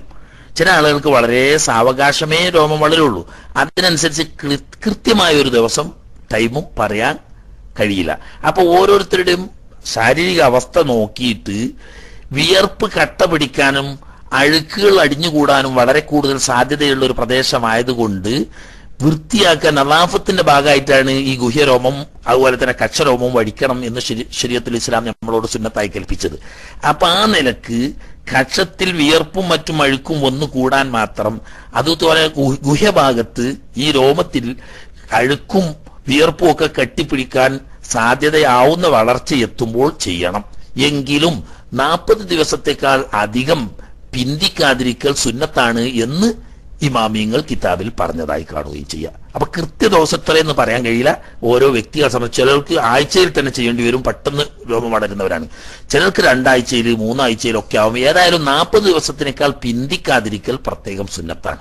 ഇനി ഒരാൾ തീരെ ഇത് വൃത്തിയാക്കുന്നില്ല എങ്കിൽ ആറാമൊന്നുമില്ലാണ് പക്ഷെ എന്തു വേണം? കുളിക്കുന്ന സമയത്ത് വെള്ളം ചേരുന്ന നിലക്കായിരിക്കണം. അല്ലാതെ കൂടെ വേർപ്പും അഴുക്കും കെട്ടിയിട്ട് ഈ കക്ഷത്തിലൊക്കെ ഉണ്ടാവും ചില ആളുകൾ നമ്മൾ മുസ്ലിങ്ങളിൽ അങ്ങനെ കാണുന്നില്ല. കക്ഷത്തിലൊക്കെ ഇത് വൃത്തിയാക്കാതെ വിയർപ്പ് പിടിച്ചിട്ട് ഇത് മേലിൽ ഇങ്ങോട്ട് കട്ട കെട്ടിയിട്ടുണ്ടാവും വിയർപ്പ്. അങ്ങനെ നമ്മളെ കുളി തന്നെ സഹിയാകാതെ വരും. അത് വരാതിരിക്കാൻ മാത്രം അല്ലാതെ ഗുഹ്യരോഗവും കക്ഷരോഗവും നോക്കൽ നീക്കൽ ഉജൂബാവുന്ന ഒരവസ്ഥ ഇല്ല. പക്ഷേ ഒരു സ്ത്രീ അവളുടെ ഗുഹ്യരോമം വൃത്തിയാക്കുന്നില്ല. ഭർത്താവ് ആവശ്യപ്പെട്ടു എന്നാൽ അവൾക്ക് നിർബന്ധമാവും. അത് അവന്റെ അവകാശവുമായി ബന്ധപ്പെട്ടതായതുകൊണ്ട് ഭർത്താവിന്റെ കൽപ്പന അനുസരിക്കാൻ നിലയ്ക്ക് ഉജൂബാകുന്നതാണ് അല്ലാതെ സ്വന്തം നിലയ്ക്ക് ഗുഹ്യരോമോ കക്ഷരോമോ വൃത്തിയാക്കൽ സുന്നത്തേ ഉള്ളൂ ഉജൂബില്ല അതിന്റെ ദിവസം ഓരോ വ്യക്തിയെ സംബന്ധിച്ചുമാണ് വൃത്തി നവാഫയാണ് അതുകൊണ്ട് ഉദ്ദേശിക്കുന്നത്. നവാഫക്ക് ആവശ്യമാവുന്ന സമയം എടുക്കുകയാണ് വേണ്ടത്. നാൽപ്പത് ദിവസത്തേക്കാൾ പിന്തിരിക്കാതിരിക്കൽ സുന്നത്തും ആവുന്നു. ഓക്കെ.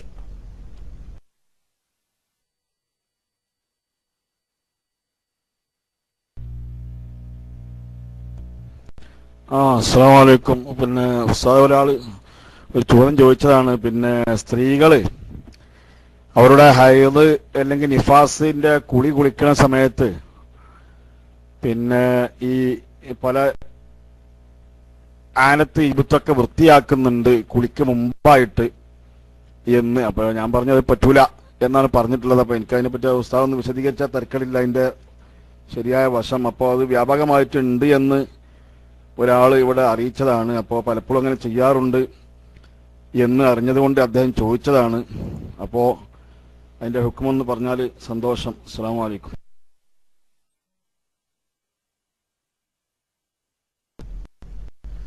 വാലൈക്കും അസ്സലാം വറഹമത്തുള്ള കുളിക്കുന്നതിന്റെ മുമ്പ് അതായത് ജനാപത്തുകൂടിയല്ല ജനാപത്തുകൂടി ജനാപത്ത് കൂടി സാധാരണ ഉണ്ടായില്ലേ? ഹൈറ് ഉണ്ടായി ശുദ്ധി എന്നിട്ടോ പ്രസവം കഴിഞ്ഞ് ശുദ്ധി വന്നിട്ടോ കുളിക്കുന്നതിന്റെ മുമ്പ് കക്ഷം ഗുഹ്യഭാഗം എന്നിവ വൃത്തിയാക്കുന്നത് നല്ലതല്ല. എങ്ങനെ വൃത്തിയാക്കുന്നത്? വടിച്ച് വൃത്തിയാക്കുന്നത്. മറിച്ച് കുളി കഴിഞ്ഞതിന് ശേഷം വൃത്തിയാക്കലാണ് കൂടുതൽ ഇനി അതിന് രണ്ടിനും കൂടി പ്രയാസം ഉണ്ടെങ്കിൽ നല്ല മാർഗം ഈ പറയുന്ന കക്ഷഭാഗവും ഗുഹ്യഭാഗവും വലിയ ശുദ്ധി ഉയർത്തുന്നു എന്ന നീയത്തോടു കൂടി കഴുകുക. അപ്പൊ ആ ഭാഗം ശുദ്ധിയായി കഴിഞ്ഞു. എന്നിട്ട് അത് ക്ലീൻ ചെയ്ത് വൃത്തിയാക്കുക. അതിന്റെ ശേഷം പിന്നെ കുളി പൂർത്തിയാക്കുക. ഇങ്ങനെയും ചെയ്യാം. ഇനി ഒരാൾ ഒരു സ്ത്രീ നിഫാസ് ഉണ്ടായിട്ട് ശുദ്ധി വന്ന് കുളിക്കുന്ന സമയത്ത് നഖമൊക്കെ മുറിച്ച് അതുപോലെ കക്ഷവും ഗുഹ്യഭാഗവും ഒക്കെ നന്നായി മുടി നീക്കി വൃത്തിയാക്കി എന്നിട്ട് കുളിച്ചാൽ അതുകൊണ്ട് ഹറാമൊന്നും വരൂല. പക്ഷെ സുന്നത്തായ രീതി ഇത് ശുദ്ധിയുള്ള സമയത്ത് ഈ മുടിയും നഖമൊക്കെ നീക്കലാണ്. ആണ് സുന്നത്ത്. ഇനി അതായത് മറിച്ച് ചെയ്താൽ അതുകൊണ്ട് ഹറാമിന്റെ കുറ്റം വരുന്നില്ല എന്നാ പറഞ്ഞതിന്റെ അർത്ഥം. എങ്കിലും സൂക്ഷിക്കേണ്ടതാണ് നല്ലത് കുളി കഴിഞ്ഞതിന് ശേഷം വൃത്തിയാക്കലാണ്. അപ്പൊ പിന്നെ ഒരു പ്രശ്നം വരും. കുളി കഴിഞ്ഞതിന് ശേഷം കക്ഷം അതുപോലെ തന്നെ ഗുഹ്യഭാഗവും മുടി നീക്ക് വൃത്തിയാക്കിയ കുളിക്കൽ സുന്നത്തുണ്ട് എന്ന് പറഞ്ഞല്ലോ. ആയിക്കോട്ടെ ഇനി വേണമെങ്കിൽ കുളിച്ചോട്ടെ സുന്നത്തിന്റെ കൂലി കിട്ടും. ഇനി അതല്ല രണ്ടിനും കൂടിയൊക്കെ മടിച്ചിട്ട് ആദ്യം എന്താക്കി? വൃത്തിയാകാൻ വേണ്ടിയിട്ട് ഇതൊക്കെ കഴുകി നഖം മുറിച്ച് കക്ഷും ഗുഹ്യഭാഗവും ഒക്കെ അടിച്ച് വൃത്തിയാക്കിയതിനു ശേഷം കുളിച്ചാൽ കുളിക്ക് തകരാറില്ല. ഈ ചെയ്തത് ഹറാമിന്റെ കുറ്റത്തിലോട്ട് പെടുകയില്ല. ഹറാഹത്താണ് എന്ന് മാത്രം. ഓക്കെ.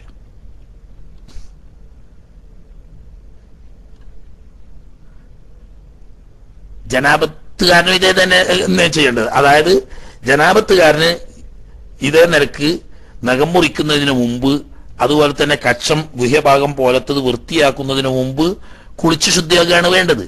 ഇനി അത് മുഴുവനായി കുളിച്ച് ശുദ്ധിയാക്കുന്നില്ലെങ്കിൽ അവിടെ ഈ പറഞ്ഞതുപോലെ അവിടെയും ചെയ്യാം.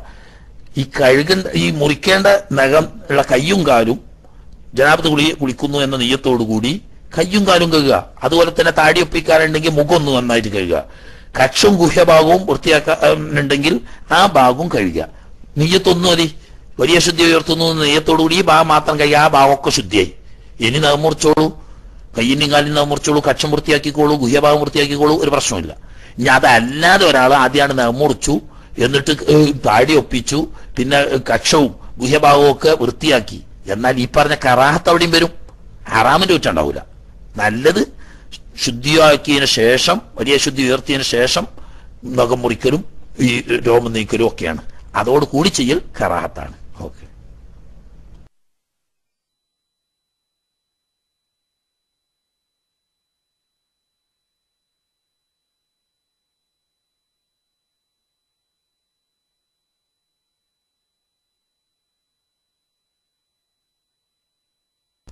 എന്താ ആളുകളൊക്കെ കൈപൊക്കി ഇങ്ങനെ മുകളിൽ ആൾ എടുക്കണില്ലെങ്കിൽ ഉടനെ താഴെയുള്ള ഒരു ചാടിക്കോളണം കാരണം എന്താ വെച്ചാൽ സമയമില്ല. ഉള്ള സമയം കൊണ്ട് കുറച്ചു നേരം കൂടിയൊക്കെ പറയാം. എന്നിട്ട് നമുക്ക് നിന്നൊരു ചെറിയ ദ്വാ ദ്വാരക്കാനും ഉണ്ട് കാരണം ഒന്ന് രണ്ട് ആൾ ഒരു ആക്സിഡന്റ് സംഭവിച്ചത്. അതുപോലെ തന്നെ നമ്മളൊരു പ്രവർത്തകൻ ഒരു ഒരു സഖാഫി വലിയൊരു വിഷമത്തിൽ അകപ്പെട്ടിരിക്കുന്ന അദ്ദേഹം ദ്വാ ചെയ്യാൻ പറഞ്ഞവരുണ്ട്. നമുക്കൊരു സഹാത്തി എല്ലിട്ട് ദ്വാ ചെയ്യണം. അപ്പൊ അതുകൊണ്ട് ചോദ്യം ചോദിക്കാനുള്ളവര് മുകളിലുള്ളവർ എടുക്കാൻ ചിലപ്പോ മൈക്ക് കിട്ടാഞ്ഞിട്ടാവാം. ചിലപ്പോൾ മറ്റെന്തെങ്കിലും എതിരുള്ളത് കൊണ്ടാകാം. അപ്പൊ അവരെ പരിഗണിക്കണം. സാധിക്കുന്നില്ലെങ്കിൽ വേഗം ഉടനെ എന്റെ താഴെയുള്ള ആളുകൾ മൈക്ക് എടുത്തോളാം. ഓക്കെ ഞാൻ മൈക്ക് വിട്ടു.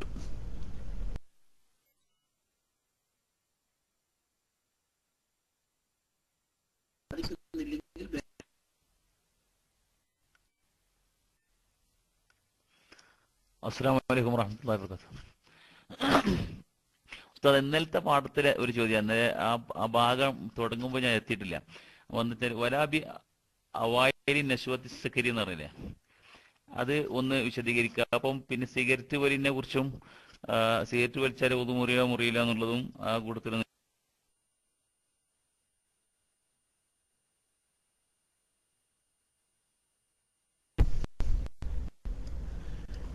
ഹവായിൽ നഷ്വത്ത് ശുക്ർ എന്ന് പറഞ്ഞാൽ ഈ ലഹരി മദ്യം മയക്കുമരുന്ന് പോലത്തെ വസ്തുക്കൾ ഉപയോഗിച്ചിട്ട് ഒരാൾക്ക് മസ്ത് തുടങ്ങും നല്ല മസ്താകുന്നതിന് മുമ്പ് അതിന്റെ തുടക്കത്തിൽ ഒരു തലകറക്കം ഉണ്ടാവും ആ തലകറക്കം കൊണ്ട് ഒന്നും മുറിയില്ല എന്ന് പറഞ്ഞാൽ അത് ബോധ നഷ്ടപ്പെടുന്ന വിഷ- ബുദ്ധിയുടെ വകതിരിവ് നീങ്ങുന്ന അവസ്ഥയിലേക്ക് എത്തിയിട്ടുണ്ടാവില്ല. എന്നാലും അവിടെ ഉതൊടുക്കൽ സുന്നത്തുണ്ട് പക്ഷേ ഉജൂബില്ല അതുപോലെ തന്നെ പുകവലിക്കൽ നല്ലതല്ല. ഉപേക്ഷിക്കേണ്ടതാണ് ഒരു ദുസ്വഭാവങ്ങളിൽപ്പെട്ട ദുസ്വഭാവവും അനാവശ്യമായ മാർഗത്തിലേക്ക് ധനം ദുർവിനിയോഗം ചെയ്യുകയുമാണ് അതുകൊണ്ട് അത് ഉപേക്ഷിക്കേണ്ടതാണ്.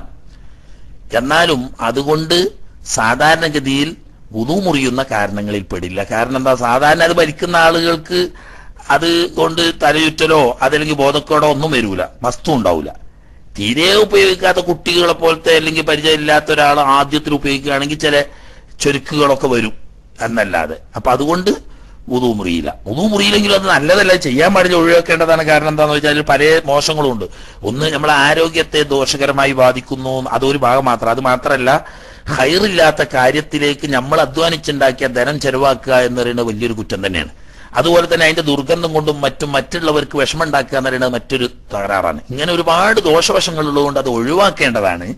പക്ഷേ ബുദ്ധിയുടെ വകതിരിവ് നീങ്ങുന്ന ഒരു അവസ്ഥ ഇല്ലാത്തത് കൊണ്ട് ഉതു മുറിയില്ല പറഞ്ഞ തന്നെ ഉതു മുറിയാത്ത പോലാണോ പറഞ്ഞത് ലഹരി സാധനം ഉപയോഗിച്ചു. അല്ലെങ്കിൽ മയക്കുമരുന്ന് ഉപയോഗിച്ചു. എന്നാൽ ഈ മസ്ത് ആകുന്ന തുടക്കത്തിൽ ഉണ്ടാകുന്ന തലകറക്കം അതാണ്. ആ അതുകൊണ്ട് ഉതു മുറിയില്ല എങ്കിലും സുന്നത്താണ്. ഉതു.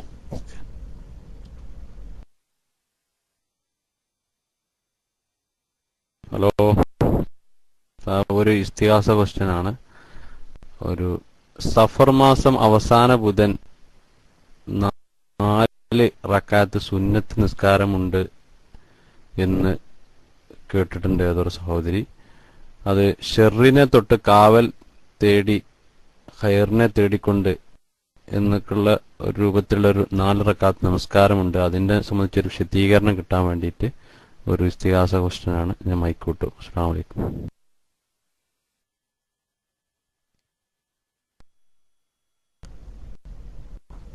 വാലൈക്കും അസ്സലാം നമ്മളെ ഷാഫി മതബിൽ ആ ജാതി പരിപാടിയൊന്നുമില്ല.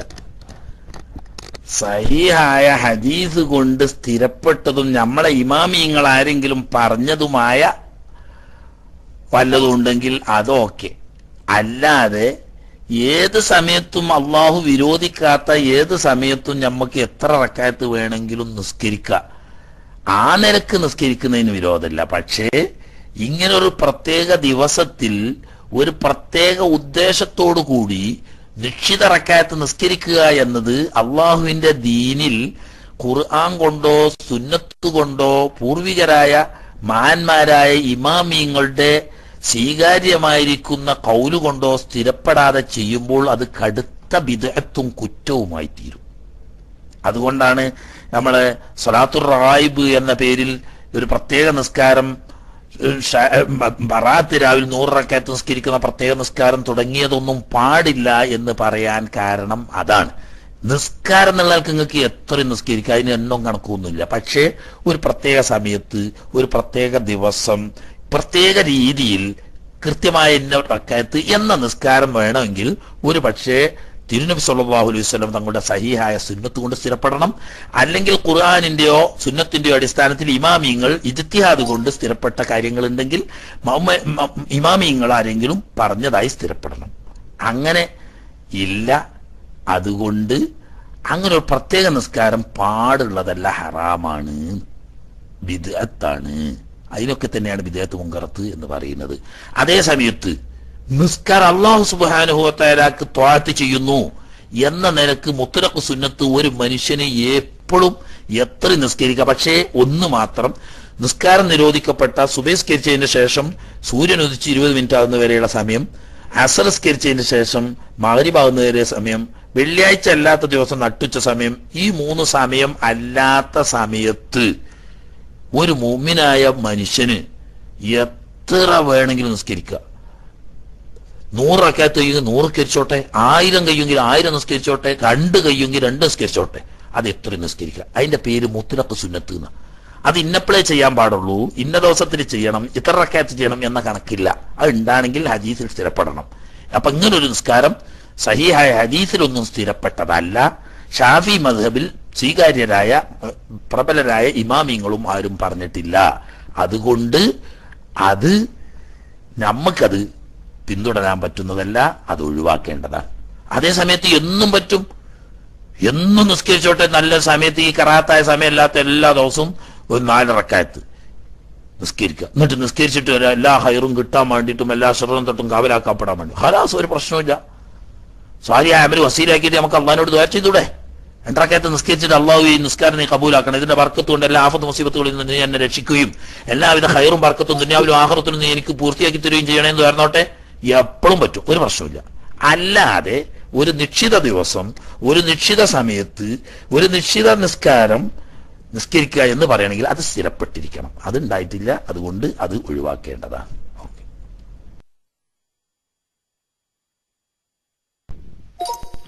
ഹലോ. അസ്സാം വലൈക്കും എനിക്കൊരു സംശയമുണ്ട്. മൊബൈലിൽ ഖുർആൻ വെച്ചുകൊണ്ട് ബാത്റൂമിൽ കടക്കാൻ പാടുണ്ടോ? അത് ഉസ്താദിന്റെ വിശദീകരണം തരണം. വലൈക്കും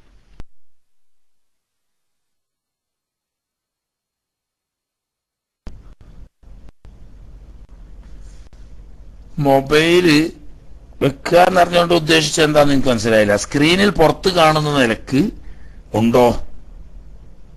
ഖുർആന്റെ മെമ്മറിയിലുണ്ട് പക്ഷേ അത് സ്ക്രീനിൽ പുറത്ത് കാണുന്ന നിലയ്ക്ക് ഖുർആൻ മാത്രമല്ല അള്ളാഹു ജല്ലജലാലുഹു എന്ന ചില പ്രത്യേക അള്ളാഹുവിന്റെ ദിക്കറ് അല്ലെങ്കിൽ മുഹമ്മദും സല്ലല്ലാഹു അലൈഹി വസ്ലം എന്ന തിരുനബി സല്ലല്ലാഹു അലൈഹി വസ്ലം നമ്മുടെ പേര് സ്വലാത്ത് ഇങ്ങനെ ബഹുമാനിക്കപ്പെടുന്നത് ഏതും അക്ഷരം പുറത്ത് കാണുന്ന നിലയ്ക്ക് സ്ക്രീനിൽ വെളിവാകുന്ന നിലക്കുണ്ടെങ്കിൽ അതുമായിട്ട് പോകുന്നത് പാടില്ലാത്തതാണ്. കാരണം മലമൂത്ര വിസർജന സ്ഥലത്ത് പ്രവേശിക്കുമ്പോൾ അള്ളാഹുവിന്റെ ദിക്കറ് തിരുനബി സല്ലാ അലൈഹി സ്വലമ തങ്ങൾ മറ്റ് മഹാന്മാരായ ആളുകളുടെ പരിശുദ്ധ നാമങ്ങൾ ദിക്കറ് ദ്വാ ഖുർആൻ പോലത്തത് മാറ്റിവെക്കണം എന്ന് പറഞ്ഞതിൽ പെട്ടു അതേസമയത്ത് മെമ്മറിയിലുണ്ട്. അതുകൊണ്ട് കേടില്ല. അപ്പൊ നമ്മൾ ഖുർആൻ പോയി സിഫുള്ളൂർ ഇപ്പൊ മാത്രം പോകണില്ലേ അത്രേ വരുള്ളൂ. അതേസമയത്ത് അക്ഷരം നമുക്ക് പുറത്ത് നോക്കി വായിക്കാൻ പറ്റുന്ന നിരക്കുണ്ടെങ്കിൽ അതുകൊണ്ട് പോകാൻ പാടില്ല. പിന്നെ ഡയൽ ടോൺ ആയിട്ട് ഖുർആൻ എന്തായാലും വെക്കാൻ പാടില്ല അത് പ്രത്യേകം ശ്രദ്ധിക്കേണ്ടതാണ്. കാരണം ഈ പറഞ്ഞേക്ക് തന്നെ നമ്മൾ പുറത്തൊന്നും കാണില്ല നമ്മൾ വർക്കിരിക്കുന്ന സമയത്ത് അല്ലെങ്കിൽ നമ്മൾ മൂത്രമൊഴിക്കുന്ന സമയത്ത് നമ്മളെ ഈശ്വരുണ്ടാവും ഇത്. അപ്പോഴേ അപ്പോഴേക്കാരം മറ്റോന് അടിക്കണ്. ഈ അടിക്കുന്ന സമയത്ത് ഖുർആനല്ലേ ഇത് ഓതുന്നത്? അപ്പൊ പെട്ടെന്ന് നിർത്തേണ്ടി വരും. നിർത്തേണ്ടി വരുമ്പോൾ ചിലപ്പോൾ വളരെ അപകടകരമായ അർത്ഥം വരുന്ന സ്ഥലത്തൊക്കെ കട്ട് ചെയ്യേണ്ടി വരും. ഇങ്ങനെ പല കാരണങ്ങളാൽ ഡെൽറ്റോൺ ആയിട്ടോ അല്ലെങ്കിൽ അങ്ങനത്തെ രീതിയിൽ ഖുർആൻ ഏതായാലും പാടില്ല. എഴുത്ത് പുറത്ത് കാണുന്ന രീതിയിൽ ഖുർആന് ദിക്ർ പോലത്തെ അതും പാടില്ല.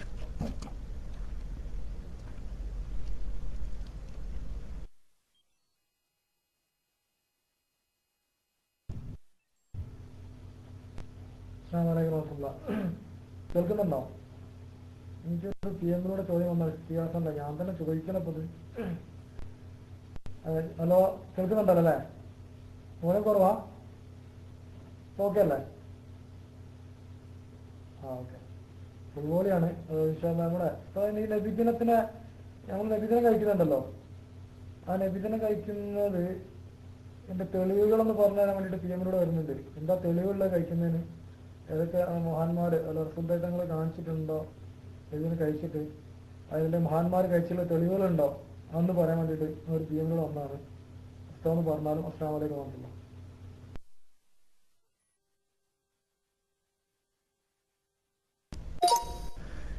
വാലൈക്കും അസ്സലാം ഇപ്പൊ ഫിഖ് പറയുന്ന സമയല്ലേ അർജാസ് കുട്ടിയെ? ഇപ്പോ ഇതിന്റെ സമയമാണോ ഇനി അതിന്റെ തെളിവെന്താന്ന് വെച്ചാൽ മഷ്രിഖ് മുതൽ മഹരിബ് വരെയുള്ള മുഗ്മിനീയങ്ങളായ മുഴുവൻ ആളുകളും അതൊരു പുണ്യകർമ്മമാണ് എന്ന നിലയ്ക്ക് നിരാക്ഷേപം നടന്നു വരുന്നു.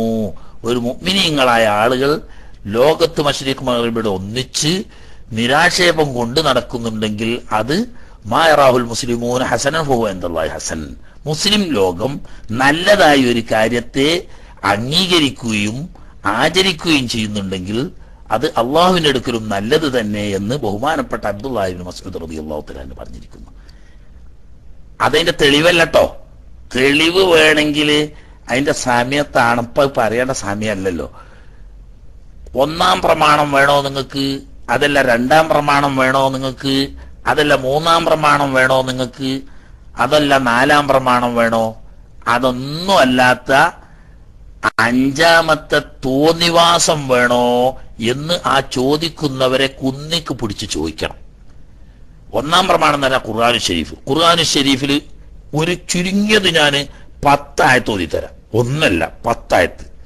ഹദീസ് ഹദീസിൽ നിന്നിട്ട് വേണമെങ്കിൽ ഞാൻ ഒരു ഡസൻ ഹദീസ് ഓതി തരാം ഇജ്മായ മുസ്ലിം ഉമ്മത്തിന്റെ ഇജ്മായ ഉണ്ട് എന്ന് ഞാനല്ല അൽ റിഷാദിൽ ഈ എഡിറ്റോറിയൽ എഴുതിയ പഴയ കാലത്തെ മുജാഹിദീങ്ങളുടെ ജനറൽ സെക്രട്ടറി എഴുതിയത് ഉദയഗിരി മുതൽ അസ്തമയഗിരി വരെയുള്ള മുസ്ലിങ്ങൾ എല്ലാവരും റബിയ മാസം പറക്കുമ്പോൾ ആനന്ദം കൊണ്ട് അങ്ങേയറ്റ പുളകിതരാവുന്നു.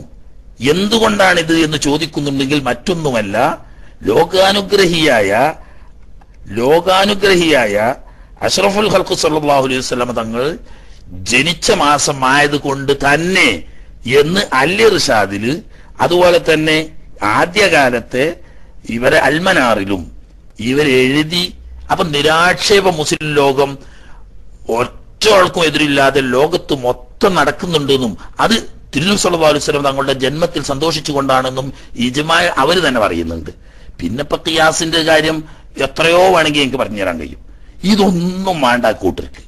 ഖുർആൻ വേണ്ട ഹദീസ് വേണ്ട ഇജ്മാവ് വേണ്ട ഖിയാസ് വേണ്ട. ഓൾക്ക് എന്തായിട്ടുണ്ട് സഹാബാക്കൾ ചെയ്തു. ഞാൻ ചോദിക്കട്ടെ സഹാബാക്കൾ ചെയ്തു എന്ന് ഞാൻ സ്ഥിരപ്പെടുത്തി കൊടുത്താൽ ആ കാര്യം അവർ സുന്നത്താണെന്ന് അംഗീകരിക്കുവോ? നമ്മൾ കാര്യമില്ലാതെ വർത്തമാനം പറഞ്ഞിട്ട് തരില്ലല്ലോ അംഗീകരിക്കുമെന്ന് ഞാൻ പറഞ്ഞുതരാം. നബ്സല്ലാ അലൈഹി തങ്ങൾ ഹജ്ജിനോ ഉംറക്കോ രണ്ടാലൊന്നിന് എഹ്റാം ചെയ്ത അവസ്ഥയിലല്ലാതെ അവിടുത്തെ ജീവിതത്തിൽ വഫാത്ത് വരെ ഒരിക്കലെങ്കിലും തലമറക്കാതെ നബ്സല്ലാ അലൈഹി സ്വലം തങ്ങൾ പൊതുരംഗത്ത് പ്രത്യക്ഷപ്പെട്ടില്ല നിസ്കാരമാകട്ടെ ജുമായാകട്ടെ മറ്റു കാര്യങ്ങളാകട്ടെ തലമറക്കാതെ ചിലപ്പോൾ തലപ്പാവ് വെച്ച് ചിലപ്പോൾ തൊപ്പി വെച്ച് ചിലപ്പോൾ തൊപ്പിക്ക് മുകളിൽ തലപ്പാവ് വെച്ച് മൂന്നാലൊരു നിലക്കല്ലാതെ ഹജ്ജിനോ ഉംറക്കോ ഇറാൻ ചെയ്ത സമയത്തല്ലാതെ മുഹമ്മദ് റസൂലുള്ളാഹി സ്വല്ലല്ലാഹു അലൈഹി സ്വലം തങ്ങൾ പുറത്തു വന്നിട്ടില്ല എന്നുള്ളത് മുസ്ലിം ലോക ചരിത്രത്തിൽ അഭിപ്രായ വ്യത്യാസമില്ലാത്തതാ. വഹാബി ചെയ്യോ? മൗദൂദി ചെയ്യോ? നബി ചെയ്താൽ നിങ്ങൾ അംഗീകരിക്കോ? എങ്കിൽ അവിടെ നിന്ന് തുടങ്ങി നിങ്ങൾ. മൗലൂദ് പിന്നല്ലേ? അവിടെ നിന്ന് തുടങ്ങി. ഏയ് അത് അറബി എന്നുള്ള ചെയ്തതാണ് അത് കിട്ടിയതേ? അറബി എന്നുള്ള നിങ്ങൾക്ക് വേറെ പണി എന്തേ നോക്കാല്ലേ? ഹബീബ് മുഹമ്മദ് തങ്ങൾ ഖുർആൻ പറഞ്ഞാൽ ഫീ സല്ലല്ലാഹു അലൈഹി തങ്ങളുടെ ജീവിതത്തിൽ മൊത്തം നിങ്ങൾക്ക് ഉത്തമമായ മാതൃക ഉണ്ട് അവിടെ എത്തിയപ്പോ പിന്നെ എന്താ അറബി എന്നുള്ള ആൾക്കായത് എന്നിട്ട് പിന്നെ കുറച്ച് ചോദ്യവും. നബിസൽ വാത്സം നിങ്ങൾ ഒട്ടകത്തിന്റെ പാൽ കുടിച്ചിട്ടുണ്ട്. അതുകൊണ്ട് ഒട്ടകത്തിന്റെ പാൽ കുടിക്കൽ സുന്നത്താണോ? എടോ നബി തങ്ങൾ കുടിച്ചത് കൊണ്ട് ഞാനും കുടിക്കുന്നു എന്നുള്ള ആൾക്കാണെങ്കിൽ സുന്നത്ത് തന്നെയാണ്. അപ്പൊ ഇതൊന്നുമല്ല ആളെ കൺഫ്യൂഷൻ ആക്കാൻ വേണ്ടിയിട്ട് ഇങ്ങനെ അത് ചോദിച്ച് ഇത് ചോദിച്ച് അവിടെ പറഞ്ഞ് ഇവിടെ പറഞ്ഞ് വെറുതെ മനുഷ്യന്റെ സമയം കൊല്ലുക. ഖുർആാനിൽ എത്രയോ തെളിവുണ്ട്. ഒന്നല്ല ഖുർആാനിൽ എത്രയോ തെളിവുകളുണ്ട്. ഇൻഷാല്ല ഞാനത് സ്വന്തം വേണമെങ്കിൽ എപ്പോഴെങ്കിലും ഒഴിവ് പോലെ ഒരു ദിവസം മൗലിദ് ആഘോഷം. ഖുർആാനിലും സുന്നത്തിലും. അത് കഴിഞ്ഞിട്ടല്ലേ മൂന്നാം പ്രമാണം നാലാം പ്രമാണം അവിടെ നിൽക്കട്ടെ?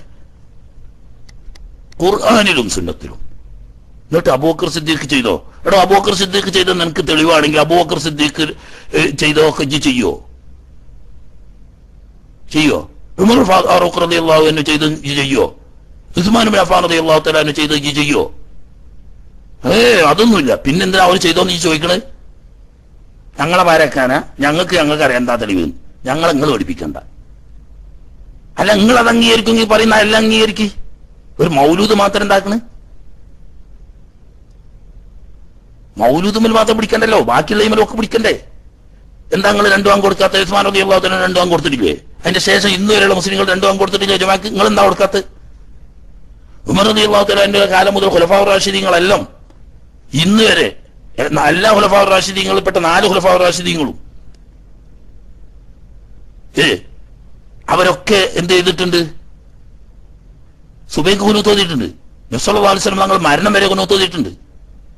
നബ്സല്ലാ അലൈഹി സ്വലം തങ്ങളുടെ ശേഷം ഖുലഫാ റാഷിദുകൾ നാലുപേരും വഫാത്ത് വരെ കുനു തോന്നിയിട്ടുണ്ട്. വളരെ സഹിയായിട്ട് ഇമാം ബൈഹഖ് റിവായത്ത് നിങ്ങൾ എന്താ സംസ്കരിക്കാത്ത നിങ്ങൾ പറയുന്നത്? വ്യഭിചരിക്കലാണ് നാട്ടിൽ നല്ലതെന്നല്ലേ?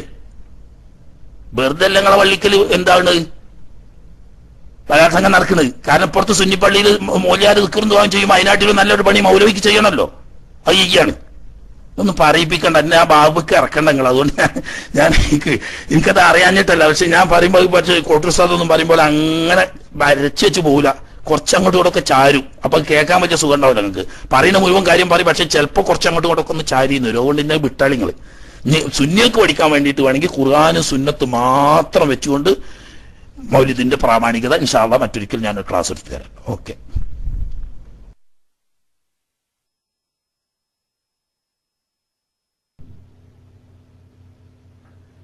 അസ്സലാമലൈക്കും വറഹ്മത്തുള്ളാ. കേൾക്കണ്ടല്ലോ അല്ലേ? എനിക്കൊരു പി എമ്മിലൂടെ വന്ന ചോദ്യമാണ് അത് ചോദിച്ചത് നമ്മൾ സുന്നി പ്രവർത്തകൻ തന്നെയാണ്. കാരണം ഉസ്താദിന്റെ അടുത്ത് അതിന്റെ തെളിവുകൾ എന്റെ ക്ലാസ്സിൽ നിന്ന് കേൾക്കാൻ വേണ്ടിയിട്ട് ആഗ്രഹിച്ചിട്ടാണ്. കാരണം വഹാബികളൊക്കെ നമ്മോടിരിക്കുന്ന സദസ്സാണല്ലോ അപ്പോൾ ഉസ്താദിന്റെ തെളിവുകൾ കേൾക്കാൻ വേണ്ടി ആഗ്രഹിച്ചിട്ട് ചോദിച്ചതാണ്. എന്തെങ്കിലും ഒന്നിട്ട് പുറക്കണം എന്ന് പറയാണ്. പിന്നെ പി എമ്മിലൂടെ പല പല അടിക്കുന്നുണ്ട് പക്ഷെ എല്ലാവരും പുറക്കണം. ഞാൻ അത് ഓക്കെ അസ്സാം വലൈക്കും വാഹത്തുള്ള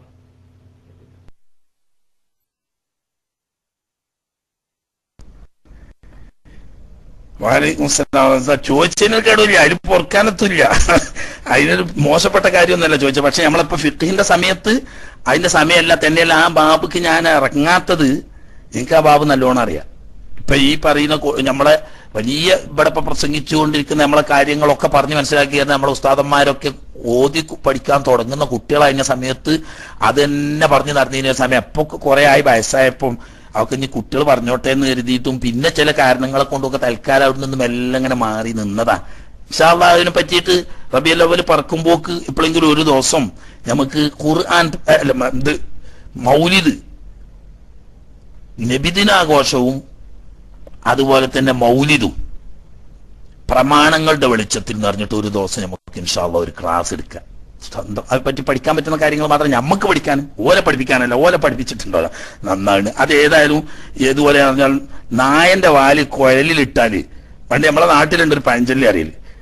നായന്റെ വാൽ പന്തിരായിരം കൊല്ലം കുഴലിലിട്ടാലും കുഴൽ വലിച്ചാൽ നായന്റെ വാൽ പിന്നെയും പറഞ്ഞിട്ടുണ്ടാകുകയാണെന്ന് അത് അച്ഛനോട് പറഞ്ഞിട്ട് കാര്യമില്ല. എങ്കിലും ഞമ്മക്കൊരു മനസ്സമാധാനത്തിന് വേണ്ടിയിട്ടും നമ്മൾ ചെയ്യുന്നതിന്റെ പ്രമാണങ്ങൾ മനസ്സിലാക്കാൻ വേണ്ടിയിട്ട് നമ്മൾ കാര്യങ്ങൾ പഠിക്കാം. ഇൻഷാല്ല നമുക്ക് ഒരുപോലെ ഒരു ദിവസം ഒരു മണിക്കൂർ സമയം അതിനെ പറ്റിയിട്ടുള്ള ഒരു ക്ലാസ് നമുക്ക് എടുക്കാൻ ഇൻഷാല്ല റബിയ ലെവലൊക്കെ വരികയാണല്ലോ. ഇപ്പോൾ സമയം ഏകദേശം കഴിഞ്ഞും തുടങ്ങി. തന്നെയല്ല ഇപ്പോൾ ഫിഖിന്റെ സമയമാണ് അതുകൊണ്ട് അതിൽ കുറച്ച് സമയമുള്ള സമയം തുടർന്നോട്ടെ. ഞാൻ മൈക്കോട്ടെ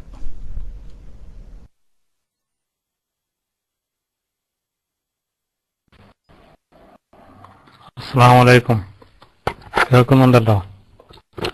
ഉസ്താദ് എനിക്കുള്ള ചോദ്യം ബാപ്പയും ഉമ്മയും ഇരിക്കെ. മകൻ മരിച്ചിട്ടുണ്ടെങ്കിൽ ആ അതിലുള്ള സ്വത്തിന്റെ അവകാശം ആ ഭാര്യക്കും കുട്ടികൾക്കും അവകാശം ഉണ്ടോ എന്നുള്ളതാണ് എനിക്ക്. എന്റെ ഒന്ന് വിശദീകരിച്ചെന്ന നല്ലതായിരുന്നു.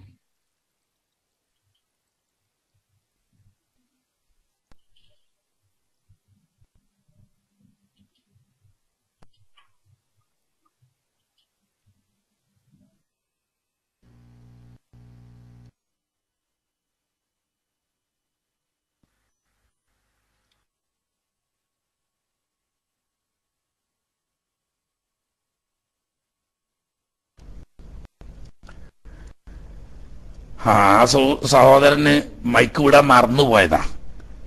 അതുകൊണ്ട് ആണ് പിന്നെ വൈസ് ഉസ്താദ് ഇറക്കി. ഞാൻ തന്നെ മെനക്കെടണ്ടെന്ന് എഴുതിയിട്ടാണത്. എനിക്ക് ഇപ്പൊ ഇപ്പൊ തന്നെ ഇടയ്ക്ക് ഒരാൾ പഠിപ്പിച്ചൊക്കെ തന്നെ മെനക്കെടണ്ടല്ലോ എന്നുള്ളവർക്ക് അതാണ് ചെയ്തത്. മൈക്ക് ചോദിച്ചു കഴിഞ്ഞാൽ മൈക്ക് നിങ്ങൾ വിടാഞ്ഞാൽ പിന്നെ എനിക്ക് അത് ബുദ്ധിമുട്ടാണ്. വേഗം മൈക്ക് വിട്ടിട്ട് അതിന് മറുപടി പറയാനുള്ള സമയം തരിക. എന്നിട്ടാണ് നമുക്ക് അടുത്ത ആളെ ചോദിക്കാൻ എടുക്കൽ. അടുത്ത ആൾ ചോദിക്കാൻ അറിയാതെ കാര്യം മൈക്ക് കാലിക്കുകയാണ് എന്നുള്ള അടുത്ത ആൾ എടുത്തത്. അതുകൊണ്ട് കുറ്റൊന്നുമല്ല. അപ്പോ അദ്ദേഹം ചോദിച്ച ചോദ്യം എന്തായിരുന്നു വെച്ച് കഴിഞ്ഞാൽ പോയല്ലോ. അതാണ്. അയാൾ മൈക്ക് വിടാൻ താമസിച്ചപ്പോ തന്നെ അതിന് ശോലായത് കൊണ്ടിട്ട് ആ ആ പേരമകന്റെ അനന്തരാവകാശ നിയമം. അതെ. പേരമകന്റെ അനന്തരാവകാശ നിയമം. ബാപ്പയും ഉമ്മയും ജീവിച്ചിരിക്കെ മകൻ മരണപ്പെട്ടു. ഈ മകന് ഭാര്യ മക്കളൊക്കെ ഉണ്ട്. എന്നാൽ ഈ ഭാര്യ ഈ മകന്റെ ഭാര്യക്കും മക്കൾക്കും ഈ ജീവിച്ചിരിപ്പുള്ള ഉമ്മയുടെ അഥവാ വല്യമ്മയുടെയും വല്ലിപ്പയുടെയും സ്വത്തിൽ നിന്നിട്ട് അവകാശം ലഭിക്കുമോ എന്നാ ചോദ്യം. അത് ഒറ്റ വാക്കിൽ പറയാൻ കഴിയില്ല. കാരണം എന്താണെന്ന് വെച്ചാൽ ഇയാൾക്ക് വേറെ മക്കളുണ്ടോ? അത് ആൺകുട്ടികളാണോ പെൺകുട്ടികളാണോ? മറ്റവകാശികൾ ആരൊക്കെയാണുള്ളത് എന്ന് നോക്കിയിട്ട് ചുരുക്കി പറഞ്ഞാൽ ഈ മകൻ മരിച്ചപ്പോ ജീവിച്ചിരിക്കുന്ന മാപ്പിയമ്മയും ജീവിച്ചിരിക്കുന്നുണ്ട്. ആ സമയത്ത് വേറൊരു മകൻ ജീവിച്ചിരിപ്പുണ്ടെങ്കിൽ ഈ മരിച്ച ആളല്ലാതെ ഇയാളുടെ ജ്യേഷ്ഠനോ അനുജനോ ആയിട്ട് ഒരു മകൻ ജീവിച്ചിരിപ്പുണ്ടെങ്കിൽ ഈ പേരമകനും ഒക്കെക്കും അവന്റെ അവരുടെ അമ്മയാവുന്ന ഈ മരുമകൾക്കും സ്വത്തിന് അവകാശമില്ല. അങ്ങനെ വരുന്ന സാഹചര്യത്തിൽ ഈ വാപ്പയും ഉമ്മയും വസീയത്ത് ചെയ്യണം എന്ന് ഖുർആൻ നിർദ്ദേശിച്ചിട്ടുണ്ട്. അല്ലാതെ അനന്തരാവകാശമായിട്ട് സ്വത്ത് കിട്ടുന്നതല്ല. പിന്നെന്താ? അതിനെ ചോദിച്ചിന് ചോദിച്ചത് പേരമകൻ വല്യാപ്പ മരിച്ചാൽ ആ മകൻ മരിച്ചാൽ ജീ- ബാപ്പിയും ജീവിച്ചിരിപ്പുണ്ട്.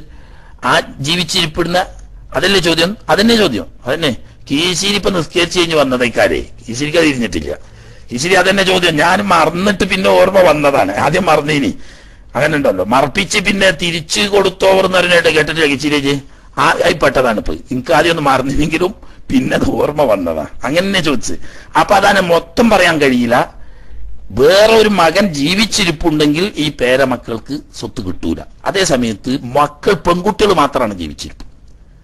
ഈ ഒരു മകൻ തന്നെ ഉള്ളു. ഇനി ബാക്കിയുള്ള വാപ്പാനും മക്കളൊക്കെ പെൺകുട്ടികളാണെങ്കിൽ ഈ മകൻ മരിച്ചു പോയാൽ ബാക്കി ഇവിടെ ജീവിച്ചിരിക്കുന്ന പെൺകുട്ടികൾക്ക് സ്വത്തിന്റെ മൂന്നിൽ രണ്ട് ഭാഗം വരും. ബാക്കിയുള്ളത് ഈ പേരമക്കളിൽ ആൺകുട്ടികൾ ഉണ്ടെങ്കിൽ ബാക്കിയുള്ള ആ മൂന്നിലൊന്ന് ഈ പെൺകുട്ടികൾക്ക് കിട്ടും. അങ്ങനെയാണ് അതിന്റെ വകുപ്പ് വരിക. അത് പക്ഷേ ആരൊക്കെയാണ് അവിടെ ജീവിച്ചിരിപ്പ് ഉള്ളത്? വാപ്പ മരിച്ചപ്പോൾ അല്ല ഈ മകൻ മരിച്ചപ്പോ വേറെ മക്കളും അവകാശികളുമായിട്ട് ആരൊക്കെ ഉള്ളത് എന്ന് മനസ്സിലാക്കിയെങ്കിലേ ഇവർക്ക് കിട്ടുമോ ഇല്ലേ എന്ന് തീർത്ത് പറയാൻ കഴിയുള്ളൂ. ചുരുക്കത്തിൽ ഒന്ന് മനസ്സിലാക്കിക്കോളി. ഒരു മകൻ മരിച്ചപ്പോൾ വേറൊരു മകൻ ജീവിച്ചിരിപ്പുണ്ട്. എന്നാൽ ഈ ബാപ്പിമ്മയും മരിക്കുമ്പം ജീവിച്ചിരിപ്പുള്ള മകനും പിന്നെ പെമ്മക്കളുണ്ടെങ്കിൽ ഓർക്കുകയെ കിട്ടുള്ളൂ പേരക്കുട്ടിക്ക് കിട്ടൂല. മകനെ ജീവിച്ചിരിപ്പില്ല പെൺകുട്ടികളാണെങ്കിൽ കിട്ടുന്ന അവസ്ഥ ഉണ്ട്. അപ്പൊ അത് മസല ഏതാണെന്ന് വെച്ചിട്ട് ഒരു നിശ്ചിത വ്യക്തി മരിക്കുകയും അതിൽ ജീവിച്ചിരിക്കുന്നവരാര് എന്ന് വ്യക്തികളെ മനസ്സിലാക്കി അവരുടെ അവകാശം അനുസരിച്ച് കൃത്യമായി പറയാൻ കഴിയുള്ളൂ. ഓക്കെ.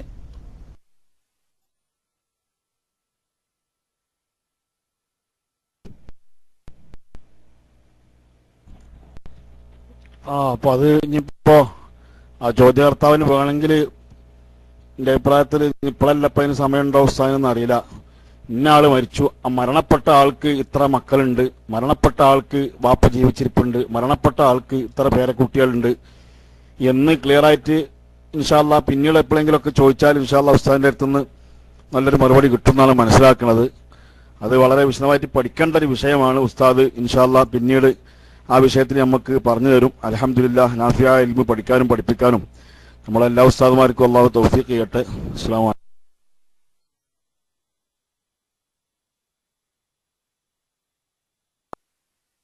അസ്സാം വലൈക്കും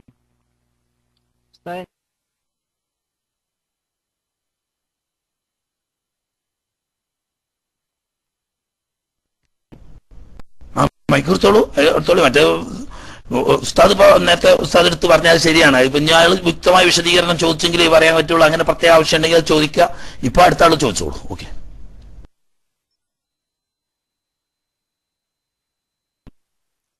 അസ്സാം വലൈക്കും ഞാൻ എന്റെ ചെറുപ്പകാലത്തെ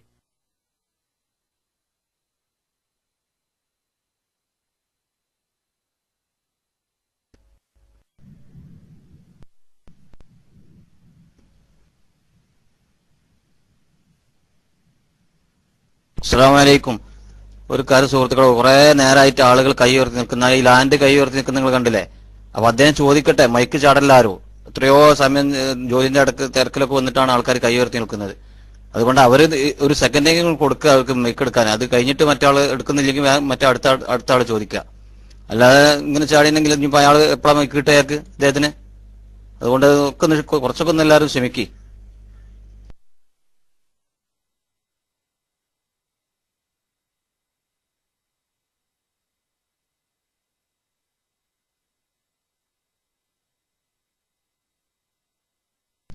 ഹലോ ഓക്കെ ലാൻഡ് ഏതായാലും എടുക്കുന്നില്ല ഞാൻ അടുത്തുള്ളവർ എടുക്കുക ഒരാൾ എടുത്തിട്ടില്ലെങ്കിൽ ഒറ്റ നേരത്തെ പറഞ്ഞ പോലെ കുറച്ചൊന്ന് വെയിറ്റ് ചെയ്തിട്ട് എടുത്തിട്ടില്ലെങ്കിൽ അടുത്ത ആൾ കുരുക്ക് കുരുക്കൾ ഖത്തർ.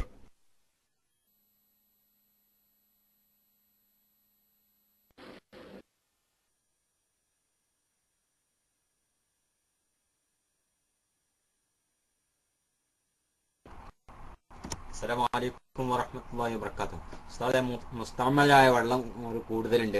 ഏകദേശം ഒരു പത്ത് ലിറ്റർ ഉണ്ട് എന്നാൽ പിന്നെ തഹൂറായ വെള്ളമാണെങ്കിൽ പിന്നെ ഒരു ലിറ്ററേ ഉള്ളൂ. അപ്പൊ ഈ ഒരാൾ ഒരു നജസ് കളയാൻ വേണ്ടി ആദ്യം മുസ്തമലായ വെള്ളം എടുത്ത് നജസ് കളഞ്ഞ് അതിന്റെ മേലെ ഈ തഹൂറായ വെള്ളം ഒഴിച്ചു എന്നാൽ ശരിയാവോ ഇല്ലേ എന്ന്.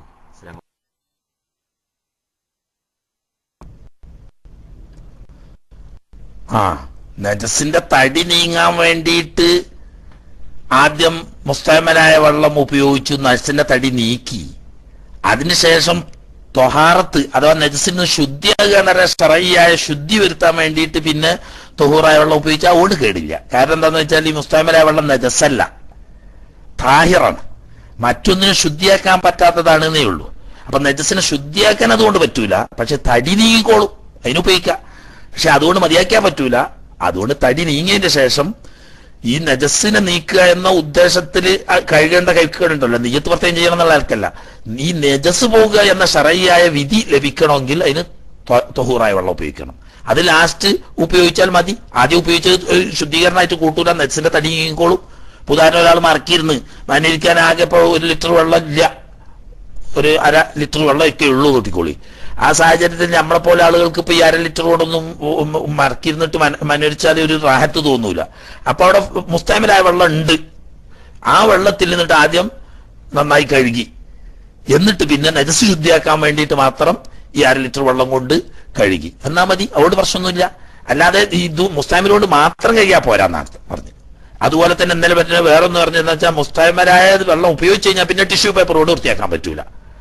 എങ്കിലും വെള്ളം കൊണ്ട് വൃത്തിയാക്കുക അപ്പൊ ബാക്കിയുള്ളതുകൊണ്ട് ലാസ്റ്റ് നജസ് ശുദ്ധിയാകുക എന്ന ആ ഹുക്കുമ് കിട്ടാൻ വേണ്ടിയിട്ട് അവസാനം ഈ തുഹൂറായ വെള്ളം ഉപയോഗിച്ചാൽ മതി. അതുള്ളതുകൊണ്ട് നജസിന്റെ തടി നീങ്ങിക്കോളും. ശുദ്ധിയാക്കാൻ പറ്റൂല എന്നുള്ളൂ. നജസല്ലല്ലോ ഓക്കെ.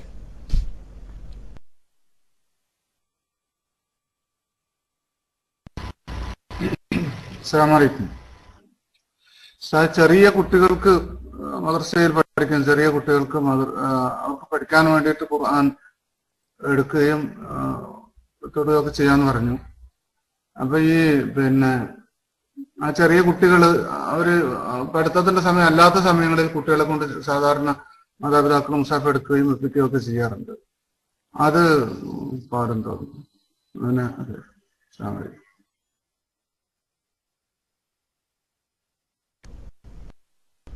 വാലൈക്കും അത് കുട്ടികളുടെ പഠനത്തിന്റെ ആവശ്യത്തിന് വേണ്ടി അല്ലാതെ മുസാഫ് കുട്ടികളോട് എടുപ്പിക്കലോ കൊണ്ടുപോയി വെപ്പിക്കലോ ഒക്കെ ഉതോട് കൂടി മാത്രമേ ചെയ്യാൻ പാടൂ. ഉതു ഇല്ലാതെ ചെയ്യൽ വലിയവർക്ക് എന്നതുപോലെ അവരോട് ചെയ്യിക്കൽ ഹറാമാണ്. അതെന്താന്ന് വെച്ചാൽ എല്ലാവർക്കും ഉതു വേണം. പിന്നെ കുട്ടികൾക്ക് പഠിക്കാൻ ആവശ്യമുള്ളത് കൊണ്ടും ഈ കുട്ടിപ്രായത്തിൽ ഉതു സൂക്ഷിച്ച് കൊണ്ടുനടക്കൽ പ്രയാസമായതുകൊണ്ടും കുട്ടികളുടെ പഠനത്തിന് പ്രോത്സാഹനം നൽകുക എന്ന നിലയ്ക്ക് പരിശുദ്ധ ദീനുൽ ഇസ്ലാം കുട്ടികൾക്ക് കൊടുത്ത ഒരു ഇളവാണ്. ഒന്നും ഇല്ലാതെ അവർക്ക് ഖുർആൻ തൊടുകയോ ചുമക്കുകയോ ചെയ്യാമെന്ന്. പക്ഷേ ഈ ഇളവ് അവരുടെ പഠന ആവശ്യത്തിന് മാത്രം ബാധകമാണ്. ഇപ്പൊ ഉദാഹരണം പറയാ കുട്ടിക്ക് ഖുർആൻ ഓതി കൊടുക്കാൻ വേണ്ടിയിട്ട് കുട്ടിയോട് മുസാഫ് എടുത്തു കൊണ്ടുവരാൻ പറയാ. അതുകൊണ്ട് കേടില്ല. അല്ലെങ്കിൽ കുട്ടിക്ക് ഓതി കൊടുത്ത് കഴിഞ്ഞിട്ട് തിരിച്ചു കൊണ്ടേക്കാൻ വേണ്ടിയിട്ട് കുട്ടിയോട് പറയാം. ഉദാഹരണം ഒരു ഉസ്താദ് അല്ലെങ്കിൽ ഒരു അമ്മ അല്ലെങ്കിൽ വാപ്പ കുട്ടിനെ ഓതി പഠിപ്പിക്കുകയാണ്. ആ പഠിപ്പിക്കാൻ വേണ്ടിയിട്ട് മകരവിസ്കരിച്ച് കുറച്ച് സമയം ഇരുന്നപ്പം എടാ കുറെ അടുത്തുണ്ടാന്ന് പറഞ്ഞു. അങ്ങനെ കുറെ അടുത്തുണ്ടോന്ന് ഓർത്തു. കുട്ടിക്ക് ഓതി കൊടുത്തു കുട്ടി ഓതി തെറ്റ് തീർത്തൊക്കെ പഠിച്ചു കഴിഞ്ഞതിന് ശേഷം നീ കൊണ്ടുവെക്കുന്ന പറയാം. അത് കൊണ്ടാക്കുക അത് ആണ് ഇതുവരെ ഓതി മുസാഫ് കയ്യിൽ പിടിച്ചിരുന്നത് അല്ലെങ്കിൽ വാപ്പയാണ്. അത് പ്രശ്നമല്ല. ഈ കുട്ടിയെ പഠിപ്പിക്കാൻ വേണ്ടിയിട്ടാണല്ലോ കുസാഫ് കൊണ്ടുവന്നത്. ആ പഠിപ്പ് കഴിഞ്ഞിട്ട് തിരിച്ചു കൊണ്ടുവെക്കാനും കുട്ടിക്കോ. അല്ലാതെ ഇപ്പൊ സാധാരണ പലപ്പോഴും ചെയ്യൽ ഉമ്മ ഓതിക്കൊണ്ടിരിക്കുകയായിരുന്നു. അങ്ങനെ ഓത്ത് കഴിഞ്ഞ് ശാസ്കരിക്കാനായി. അപ്പൊ മോനുണ്ട് അല്ലെങ്കിൽ മോളുണ്ട് ചെറിയ.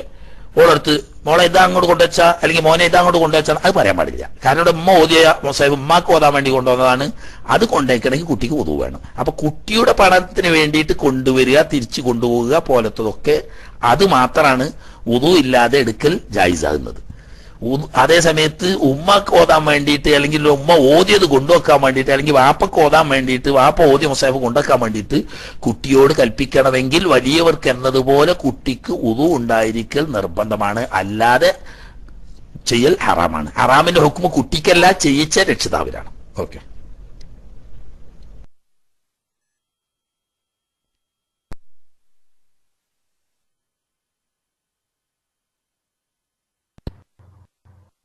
അസ്സാം വലൈക്കും ഉസ്താദ് ഒതു എടുക്കുമ്പോൾ നമ്മൾ കുളിച്ചുകൊണ്ട് നിൽക്കുമ്പോൾ ഒതുവിന്റെ നമ്മൾ ഡ്രസ്സുകൾ മുട്ടുപൊക്കിനിടയിൽ മറയുന്നില്ല. അങ്ങനെ ഡ്രസ്സ് നമ്മളെ മുണ്ട് മറയാതെ ഒതുത്ത ഒതു ശരിയാകുമോ നമുക്ക് ശരിയാം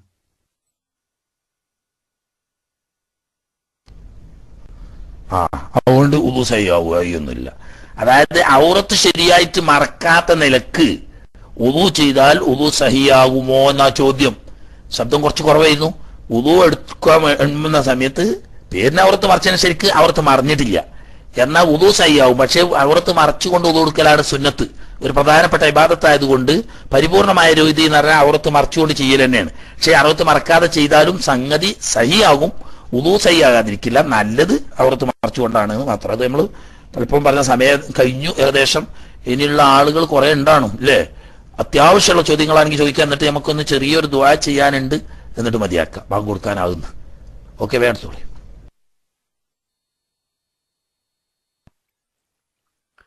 അസ്സാമലൈക്കും ഉസ്താദിന് സമയമില്ല എന്നറിയാം എന്നാലും ഒരു ചോദ്യം എന്റെ ഒരു സുഹൃത്തിന് വേണ്ടിയാണ്. അത് ഈ വാക്ക് പാലിക്കുക എന്നുള്ളത് വാക്ക് ലംഘിക്കുക എന്നുള്ളത് മുനാഫിഖിന്റെ ലക്ഷണമാണെന്ന് അദ്ദേഹം കേട്ടിട്ടുണ്ട് എന്ന് പറയുന്നു. പക്ഷെ അദ്ദേഹം ഒരു കരാറ് പണിക്കാരനാണ്. ഒരു കരാറ് പണി അയാൾ ഏറ്റെടുത്ത്. പക്ഷെ പറഞ്ഞ സമയം കരാറൊക്കെ എഴുതിയിട്ടുണ്ട്. ഇന്ന സമയം കൊണ്ട് പണി തീർത്തു തരാം എന്ന് പറഞ്ഞ്. പക്ഷെ ആ സമയത്തിന് അദ്ദേഹം അദ്ദേഹത്തിന് തീർത്ത് കൊടുക്കാൻ കഴിഞ്ഞിട്ടില്ല. അത് രണ്ടു മാസം എന്തുവാണ് പറഞ്ഞത്? അതിപ്പോ നാലു മാസം കഴിഞ്ഞ്. അപ്പൊ അത് കരാർ ലംഘനമാണോ? അങ്ങനെയാണെങ്കിൽ എന്താണ് അദ്ദേഹം ചെയ്യേണ്ടത്? എന്നൊന്ന് എന്ന് ചോദിക്കാൻ പറഞ്ഞു. അതുകൊണ്ട് ചോദിക്കും അസ്സാം വലൈക്കും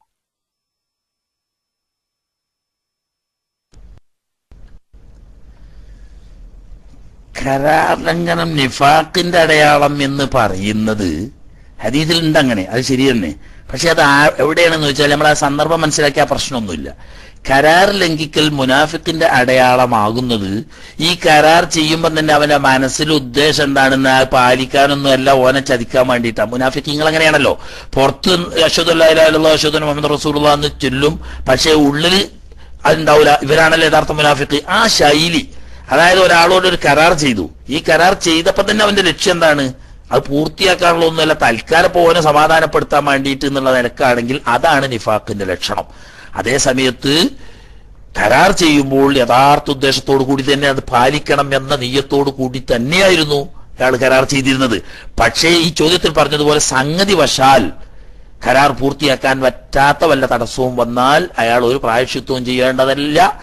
അയാൾ പറഞ്ഞ ഈ കരാറ് നിഫാഖിന്റെ അടയാളവും അല്ല. അങ്ങനത്തോടത്താണ് കരാർ പാലിക്കൽ സുന്നത്താണ് എന്ന് പറയുന്നത്. പ്രത്യേകം തടസ്സങ്ങളും പ്രതിബന്ധങ്ങളും ഒന്നുമില്ലെങ്കിൽ ചെയ്ത കരാർ പാലിക്കൽ മോക്കതായ സുന്നത്താണ്. പാലിക്കാതിരുന്നാൽ മനഃപൂർവമാണെങ്കിൽ കറാഹത്താണ് എന്ന് പറയുന്നത്. അപ്പൊ രണ്ടും തമ്മിൽ വൈരുദ്ധ്യമല്ല. മുനാഫിക്കിന്റെ അടയാളാണെന്ന് പറഞ്ഞത് കരാർ ചെയ്യുമ്പോൾ തന്നെ അവന്റെ ഉദ്ദേശം ഇത് പാലിക്കലല്ല ഈ കരാർ ചെയ്യുന്ന വ്യക്തിയെ ചതിക്കലാണ്. ഓനോടൊപ്പം കരാർ ചെയ്ത ഒരു വിശ്വാസം വരുത്തിയിട്ട് ഉള്ളിൽ തട്ടിപ്പാക്കലാ ഉദ്ദേശം. അതാണ് മുനാഫിക്കിന്റെ അടയാളം അതായത് കരാർ ചെയ്യുമ്പോൾ ശരിക്കും തന്നെ ചെയ്തത് പൂർത്തിയാക്കണം എന്നുള്ള നിലയ്ക്ക് തന്നെയാണ്. പിന്നീട് സംഗതി വശാൽ പറ്റാതെ പോയതാണ്. അത് ഈ പറഞ്ഞ കൂട്ടത്തിൽ പെടുന്നില്ല. ഓക്കെ.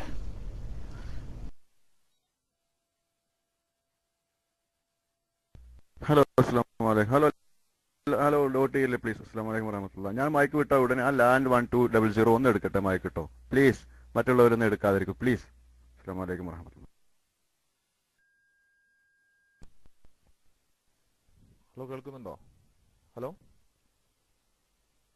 ഹലോ അസ്സാം വലൈക്കും ഈ സുബ നിസ്കാരം നമുക്ക് ജമ്മു കസർ ആക്കാൻ പറ്റാത്ത ഇതാണല്ലോ നിസ്കാരമാണല്ലോ. അപ്പോൾ ഈ യാത്രയിൽ നമ്മൾ നിസ്കരിക്കുമ്പോൾ ഇപ്പോൾ ഫ്ലൈറ്റിലൊക്കെ യാത്ര ചെയ്യുകയാണെങ്കിൽ ഈ സുബ നിസ്കരി അപ്പോൾ യാത്രയിൽ സുബ നിസ്കരിച്ചു കഴിഞ്ഞാൽ നിസ്കരിക്കുമ്പോൾ നമ്മൾ ഇടതും വലതൊക്കെ ആയിട്ട് ഈ മുസ്ലിം സഹോദരങ്ങളോ ഉള്ള ആളാണ് ഇരിക്കുന്നത് ഇരിക്കുന്നതെങ്കിൽ അപ്പോൾ അവിടെ നിന്ന് നിസ്കരിക്കുന്നതുകൊണ്ട് കുഴപ്പമുണ്ടോ?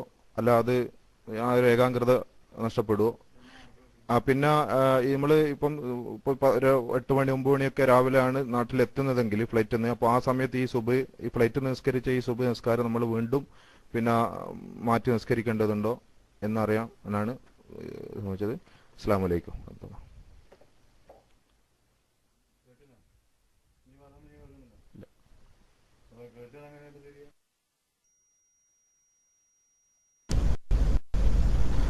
വാലൈക്കും അസ്സലാം. മൈക്ക് വേഗം വിടാൻ മറന്നു പോയതായിരിക്കും ആട്ടെ മൈക്ക് വേഗം വിടണം. ഒരു നല്ല പ്രധാനപ്പെട്ട ഒരു സംശയമാണ്. നമ്മളെ സംബന്ധിച്ച് വളരെ വിദേശികളെ സംബന്ധിച്ച് വളരെ പ്രയാസം ഉണ്ടാക്കുന്ന ഒരു വിഷയമാണത്. എന്ന് പറഞ്ഞാൽ എവിടെ നോക്കിയാൽ സൗദി അറേബ്യ എന്നായാലും യു എ നിന്നാണെങ്കിലും ഒക്കെ യാത്ര രാത്രി പാതിരിക്ക അവിടുന്ന് തുടങ്ങുക. നാട്ടിലെത്തുമ്പോഴത്തേനും സുബഹമായിട്ടുണ്ടാവും ഈ സാഹചര്യത്തിൽ നമ്മൾ ഉദോ ഉണ്ടെങ്കിൽ ആ ഉദോടുകൂടി ഇല്ലെങ്കിൽ തയമം ചെയ്തിട്ട് അതിന് രണ്ടിനും പറ്റുന്നില്ലെങ്കിൽ ഉദോവും ചെയ്യാതെ തയമവും ചെയ്യാതെ തന്നെ സമയത്തിന്റെ ഹുറുമത്ത് ആദരവ് പാലിക്കുക എന്ന നിലയ്ക്ക് ചോദ്യം തന്നെ യാത്ര ചെയ്യുന്ന സമയത്ത് ജമ്മു കസുറാക്കാൻ പറ്റാത്ത സംസ്കാരമാണല്ലോ സുബൈ. ജമ്മു ആക്കാനും പറ്റൂല കസറാക്കാനും പറ്റൂല. സമയത്ത് തന്നെ നിസ്കരിക്കണം. നമ്മളാണെങ്കിൽ ഗൾഫിൽ നിന്ന് പോകുന്ന ഒരു അധികം ആളുകളും സുബൈ സമയത്ത് ഫ്ലൈറ്റിലായിരിക്കും. നാട്ടിലിറങ്ങുമ്പോഴത്തേനും എട്ട് മണി എട്ടര മണി ഒമ്പത് മണിയൊക്കെ ആയിട്ടാണ്ടാകുക കളായി ആകെ കൊളായിട്ടാണ്ടാകുക ഈ സമയത്ത് നിസ്കരിക്കേണ്ട ശൈലി എങ്ങനെയാണെന്നും നിസ്കരിക്കേണ്ട അവസ്ഥ എന്താണെന്നും ഒക്കെയാണ് ചോദിച്ചത്. വളരെ പ്രധാനപ്പെട്ട പ്രായോഗികമായ ഒരു ചോദ്യമാണ് ചോദിച്ചത്. അപ്പൊ അവിടെ നമ്മൾക്ക് ആ ഫ്ലൈറ്റിൽ തന്നെ ഉള്ള സൗകര്യത്തിനനുസരിച്ച് നിസ്കരിക്കൽ വുജൂബ വക്കത്തായാൽ അവിടെ ഒന്നും ഉണ്ടായിരുന്നു നമുക്ക് അല്ലെങ്കിൽ തേമം ചെയ്തിട്ടുണ്ട്. എന്നിട്ട് കിബിലക്ക് മുന്നിട്ട് കൊണ്ട് നമുക്ക് നിസ്കരിക്കാൻ പറ്റിയാൽ പിന്നെ ആ നിസ്കാരം അടക്കേണ്ടതില്ല അതിനും സാധിച്ചില്ല. നമുക്ക് കിബില അറിയാനും സൗകര്യം ഉണ്ടായില്ല. അതുപോലെ തന്നെ വുതു എടുത്തിട്ടില്ല തേമം ചെയ്യാനുള്ള സൗകര്യവും കിട്ടിയില്ല. ഇങ്ങനത്തെ ഒരു സാഹചര്യത്തിലും നിസ്കരിക്കണം. കളാ ആകാതെ നിസ്കരിക്കണം. നമ്മുടെ തൊട്ടടുത്ത് തന്നെ ഇടതുവശത്തും വലതുവശത്തും അല്ലെങ്കിൽ മുന്നിലും ഒക്കെ അമുസ്ലിങ്ങൾ ഉണ്ടെങ്കിൽ പോലും നമ്മുടെ നിസ്കാരത്തിന് അതൊന്നും ബാധിക്കുന്നതല്ല. നമ്മൾ നെയ്യത്തോടുകൂടി തെക്ബീറത്തിലേറാൻ ചൊല്ലി നിസ്കരിക്കാൻ ഇരുന്ന ഇരിപ്പിൽ തന്നെ ഇരുന്നു കൊണ്ട് സുബി എന്ന ഫർമസ്കാരം ഞാൻ നിസ്കരിക്കുന്നു എന്ന നെയ്യത്തോടുകൂടി തക്ബീർ കെട്ടി ഓതൊക്കെ കഴിഞ്ഞിട്ട് സുജൂദിലേക്കും റുക്കുവിലേക്കും ഇഷാറത്ത് ചെയ്ത് നിസ്കരിച്ച് അത്തഹിയാത്തോതി സലാം വീട്ടുക. പക്ഷെ ഇത് അപൂർവ സന്ദർഭമായതുകൊണ്ട് പിന്നീട് നാട്ടിലെത്തിയതിനു ശേഷം ഒതു ചെയ്ത് മടക്കി കള വീട്ടാന്നല്ല ഇനി പറയാം. കള വീട്ടല്ല നിസ്കാരം പറഞ്ഞതുകൊണ്ട് തന്നെ വീടിന്ന് എങ്കിലും ഒരു സൂക്ഷ്മതയ്ക്ക് വേണ്ടി മടക്കി നിസ്കരിക്കണം. അതേസമയത്ത് ഇവിടെ തന്നെ നമുക്ക് ഉതു ഉണ്ടായിരുന്നു. ഇപ്പത്തെ സൗകര്യങ്ങൾ ഇഷ്ടം പോലുള്ള കാലാണല്ലോ. മൊബൈലിലും മറ്റും ഒക്കെ കിബില കാണാനുള്ള സൗകര്യമുണ്ട്. അങ്ങനെ കിബില നോക്കി ഉണ്ട്. ഇങ്ങനെ ഇരുന്നുകൊണ്ട് തന്നെ നിസ്കരിച്ചു. അങ്ങനെ കിബിലേക്ക് മുന്നിട്ട് കൊണ്ട് ഇരുന്ന് നിസ്കരിച്ച് റുക്കോയിൽ സുജൂദിനു പകരം ഇഷാറത്തൊക്കെ ചെയ്ത് നിസ്കരിച്ചാൽ പിന്നെ മടക്കി നിസ്കരിക്കേണ്ട ആവശ്യമില്ല. അത് ഇല്ല കിബില അറിയാതെയാണ് നിസ്കരിച്ചത്. ഒതു എടുത്താനും സൗകര്യപ്പെട്ടിട്ടില്ല. തരണം ചെയ്യാനും സൗകര്യപ്പെട്ടിട്ടില്ല. അങ്ങനെ നിസ്കരി എന്നാലും നിസ്കരിക്കണം. ഈ നിസ്കാരം പക്ഷേ നാട്ടിലെത്തിയതിന് ശേഷം ഉതു ചെയ്ത് ശരിക്ക് നിസ്കരിക്കണം. ഈ നിസ്കരിക്കുന്ന മടക്കി നിസ്കരിക്കാന്നാ പറയൽ. അത് സൂക്ഷ്മതയ്ക്ക് വേണ്ടിയിട്ടാണ്. എന്നാൽ നമ്മൾ നിസ്കാരം കള്ളാക്കിയ കുറ്റം നമുക്കുണ്ടാവുന്നതല്ല. ആ സമയത്ത് നിസ്കരിക്കണം. അതേസമയത്ത് സൗദി എയർലൈൻസിന് സൗകര്യമുണ്ട്. അത് അറിയുന്നവർക്കറിയാം. സൗദി എയർലൈൻസിന്റെ ബാക്കിൽ ഒരു അഞ്ചാക്കോ ആറാക്കോ ഒരാൾ ഇമാം ഒന്നുകൊണ്ട് ബേക്കിൽ സഫായി നിന്ന് നിസ്കരിക്കാനുള്ള പ്രത്യേക സൗകര്യം പ്രയർ ഹാൾ എന്ന് തന്നെ അവിടെ കിബിലയും ശരിക്കും കൃത്യം കിട്ടും. അവിടെ ആരോ മാർക്ക് ഉണ്ടാവും വല്ല കാരണവശാലും കിബിലയിൽ നിന്നിട്ട് ഫ്ലൈറ്റ് റൂട്ട് തെറ്റുന്നുണ്ടെങ്കിൽ അത് അവിടെ ഇപ്പോൾ മാപ്പിൽ കാണിച്ചു കൊണ്ടിരിക്കുന്ന സൗകര്യമുണ്ട്. അങ്ങനെ സൗകര്യമുള്ളവർക്ക് കിബിലക്ക് തിരിഞ്ഞുകൊണ്ട് ഈ സ്ഥലത്ത് പോയിട്ട് നിന്ന് നിസ്കരിക്കാൻ പറ്റുമെങ്കിൽ നിന്ന് നിസ്കരിക്കുക. അല്ലെങ്കിൽ തലകറക്കം തോന്നുന്നുണ്ടെങ്കിൽ ഇരുന്ന് നിസ്കരിക്കുക. ഏതായാലും നിസ്കരിക്കണം. സാധാരണ മറ്റു ഫ്ലൈറ്റുകളിലൊന്നും ഈ സൗകര്യമില്ല. അവിടെ നമ്മൾ എന്താക്കുക? ഉള്ള സൗകര്യം ഉപയോഗപ്പെടുത്തിക്കൊണ്ട് നമ്മുടെ സീറ്റിൽ തന്നെ ഇരുന്ന് നിസ്കരിക്കണം. നിസ്കാരം വക്കത്തിനെ തൊട്ട് പിന്തിക്കാൻ പാടില്ല. ഇന്ന സ്വലാത്ത കാനത്ത് അലൽ മോമിനീന കിതാബൻ മൗക്കൂത്ത വക്കത്ത് നിർണയിച്ചുകൊണ്ട് ഫറലാക്കപ്പെട്ടതാണ് അള്ളാഹു തല നിസ്കാരം എന്ന് പ്രത്യേകം പറഞ്ഞിട്ടുണ്ട്. അതുകൊണ്ട് അത് പ്രത്യേകം അതെ സൗദിയിലുണ്ട് വേറെയുള്ളതിലും കണ്ടിട്ടില്ല. സൗദിയിൽ ആ സൗകര്യമുണ്ട് പക്ഷെ അറിയാത്തതിന്റെ പേരിൽ അത് പലരും ഉപയോഗപ്പെടുത്തുന്നില്ല. പ്രയർ ഹാൾ ഉള്ള ഏക എയർലൈൻസ് സൗദി എയർലൈൻസ് ആണ്. അത് യാത്ര ചെയ്യുന്നവർ ശ്രദ്ധിച്ചാൽ ആറാക്ക് വരെ ജമാഅത്തായി നിസ്കരിക്കാനുള്ള സൗകര്യം ഉണ്ട്. അവിടെ കിബിലയും കൃത്യമായി കിട്ടുന്നുണ്ട്. ഓക്കെ ആയിക്കോട്ടെ.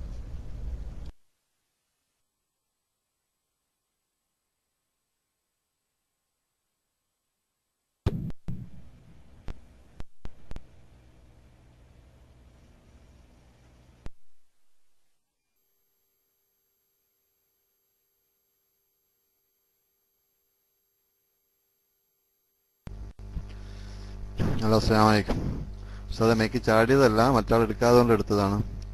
ഉസ്താദ് എനിക്ക് ചോദിക്കാനുള്ളത് ചിലപ്പോഴും നമ്മൾ ഈ പള്ളി പോയി കഴിഞ്ഞാൽ ജമായത്ത് നടക്കുന്നുണ്ടാവും. പക്ഷെ ഈ ജമായത്തിൽ നോക്കിക്കഴിഞ്ഞാൽ ഇമാമിനെ കാണാം പിന്നെ ആ കന്തൂറ കന്തൂറ് കന്തൂറ വളരെ താഴ്ത്തിയിട്ട് നെരിയാണിക്ക് താഴെ. പിന്നെ ഈ ഖത്തറാണെങ്കിൽ നെറ്റിത്തടത്തിന് സുജൂത് തറയിൽ കൊള്ളാത്ത വിധത്തിൽ നെറ്റിത്തടം കൊള്ളാത്ത വിധത്തിൽ മൊത്തം തലക്ക് കെട്ടിയിട്ട്. അങ്ങനത്തെ ഒരാളോട് നമുക്ക് തുടർന്ന് നിസ്കരിക്കാൻ പറ്റുമോ? അല്ല തുടർന്ന് ഒറ്റയ്ക്ക് നിസ്കരിക്കണോ സ്ഥലം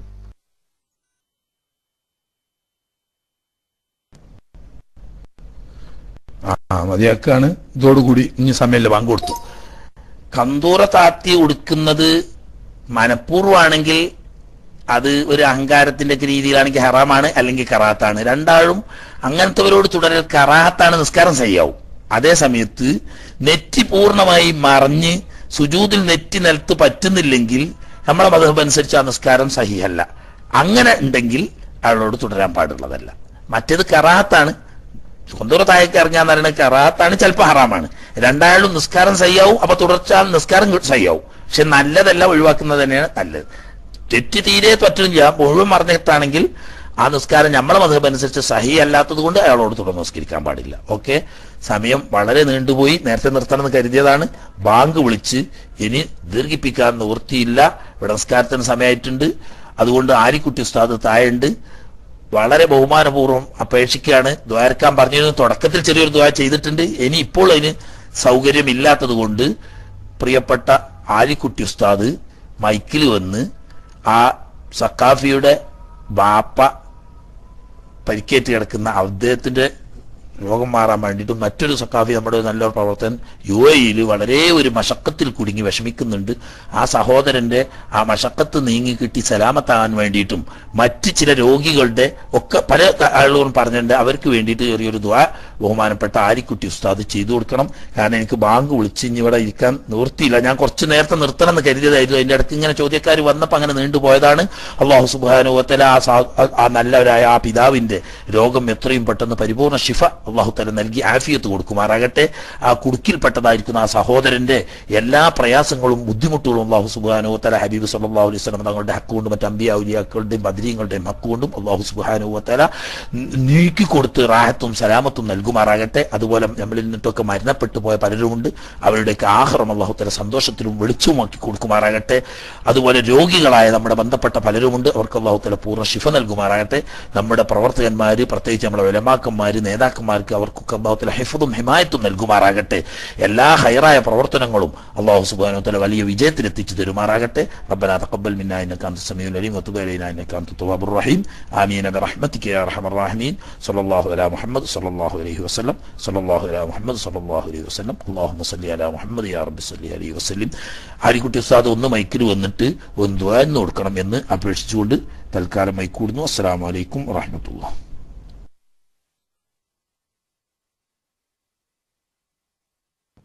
വറഹമത്തുള്ള വലൈക്കും അസ്സലാം വറഹ്മത്തുള്ളാഹി തആല വബറകാതുഹു